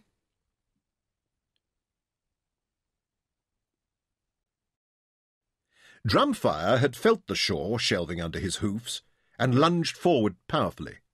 By now Jim had recovered his breath and coughed most of the water out of his lungs. He threw one leg over the stallion's back. As soon as he was astride, he reached down and pulled Louisa up behind him. She wrapped both arms around his waist and hung on with all her strength. Drumfire burst out of the shallows, water exploding before his charge, and then they were out on the beach. Jim saw Colonel Keyser galloping to intercept them and urged Drumfire into full stride, swinging his head away until Keyser was trailing twenty strides behind. Wach, you donder! Wait! She has an escaped prisoner! Hand the cow over to the law! I will deliver her to the castle myself, Jim yelled without looking back. No, no, you don't! She's mine! Bring the bitch back! Keyser's voice was thick with fury. As Jim urged Drumfire on down the beach, he was determined on one thing only. He had already chanced too much ever to turn this girl over to anyone in the garrison, and in particular to Keyser. He had watched too many of the floggings and executions on the parade ground outside the castle walls over which Keyser had presided. Jim's own great-grandfather had been tortured and executed on that very ground after being falsely convicted of piracy on the high seas. They aren't going to get this one, he swore grimly. Her thin arms were clasped round his waist, and he could feel the length of her body pressed against his naked back. Although she was half starved, wet and shivering with the cold of the green waters and the wind of Drumfire's speed, he could sense the courage and determination in her which matched his own. She's a fighter, this one. I can never let her down, he thought, and called back to her, Hold tight, Louisa, we're going to run the fat colonel into the dirt. Though she did not answer, and he could hear her teeth chattering, she tightened her grip around him and crouched low. He could feel by her balance and the way she adjusted to Drumfire's motion that she was a horsewoman. He glanced back under his arm and saw that they had opened the gap on Keyser. Jim had raced against Trofart before, and he knew the mare's best points and her weaknesses. She was quick and game, as her name, Trueheart, suggested, but Keyser overburdened her light frame. On firm, smooth going, she was in her element, and she probably had the legs of Drumfire out in the open. But on this soft beach sand, or over rock and other heavy going, Drumfire's great strength gave him the advantage. Although the stallion was carrying a double load, Louisa was light as a sparrow, and Jim was not as heavily built as the colonel. Yet Jim knew better than to underestimate the mare. He knew she had the heart of a lioness, and had almost run Drumfire down over the last half mile of the Christmas racing. I must pick the course to our advantage, he decided. He had ridden every inch of the ground between here and the foothills, and knew every hill and marsh, salt pan, and patch of forest where Trueheart would be at a disadvantage. Stop, young'un, or I will shoot! There was another shout behind, and when Jim looked back, Keyser had drawn the pistol from the holster on the front of his saddle and was leaning out to avoid hitting his own horse. In that swift glance, Jim saw that it was a single-barreled weapon, and there was not a second in the holster. Jim swerved Drumfire to the left without a break in his stride, cutting sharply across the mare's nose. In an instant he had changed Keyser's target from a steady, going-away shot to one with a sharp angle of deflection. Even an experienced soldier like the colonel, shooting from a galloping horse, would have difficulty judging the forward allowance. Jim reached back, seized Louisa around the waist, and swung her round on his off side, tucking her under his armpit and shielding her with his own body. The pistol shot boomed out, and he felt the strike of the heavy ball. It was high in his back across his shoulders, but after the numbing shock his arms were still strong and his senses alert. He knew he was not badly wounded. Only pricked me, he thought, and then he spoke. That's his one and only shot, he said to encourage Louisa, and swung her back into her place behind him. Mercy, you're hit, she exclaimed fearfully. Blood was streaming down his back. We'll worry about that later, he sang out. Now Drumfire and I are going to show you a few of our tricks. He was enjoying himself. He had just been half drowned and shot, but he was still cocky. Louisa had found herself an indomitable champion, and her spirit soared. But they had lost ground with that evasive turn, and close behind they heard Trueheart's hoofs slapping into the sand and the scraping of steel in the scabbard as Keyser drew his sabre. Louisa glanced back and saw him rise up over her, standing in the stirrups with his blade held high, but the change of his balance wrong-footed the mare, and she stumbled. Keyser swayed and grabbed at the pommel of his saddle to regain balance, and Drumfire pulled ahead. Jim put him at the slope of the high dune, and here the stallion's great strength came into play. He went up in a series of violent lunges, with the sand spurting out from under his hoofs. Trueheart dropped back sharply as she carried the colonel's weight up the slope. They went over the top and slid down the far side. From the foot of the dune there was open ground and firm going to the edge of the lagoon. Louisa looked back. They're gaining again, she warned Jim. Trueheart was striding out gracefully. Even though she was carrying the weight of the colonel and all his weapons and accoutrements, she seemed to flirt with the earth. He's reloading his pistol. There was an edge of alarm in her voice. Keyser was ramming a ball into the muzzle. Let's see if we can wet his powder for him, Jim said, and they reached the edge of the lagoon and plunged in without a check. Swim again, Jim ordered, and Louisa slipped into the water on Drumfire's other flank. They both looked back as Trueheart reached the edge of the lagoon, and Keyser pulled her up. He jumped down and primed the pan of his pistol.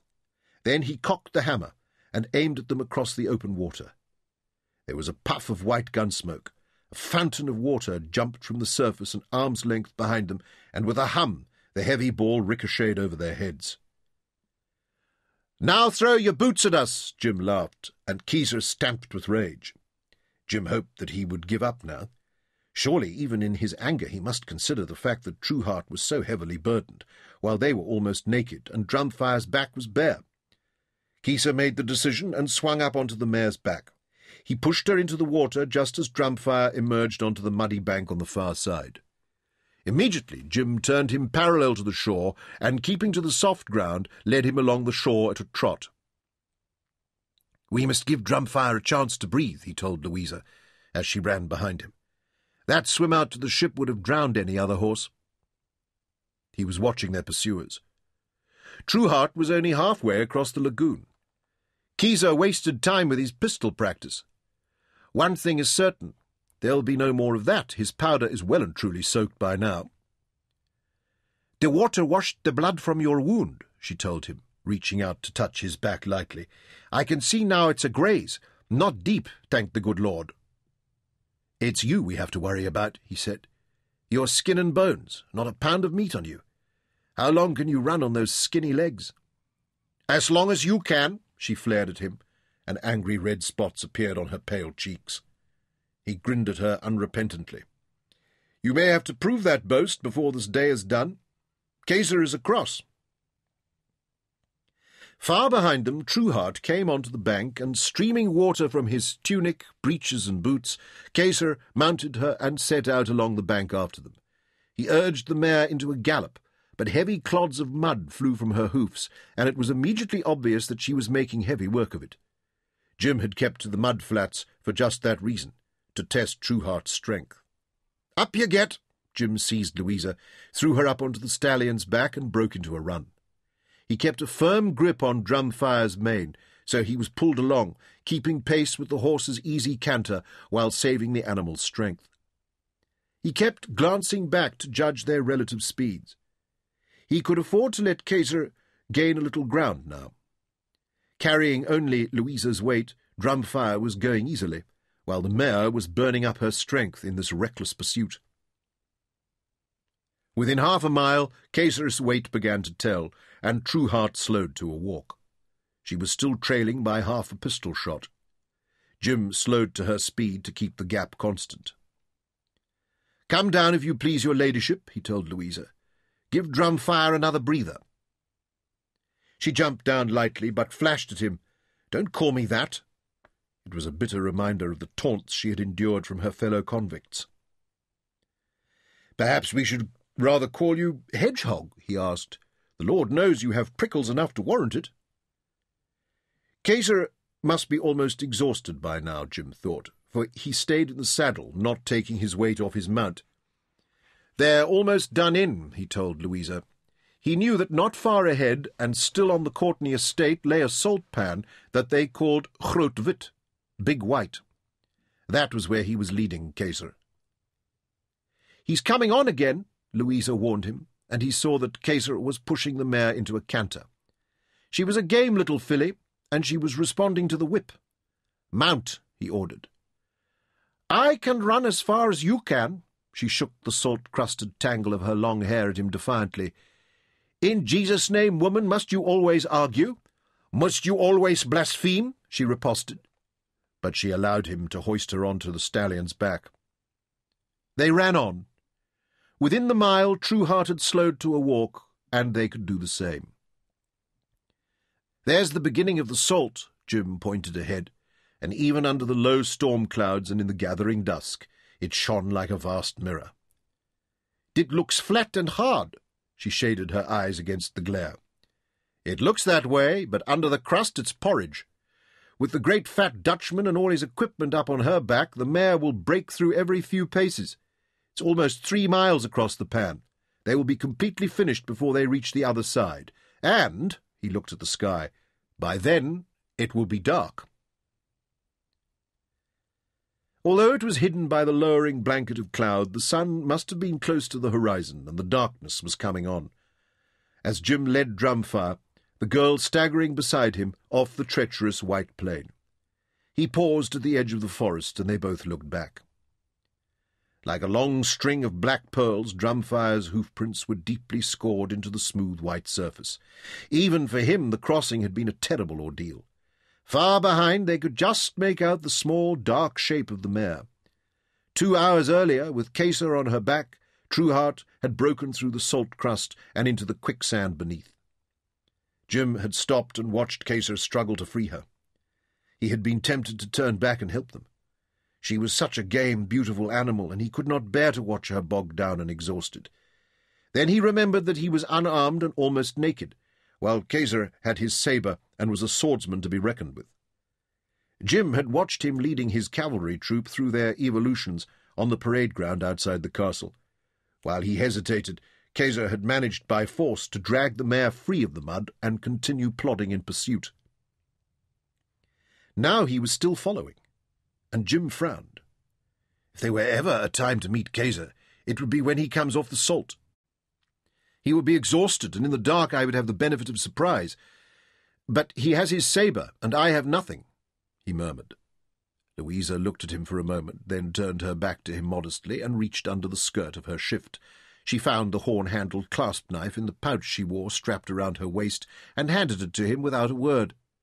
He stared at it in astonishment, then burst out laughing as he recognized it. I withdraw everything I said about you. You look like a Viking maid, and bejesus, you act like one too. Watch your blaspheming tongue, Jim Courtney, she said. But there was no fire in the rebuke. She was too tired to argue further, and the compliment had been a pretty one. As she turned away her head, there was a weary half smile on her lips. Jim led Drumfire into the trees, and she followed them. After a few hundred paces, in a spot where the forest was thickest, he tethered the stallion and told Louisa, Now you can rest a while. This time she did not protest, but sank down on the thick leaf mould on the forest floor, curled up, closed her eyes. In her weakened state she felt that she might never have the strength to stand up again. Hardly had the thought flashed through her mind than she was asleep. Jim wasted a few moments admiring her suddenly serene features. Until then, he had not realized how young she was. Now she looked like a sleeping child. While he watched her, he opened the blade of the knife and tested the point on the ball of his thumb. At last he tore himself away and ran back to the edge of the forest. Keeping well hidden, he peered out across the darkening salt pan. Keyser was still coming on doggedly, leading the mare. Will he never give up? Jim wondered, and felt a twinge of admiration for him. Then he looked around for the best place to hide beside the tracks that Drumfire had left. He picked a patch of dense bush, crept into it, and squatted there with the knife in his hand. Keyser reached the edge of the pan and staggered out onto the firm footing. By this time it was so dark that although Jim could hear him panting for breath, he was just a dark shape. He came on slowly, leading the mare, and Jim let him pass his hiding place. Then he slipped out of the bush and crept up behind him. Any sound he might have made was covered by the hoof falls of the mare. From behind he locked his left arm around Keyser's throat, and at the same time pressed the point of the knife into the soft skin under his ear.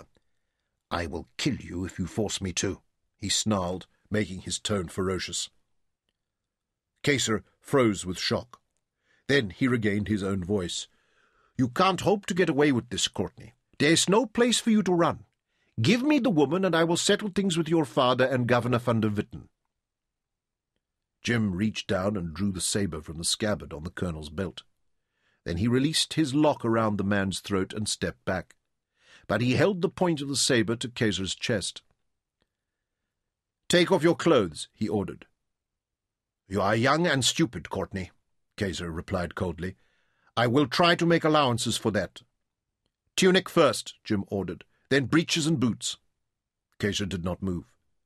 Jim pricked his chest, and at last, reluctantly, the colonel reached up and began to unbutton his tunic. What do you hope to achieve? he asked, as he shrugged out of it. Is this some boyish notion of chivalry? The woman is a convicted felon. She is probably a whore and a murderess. Say that again, Colonel, and I'll spit you like a sucking pig. This time Jim drew blood with the point. Keyser sat down to pull off his boots and his breeches. Jim stuffed them into Trueheart's saddlebags. Then, with the point of the sabre at the man's back, he escorted Keyser, barefoot and wearing only his undershirt, to the edge of the salt pan. Follow your own tracks, Colonel, he told him, and you should be back at the castle in time for breakfast. Listen to me, young one, said in a thin, tight voice. I will come after you. I will see you hanged on the parade, and I promise you it will be slow, very slow. If you stand here talking, Colonel, you're going to miss your breakfast. Jim smiled at him. You'd far better start walking. He watched Keyser trudge away across the salt pan. Suddenly the heavy clouds were stripped away by the wind, and the full moon burst through to light the pale surface as though it were day. It was bright enough to throw a shadow at Keyser's feet. Jim watched him until he was only a dark blob in the distance, and knew that he was not coming back. Not tonight, at least. But it's not the last we've seen of the gallant colonel, he thought. We can be sure of that. Then he ran back to Trueheart and led her into the forest. He shook Louisa awake. Wake up, Hedgehog. We have a long journey ahead of us, he told her.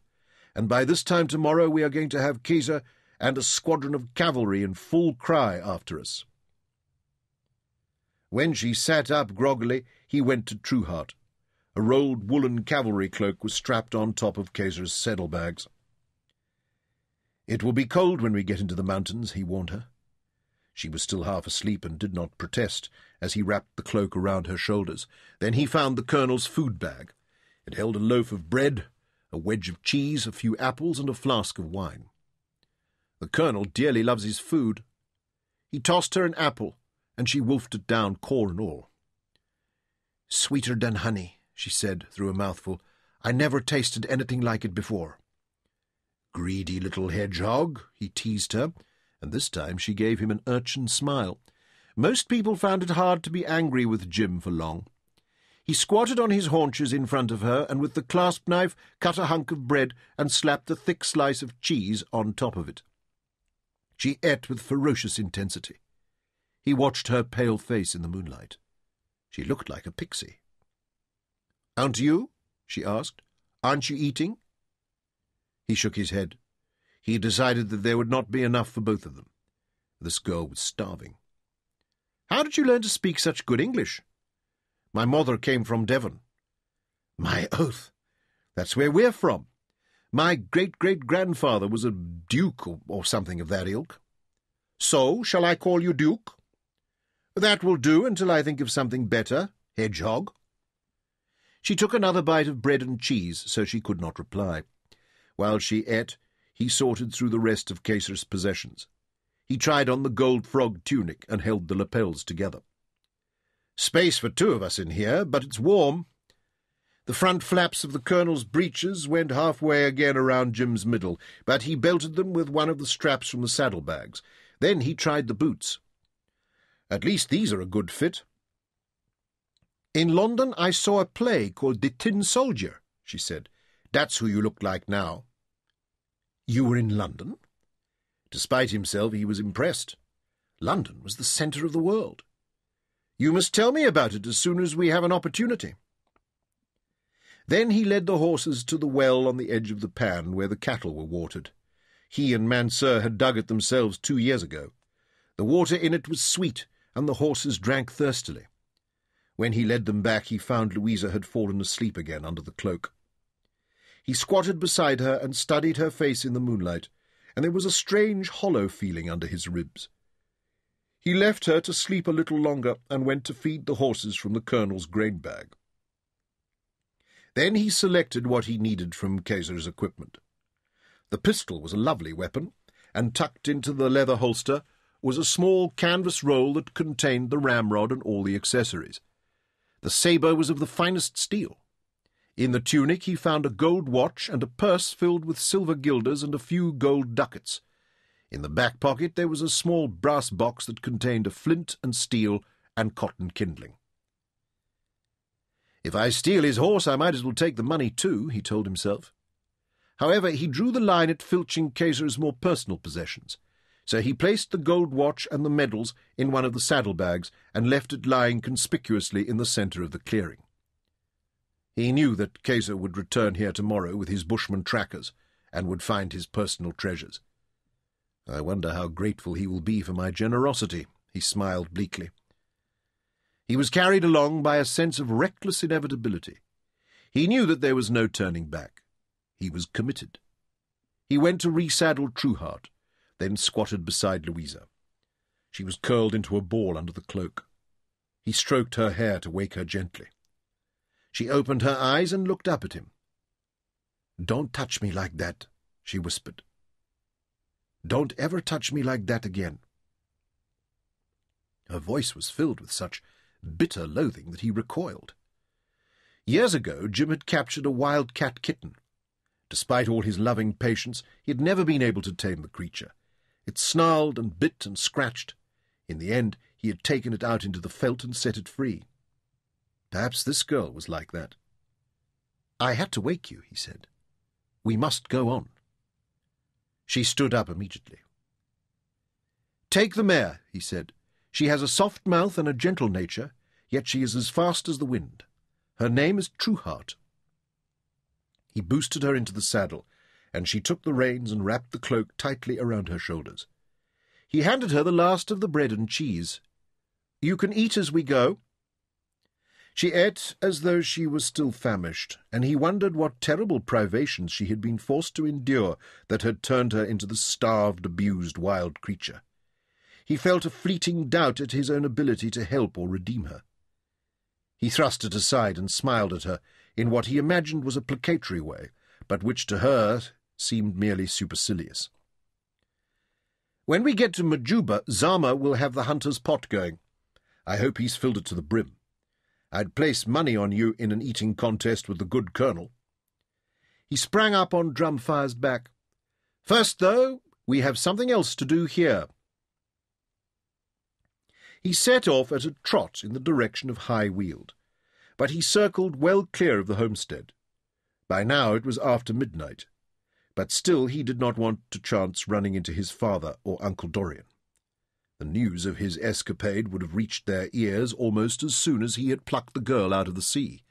He had seen many of the family, freed slaves and servants among the spectators on the beach. He could not face his father now. We'll get no sympathy there, he thought. He'll try to force me to turn Louisa over to the colonel. He rode instead to a cluster of huts at the east side of the paddock. He dismounted in a stand of trees and handed Drumfire's reins to Louisa.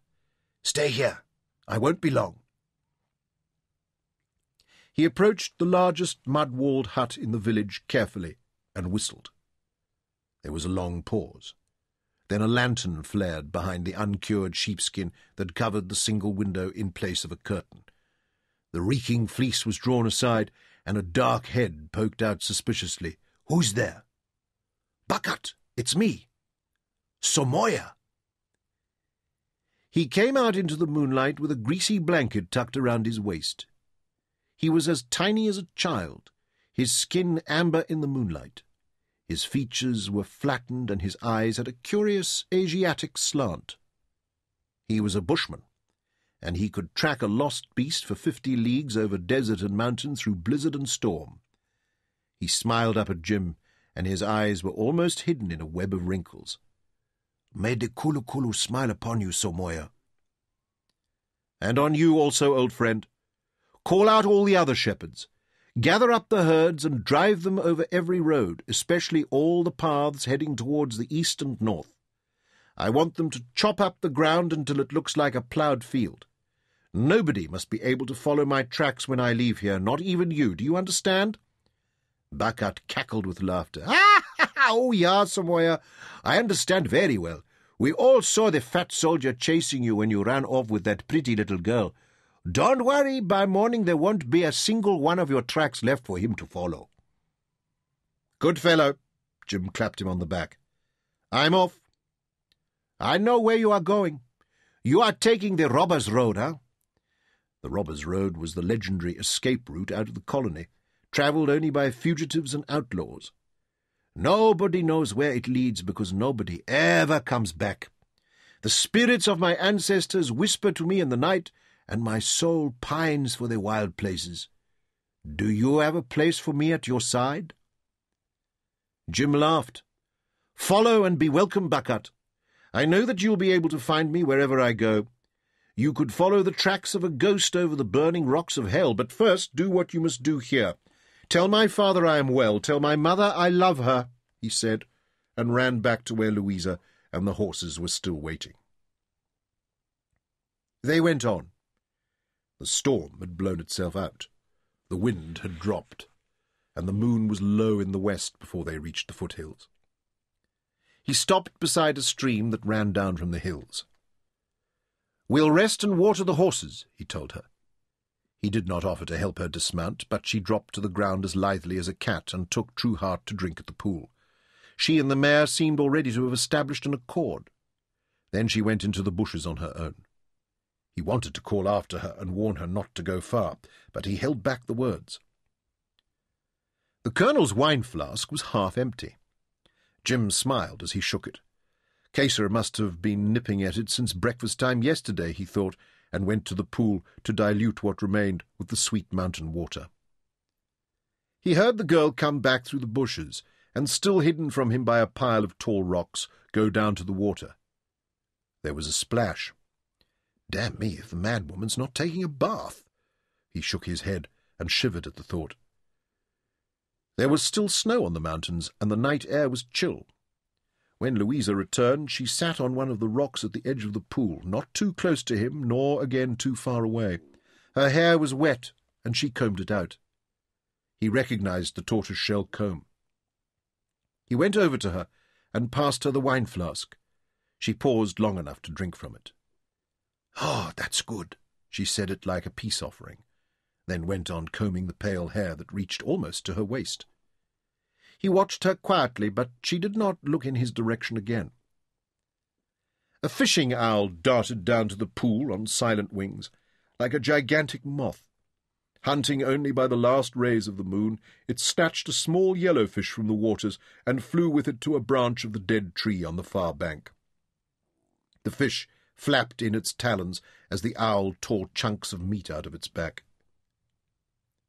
Louisa looked away. When she spoke again, her voice was soft, and the faint accent appealing. Don't think I'm not grateful for what you have done for me. I know you have risked your life and maybe more than that to help me. Well, you must understand that I, I keep a menagerie of pets. He spoke lightly. I needed only one more to add to it. A small hedgehog. Perhaps you have the right to call me that, she said, and sipped from the flask again. You know nothing about me. Things have happened to me, things that you could never understand. I know a little about you. I have seen your courage and your determination. I saw what it was like, and how it smelt on board the Meeuw. Perhaps I might understand, he replied. At least I would try. He turned to her, then felt his heart break as he saw the tears running down her cheeks, silver in the moonlight. He wanted to rush to her and hold her tightly, but he remembered what she had said. Never touch me like that again. Instead, he said, Whether you like it or not, I'm your friend. I want to understand. She wiped her cheeks with the palm of one small, dainty hand, and sat huddled, thin, pale, and disconsolate in the cloak. There's just one thing I must know, Jim said. I have a cousin called Mansur. He is closer to me than a brother could be. He said that perhaps you are a murderess. That burns my soul. I must know. Are you? Is that why you were on the Meeuw? She turned slowly towards him, and with both hands parted the curtain of her damp hair so that he could see her face. My father and mother died of the plague. I dug their graves with my own hands. I swear to you, Jim Courtney, on my love for them, and on the graves in which they lie, that I am no murderess. He heaved a great sigh of relief. Ah, I believe you. You don't have to tell me anything else. She drank again from the flask, then handed it back to him. Don't let me have more. It softens my heart when I need to be strong, she said. They sat on in silence. He was just about to tell her that they must go on deeper into the mountains when she whispered, so quietly that he was not sure that she had spoken. There was a man, a rich and powerful man whom I trusted as once I trusted my dead father. He did things to me that he did not want other people to know about. No, Louisa. He held up his hand to stop her. Don't tell me this. I owe you my life and my freedom. You have a right to know. Please stop. He wanted to jump to his feet and run into the bushes to escape her words, but he could not move. He was held mesmerized by them, as a mouse by the swaying dance of the cobra. She went on in the same sweet, childlike tones. I will not tell you what he did to me. I will never tell anyone that. But I cannot let any man touch me again. When I tried to escape from him, he had his servants hide a packet of jewelry in my room. Then they called the watch to find it. They took me before the magistrate in Amsterdam. My accuser was not even in the courtroom when I was condemned to be transported for life. They were both silent for a long time. Then she spoke again. Now you know about me, Jim Courtney. Now you know that I am a soiled and discarded plaything. What do you want to do now? I want to kill him, said Jim at last. If ever I meet this man, I will kill him. I have spoken honestly to you. Now you must speak honestly to me. Be sure of what you want. I have told you that I will let no man touch me again. I have told you what I am. Do you want to take me back to Good Hope and hand me over to Colonel Keyser? If you do, I am ready to go back with you. He did not want her to see his face. Not since he was a child had anyone seen him weep. He jumped to his feet and went to saddle Trueheart. Come, Hedgehog. It's a long ride to Majuba. We have no more time to waste in idle chatter. She came to him obediently and mounted the horse. He led her into the deep defile in the mountains and up the steep gorge. It grew colder as they climbed, and in the dawn the sun lit the mountain tops with a weird pink light. Patches of old unmelted snow gleamed among the rocks. It was late in the morning before they paused on the crest at the limit of the tree line and looked down into the hidden valley. There was a tumble-down building among the rocks of the scree slope. She might not have noticed it were it not for the thin column of smoke rising from the hole in the tattered thatch roof, and the small herd of mules in the stone-walled kraal. Majuba, he told her, as he reined in. The place of the doves, and that is Zama. A tall young man dressed in a loincloth had come out into the sunlight and was staring up at them. We've been together all our lives. I think you'll like him. Zama waved and bounded up the slope to meet them. Jim slipped down from Drumfire's back to greet him. Have you got the coffee pot on? he asked. Zama looked up at the girl on the horse. They studied each other for a moment. He was tall and well-formed, with a broad, strong face and very white teeth. I see you, Miss Louisa, he said at last. I see you also, Zama. But how did you know my name? Moya told me. How did you know mine? He told me also. He has a great chatterbox, is he not? she said, and they laughed together. But why do you call him Somoya? she asked. It is the name my father gave him. It means the wild wind, Zama replied. He blows as he pleases, like the wind. Which way will he blow now? she asked. But she was looking at Jim with a small, quizzical smile. Ha ha! We shall see, Zama laughed. But it will be the way we least expect.